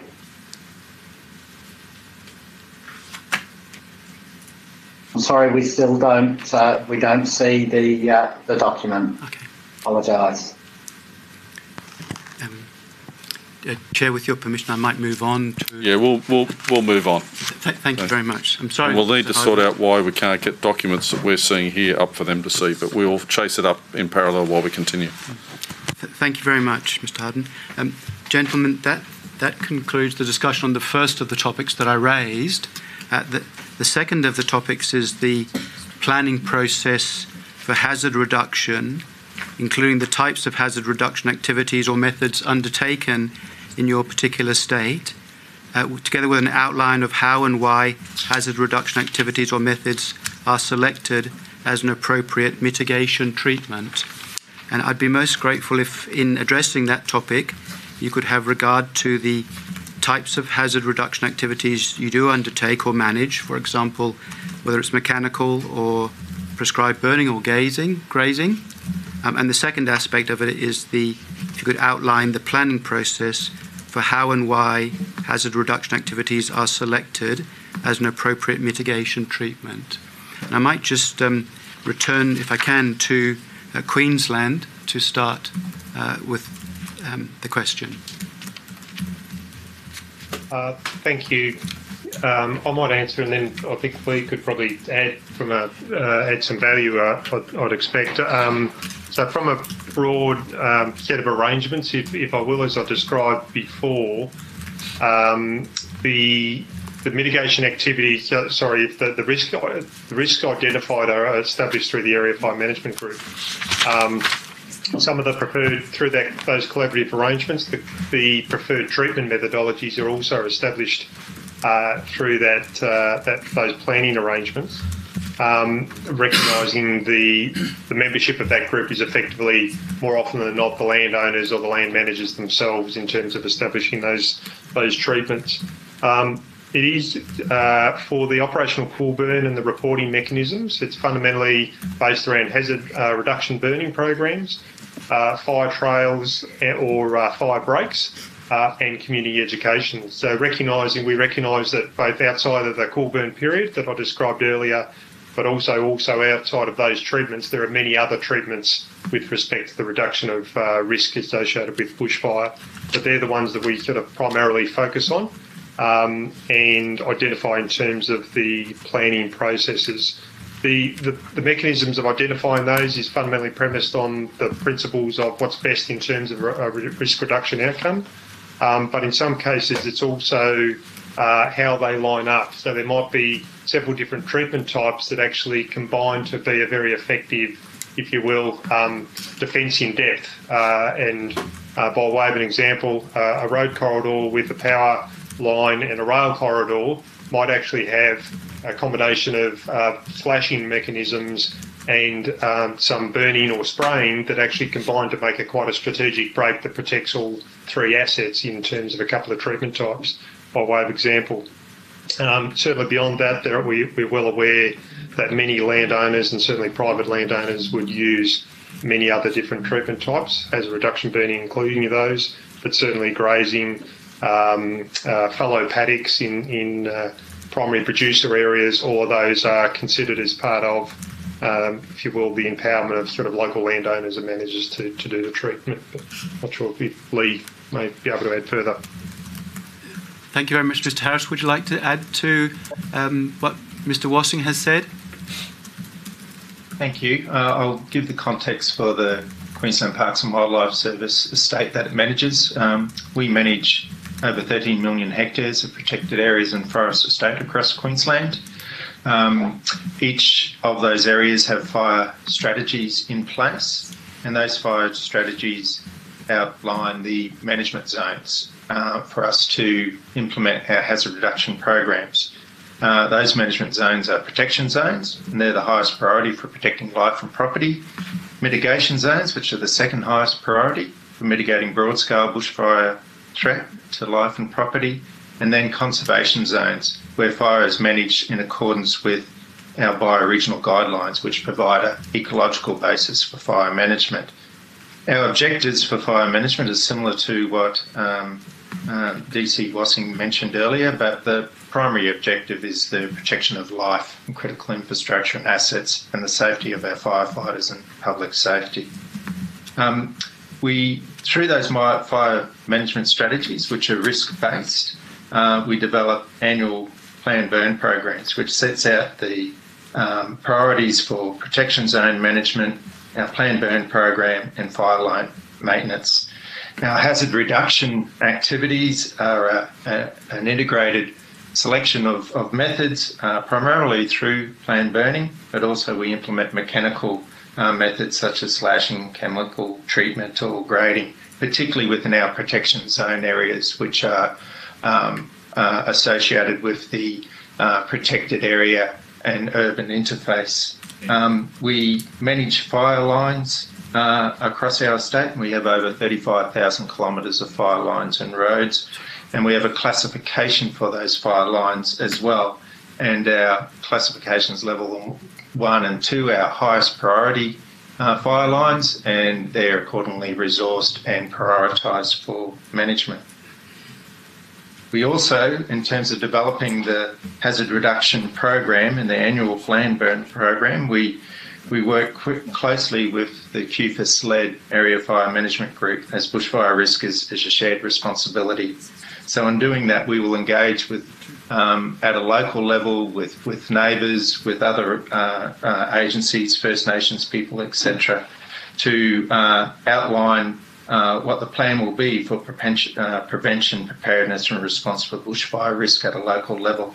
And that enables a whole of landscape approach. And in doing that, again, we would implement a variety of hazard reduction activities. thank you very much, Mr. Harris. Mr. Harris, I believe the, the Chair may have a question for either yourself or Mr. Wassing. Uh, Chair, do you have a question? I wasn't confused before, but now I'm confused. So, before when we were talking, I thought Mr. Wassing gave us the state approach to hazard reduction, how you manage this. So, Mr. Harris, was that was your area separate to that, or do you do have two separate processes and you bring them together, or I'm just wondering how the, what you just said fits in from a whole of state perspective, or do you do it in isolation? Sorry, I just no, uh, it's it's not done in isolation. It does fit in within a whole of state perspective, and we operate under the uh, disaster management framework for Queensland. Um, the fire strategies that I mentioned, and you may have been referring to the um, uh, the management zones that we spoke about, um, protection, mitigation, conservation zones. That's uh, applicable to our park estate, our national parks, our state forests, for example, and uh, and then that outlines um, uh, the, the focus and the priorities for our fire management activities. But we'll work in closely with the area fire management groups uh, in accordance with the way that Mr. Wassing outlined earlier. Okay, so you talked about a whole of land approach. Was that you talked? You made a comment that your strategy was a whole of land approach. Was that right? That's correct. We will, we will focus our fire management on the land that we're managing, our national parks and our state forests, but we will work with the area fire management group to take a whole of landscape or a multi-tenured approach within the local area. So we're working with other agencies or park neighbours uh, in a collaborative way. Okay, so my original question that we started with before about understanding the risk who brings the risk together from a state perspective? Both your areas, but a state perspective, and then makes an assessment then on what's required or, or what's not. I, I, before, you forgive me because I, I, I thought you were talking as a state, but you're not. Actually, you're talking two areas within the state. So, who brings that together and ultimately makes decisions for the state? Does, does that Uh, make if- sense? if- Yes, yes, it does, uh, Commissioner. If, if I answer that, is that the uh, the state arrangements, so the state interdepartmental committee, the region, and then right through to the area fire management group, uh, with the focused aspects I described before in terms of the operational cool burn. That's the governance arrangements that informs the elements of uh, the cool burn operations and that high risk approach. Um, what the different landowners, and in this case, uh, uh, Lee, on behalf of the public estate in terms of Queensland Parks Wildlife Service is describing is in addition to that, there are many other elements Yeah. that other stakeholders and other land ma- managers will do beyond that scope of those arrangements.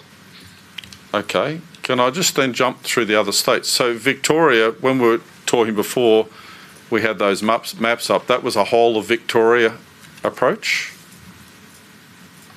Uh, Yes, it was. Um, If if I can, uh, to respond, we we might uh, work from uh, private land back into public land. So if you don't mind, Commissioner, we might start with uh, Alen, and then I'll finish off talking about the approaches we take uh, in in the broader landscape. So Okay, Alen? just just hang on a sec. I'll just go back to Mr. Tokley. Are we progressing the way you want to progress?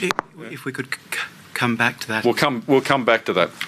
I'll let I'll let Mr. Tokley keep keep going through because it may well come out now. Now you know where we're thinking. It may well come out as you uh, as you answer the questions. Thank you. Thank you very much, Chair. Um, th- thank you very much, Mr. Wassing and, and Mr. Harris. I, I might now move to uh, South Australia, please, um, and Mr. Loughlin and Mr. Williams.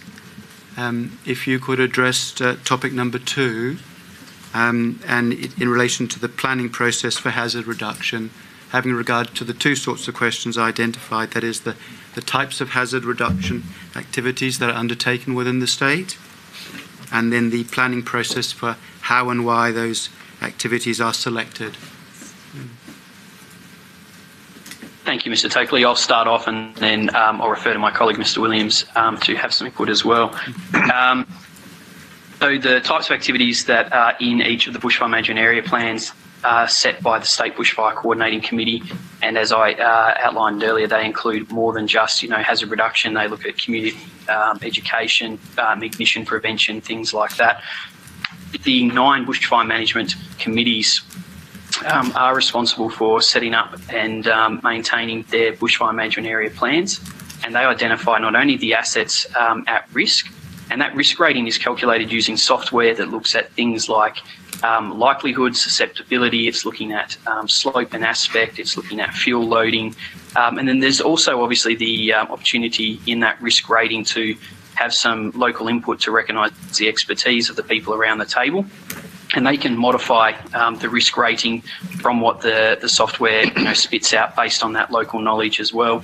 So we've got our, our risk rating established, we've got our list of um, prevention and mitigation activities that have been outlined, and then it's a case of applying them um, depending on what's trying to be achieved. If we look at our, um, our zoning standard, for example, that sets out things like um, A zones and B zones, uh, sorry, asset protection zones, bushfire buffer zones.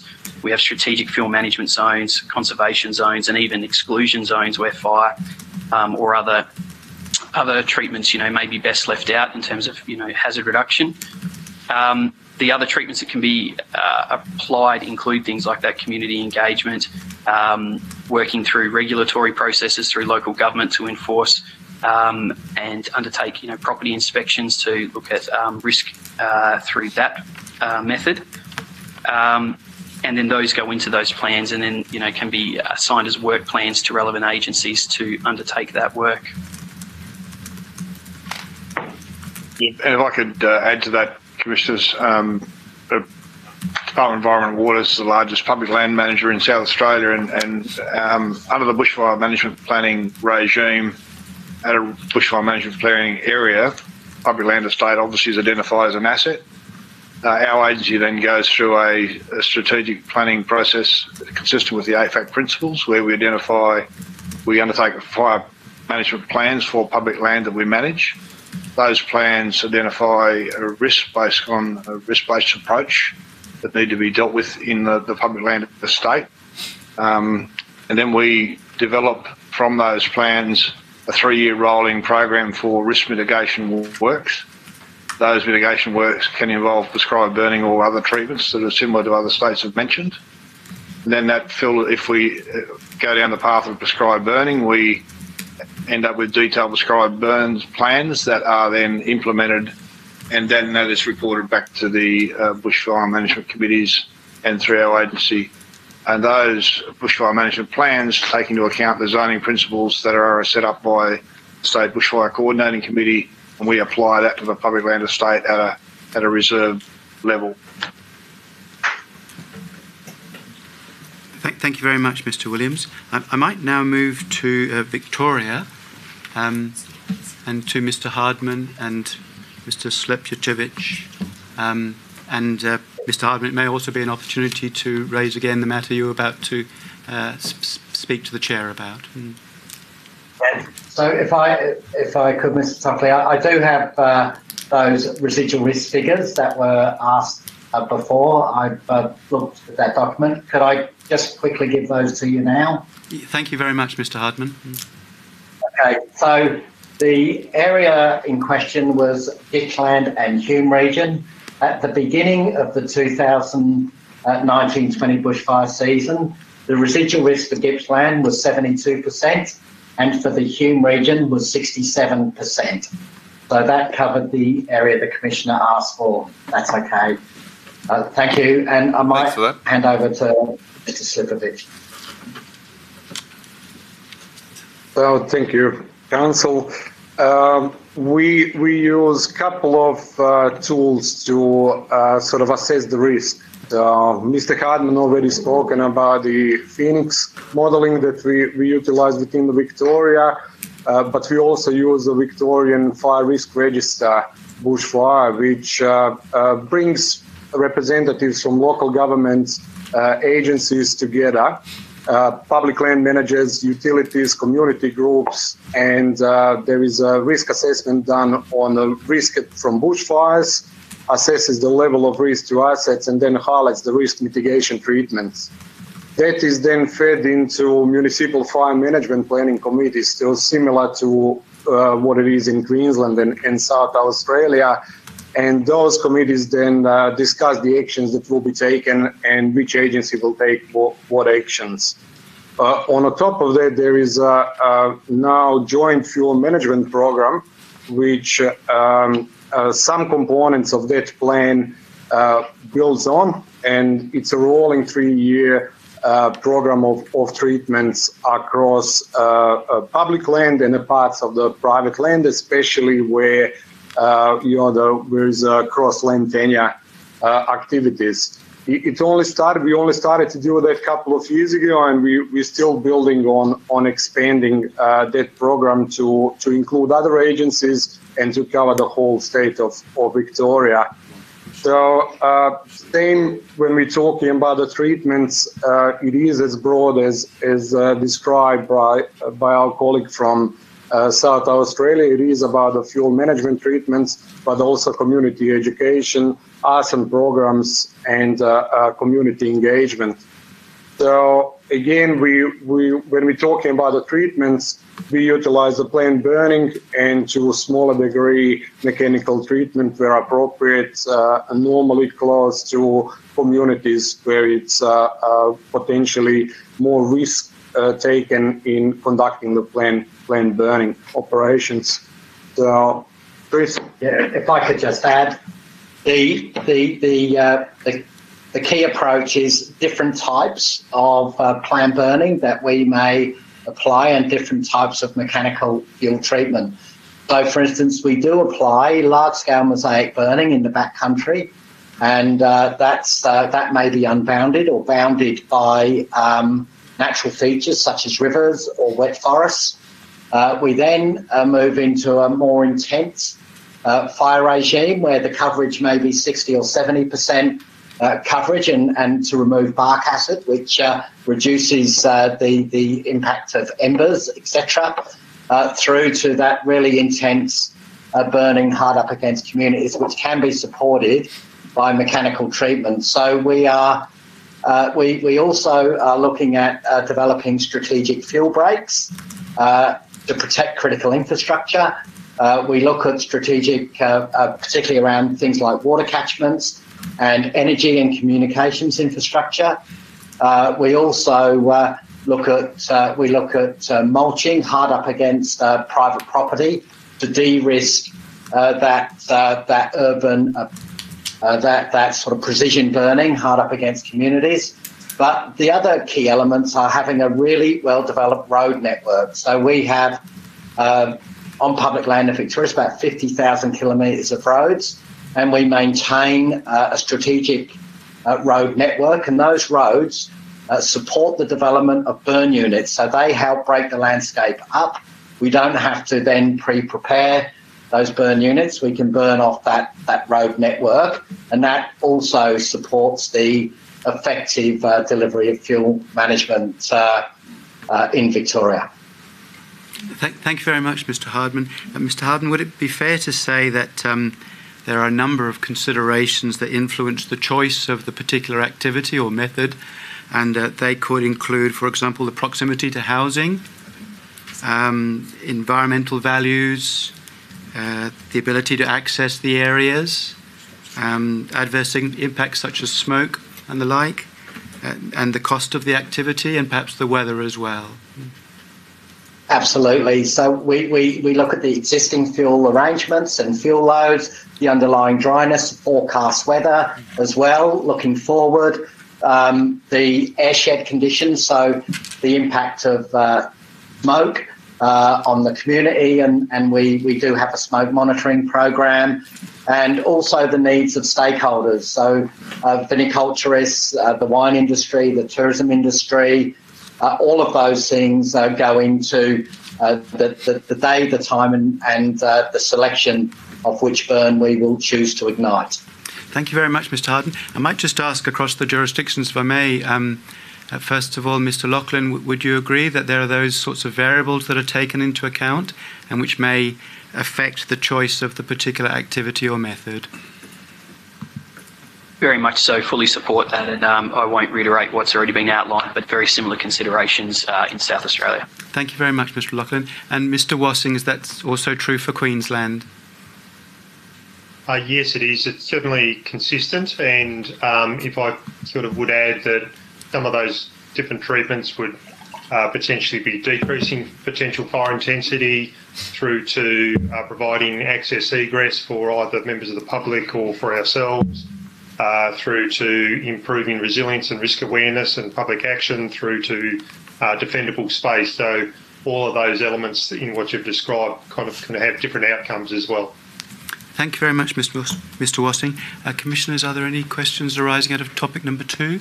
Uh, Macintosh? No, I'm okay. Um, I've got one that just came up. We're talking road networks. How much do each of the states factor in evacuation routes into your preparedness for what you might prepare for the for the coming fire season? We'll start with Queensland. Uh, certainly, thank you, Commissioner. So, um, uh, as the Commissioners would appreciate and others would appreciate, any evacuation is a critical component of any of our response operations. Um, it is those factors are considered in our response planning, not so much of our mitigation planning. There is an overlap or there is an inter- interconnection with respect to those two. So there might be works that uh, we do through fire trail or fire breaks um, in certain locations to make sure that potential access or egress for members of the public or for ourselves is uh, is safer. So there, there is an interconnect between the the two regimes, but the actual evacuation planning routes are considered in our operationalised planning arrangements. Again, very similar at a state, regional, and localised level. Okay. Victoria? It would be very similar. We we do have a CFA brigades traditionally in the western parts of the state did a lot of uh, burning around the uh, road, roadside burning, and they continue to do that. And the reason is for uh, you know protection of people in the case that they they have to evacuate. So when they passing, that the intensity of those fires is lowered, but also for firefighters that they have safe areas or safer areas to work from. So we're working with with um, you know the uh, managers of roads or owners of the roads, which might be local councils, or in some uh, cases would be Vic roads, or in some some cases would be uh, land managers like FFM Vic in uh, uh, identifying which roads we will undertake the treatments, and they are normally built into municipal fire management plans and then conducted on the annual basis. Thanks for that. Uh, And you gave it, gave me the answer of where I was headed, which was obviously that it's not your department necessarily to manage roads, but you talk about how you coordinate with uh, with them. Uh, so we'll save other questions on evacuation routes for uh, for other departments as we as we talk in the next couple of weeks. Um, South Australia, do you factor that into your planning as well? It's a similar approach as outlined by my colleague. Sorry, we've just lost uh, the screen at this end. Just we'll just rectify that. I'll continue to talk without it. So it's a similar we can process still see you, to. so uh, the important bit. Yeah, of course. Thank you, Commissioner. Um, we also also just want to want to stress that you know we adhere to the AFAC principles around evacuation.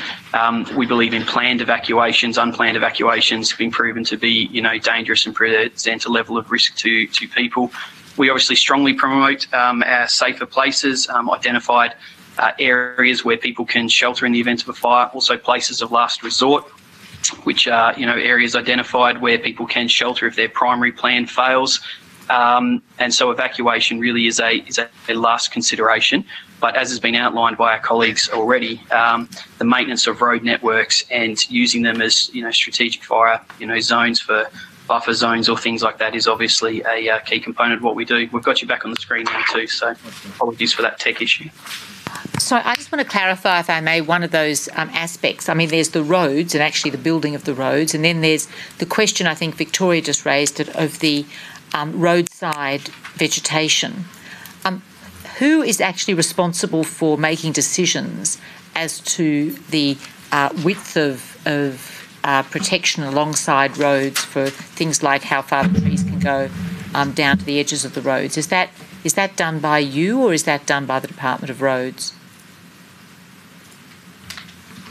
I've got South Australia on screen, so what's your answer? okay, thank you kindly. I was uh, seeking that clarification. Um, so obviously, Department of Planning, Transport and Infrastructure um, and local governments are the two biggest maintainers of road networks um, in South Australia. Um, it's important we talk about roadside vegetation. We also consider there are other factors like um, sight lines and um, you know uh, animal corridors and things like that that they take into consideration in setting those out.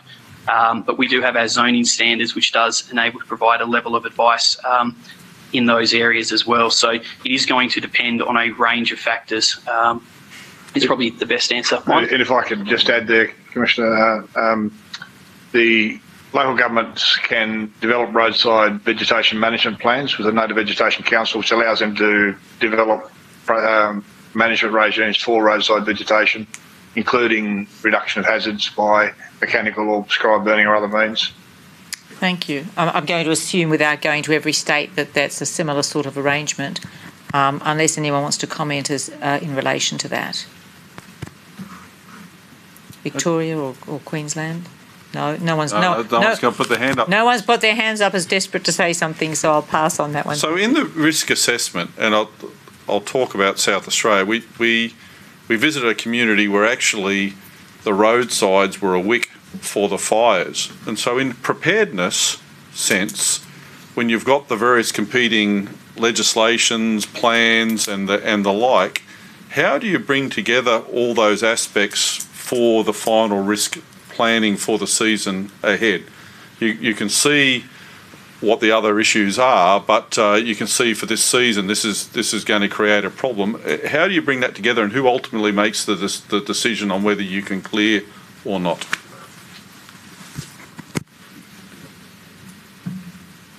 Ultimately each each agency is responsible for managing their their land. But if there are competing requirements, if there are conflicts, then the Country Fire Service has some ability to work with agencies like DEW through native vegetation, etc., to provide a level of guidance and decision um, where required.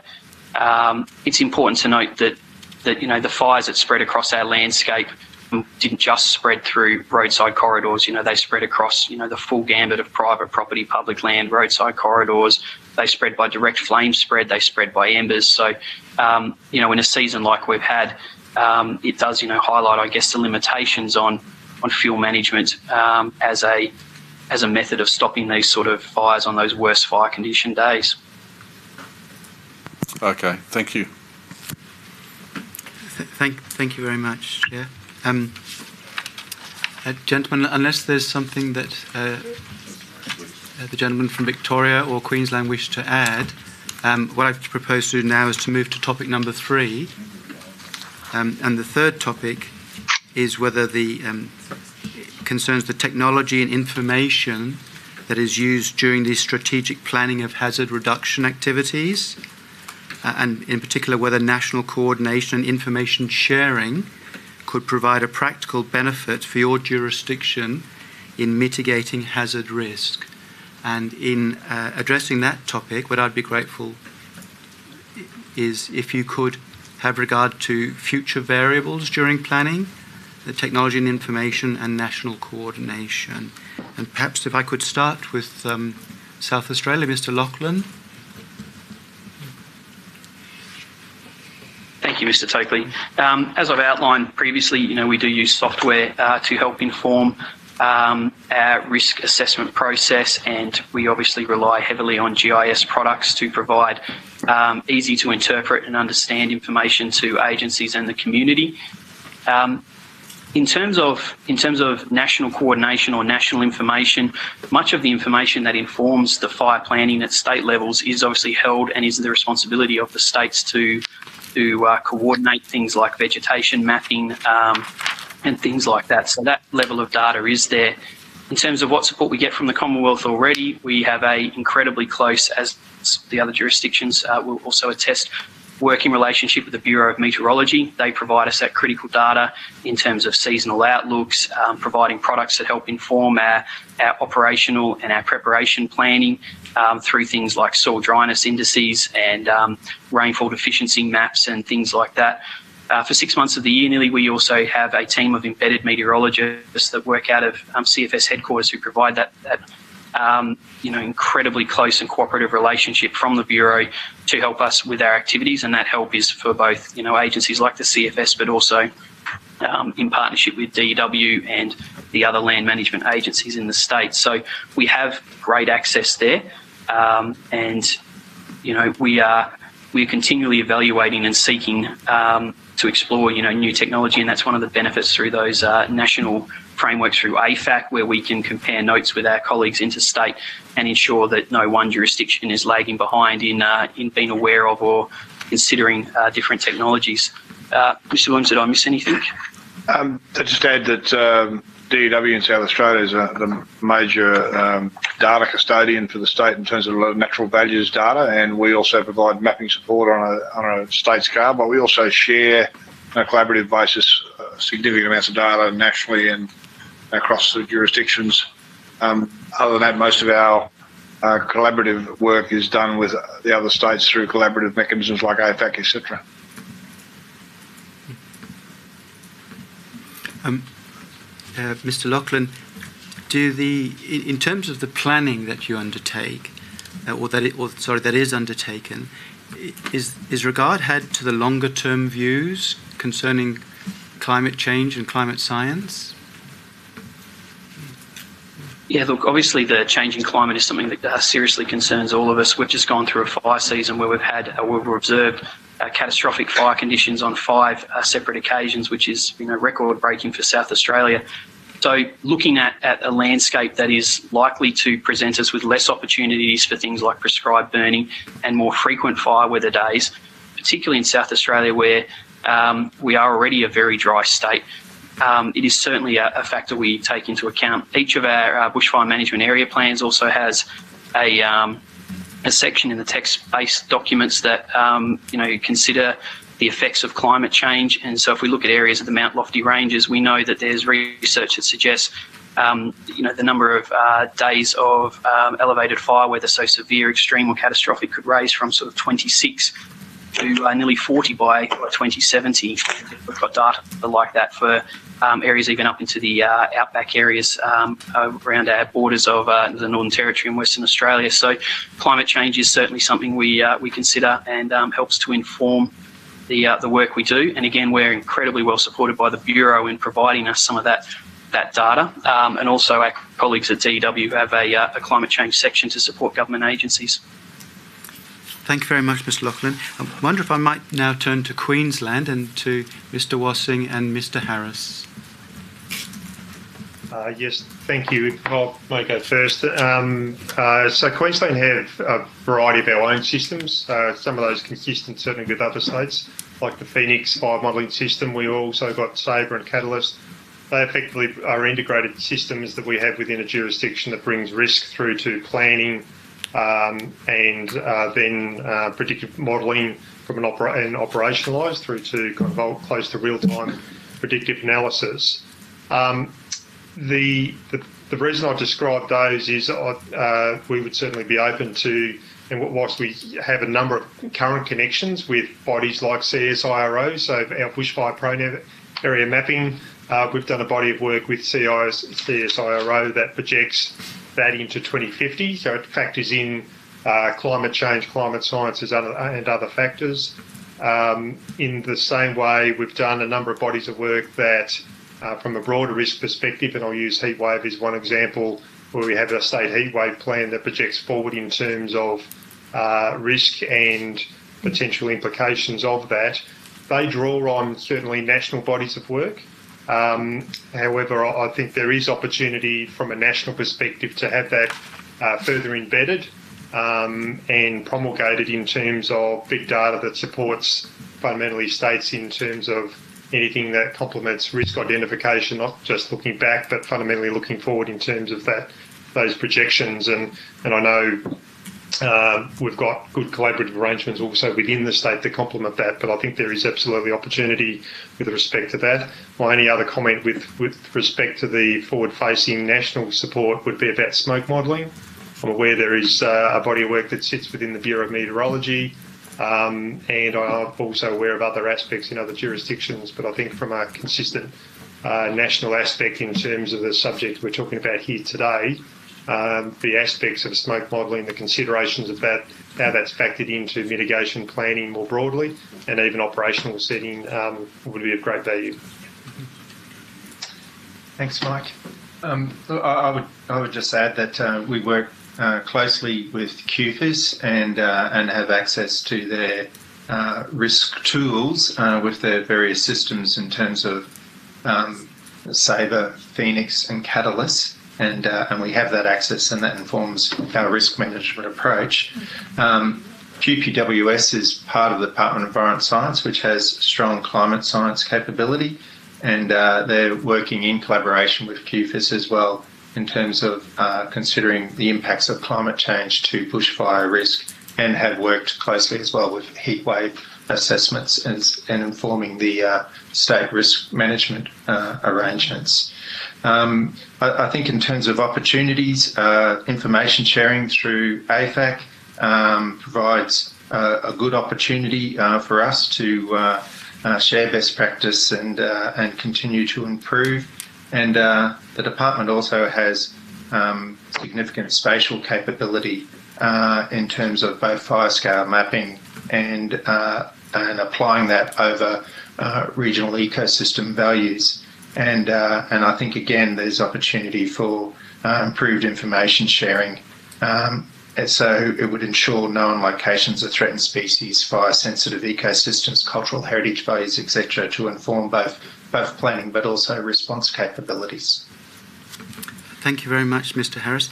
Um, gentlemen, I was wondering if um, you use, or you could tell the commissioners whether you use uh, sat- satellite imagery and whether that might be of assistance to uh, Queensland or to any of the other states. And I'll come to each of the states in turn, but I could first of all ask Queensland. Mm. Uh, so we use um, Sentinel and uh, satellite imagery, and the imagery provided through NAFI. Thank, thank you, Mr. Harris. Mm-hmm. And, and go, going now to Victoria. Yeah, thank you, Council. Uh, first, I'll, I'll, answer your question on the on the use of satellites. We we do use satellite technology for a number of purposes. One of them is to assess the grassland curing risk, or how the grassland curing is moving uh, uh, throughout the season. We're also utilizing Himawari 8 satellites to help us determine the hotspots, and we use the same thing through the Sentinel uh, as well for determining where the extent of fires are in the circumstances that we cannot fly near the uh, smoke plumes and, and look in more detail where the fires are during the response phase. So that's a one component, but uh, I, I, would like to address your your question in, in two parts. One one would be around the opportunities for the research, and one would be in uh, uh, sort of opportunities for enhanced services through the Commonwealth agencies. So uh, the first one, in terms of of um, uh, research, uh, we believe in Victoria that uh, we should have a um, specific long-term national bushfire science strategy that should focus on the way in which bushfires behave and impact on communities, critical industries, infrastructure, and the knowledge that it's needed to inform decisions uh, at a range of levels.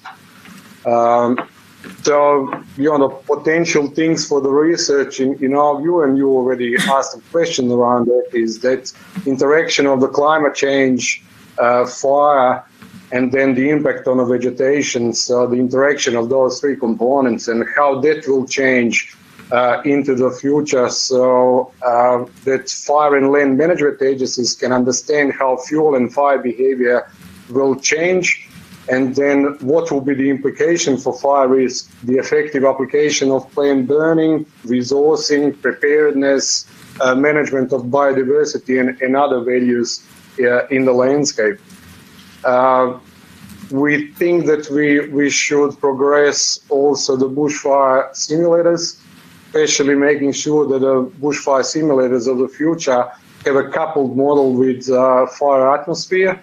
So, because over the last couple of years, most of the fire that caused the damage in Victoria were really fire atmosphere or coupled fire atmosphere uh, run fires by plume driven events.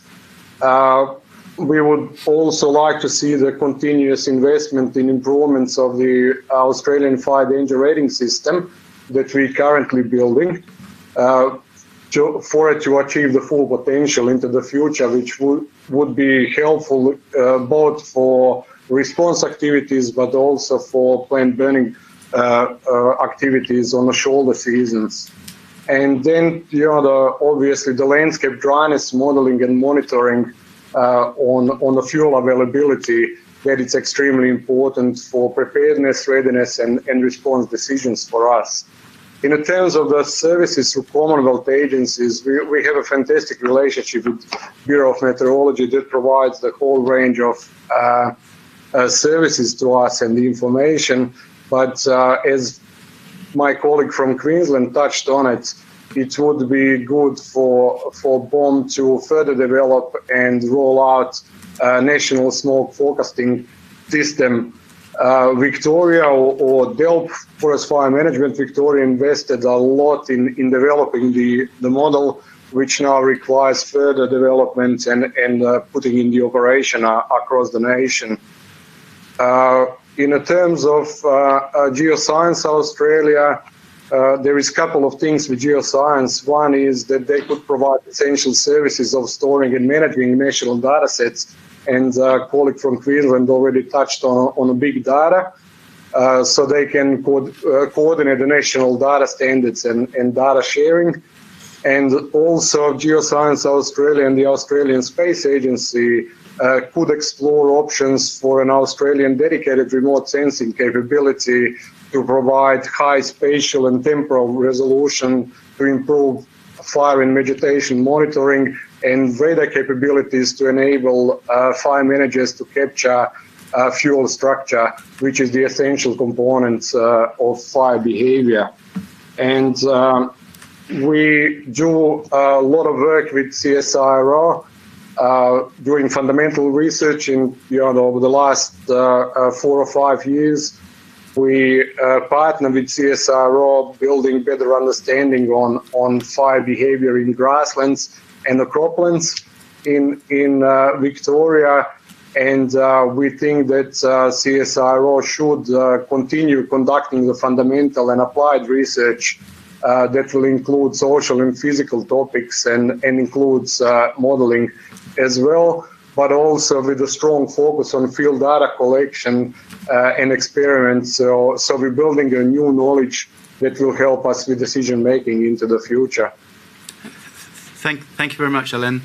Um, uh, commissioners, those were my questions for the participants. I imagine you may have some questions to ask of them. Uh, I'll go to Commissioner Macintosh. Thank you. Thank you, Chair. I, I'm just trying to understand um, how the three jurisdictions use simulators in your planning processes. And I'll just start with Victoria. As I understand it, you have a, a quantitative, a formalised quantitative approach to assessing residual risk, whereby you probably also call it iterative, whereby you assess um, different fuel management activities and its impact on residual risk using the simulator. Is that a, a reasonably accurate description of, of what you do? That, that's a very accurate description of what we do, yes. That's great. And you do it at the regional scale, then you aggregate up to the state to give you your state number. Uh, we start at the state level. So we, we, uh, we've split the state up into 11,500 five kilometre grids and we ignite uh, a fire in each grid. Uh, we do that uh, where, uh, at a fire danger index of 130, which was similar conditions that we saw in Black Saturday. So at the very extreme end uh, of, of those conditions. And then we uh, look how fire moves through the landscape uh, without suppression and without any other activity. Then we look at our fire history. Uh, so that could be planned fire or um, a natural fire in the landscape. And then we model uh, how that fire then progresses through the landscape um, uh, when it intersects with that modified fuel areas. And then that gives us a, a residual risk score. So I think it's really important to understand that the residual risk score is, is very much focused on house loss. So the potential loss of houses in the fire footprint. So, um, uh, and what we do is we use house loss as a proxy for loss of life uh, we, we've made that connection. Uh, but that's we're, we're, also looking at ways where we can really try and drive and improve uh, the the risk modelling. So, for instance, right now we're currently developing a fire size risk matrix for the future, where we will be able to uh, uh, model and identify where large fires, large landscape scale fires, will occur in the future, and then that will drive where we apply our large landscape mosaic burning or burning to try and interrupt those large fires in the landscape. So currently we use house loss as a proxy for life and we are moving to look at how fire behaves under different conditions in the future and uh, uh, looking at uh, risks of large landscape scale fires and how we can uh, apply our resources to endeavour to uh, uh, break up or, or slow those large scale fires from occurring. Thanks very much, Mr. Hardman. If I could just turn to South Australia and Mr. Loughlin and, and ask you, um, if, uh, well, I'll start with, with my understanding of what you do, then you can correct me. I think it's probably the best way to do it. Um, from what I heard you say, that you do a, a, quantitative assessment of the risk rating of assets using a, a software package. And then um, I'm a bit unclear about what you do from there about analysing the impact of, of different options, fuel management options on residual risk. It sounds like you don't have the sort of process that Victoria has. You might have a, a more qualitative based assessment of the impact of different options. I wonder whether I'm close. That's a, that's a good assessment. My, uh, my colleague um, and I were just discussing as well. There is a uh, some software that we're trialling at the moment um, to to look at whether we can use simulation more in our um, mitigation planning and things like that. So that's a body of work that's currently underway. Operationally, as per the other jurisdictions, we obviously use uh, simulation uh, heavily, but it's uh, in that planning space that we're developing that capability at the moment. Terrific. And, and if I just turn to to Queensland then and, and ask basically the same question. I, I heard you say that you use Phoenix and Catalyst as your models, um, but from your description, it sounded like you were using them very much in a response phase and not as much in the planning phase, and that, like South Australia, you are um, doing your residual risk assessments in a qualitative rather than a formalised quantitative way. Have I got, again, am I close? Uh, the, the best way I would describe it, Commissioner, would be that um, we certainly use our Phoenix Sabre and Catalyst systems, so our three integrated systems. Uh, they, they certainly do the prognosis up front in terms of the longer term risk. In fact, it's one of our key inputs from a state perspective to the national approach in terms of the bushfire natural hazard CRC and the seasonal outlook prognosis. Um, it's all, we also use those systems to have a, um, a six or seven day outlook, uh, which is more probably in the readiness aspects, uh, more operationalised from there, um, and then also capturing the data. So it does cover the, the ambit of that. Uh, to respond to your aspects of the assessments of risk at a particularly at the area of fire management level, those those data inputs and that predictive modelling is uh, is an input, but the decision making is uh, using a balance, I suppose, of quantitative assessments of that information, but certainly a qualitative, localised, and local knowledge input to that as well. So we don't have some of the um, scoring arrangements that Victoria would have. In saying that, though, I know, like our predictive services unit personnel and our fire behaviour analysts, um, they spend a lot of time in Victoria. In the same way, we've got a lot of inter, interstate uh, relationships that actually help uh, drive some of our continuous improvement programs. Thanks a lot. That's much clearer for me now. And thank you, gentlemen. Mr. Tokley. Thank you very much, uh, we're, we're complete with our questions if you want to continue. And Chair, um, gentlemen, is there anything arising out of today's oh, session that you have remembered or you would like to bring to the attention of the commissioners before we conclude today? Uh, starting with Queensland, uh, South Australia. Nothing for me. No, thank you. No, we'd just like to thank everyone for their time, wish the Commission well with their findings, and thank uh, our agencies and Attorney Generals for all the support they've provided preparing us for today. Thank you. And, and Victoria. Uh, nothing from me. No, thank you. Thank, and thank thank, you. you for the opportunity. Thank you very much, gentlemen. Uh, Commissioners, Chair, could um, Mr. Hardman and Mr. Slijepcevic be released? We might just pause for a second and see if we have a friend phoning in down the back at all from any of those that had asked for leave to appear, potentially. No, we've got nothing. Okay. Nothing. Uh, could uh, Mr. Hardman and Mr. Slijepcevic be released? Gentlemen, thank you very much. Uh, you are released. Thank you. And um, uh, Miss, we will be seeing um, Mr. Williams, Mr. Loughlin, Mr. Wassing, and Mr. Harris again tomorrow. Look forward to it. Uh, and thank you, gentlemen. Thank you for the afternoon. Uh, we appreciate all the information. Thank you. Uh, Chair, that concludes this afternoon's session. Uh, the only thing that remains to be done is to adjourn till 10 a.m. tomorrow morning. Okay, so let's adjourn until 10 a.m. tomorrow morning, Canberra time.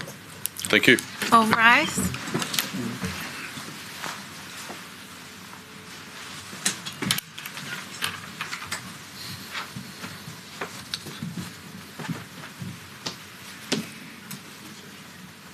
Royal Commission has adjourned until 10 a.m. tomorrow.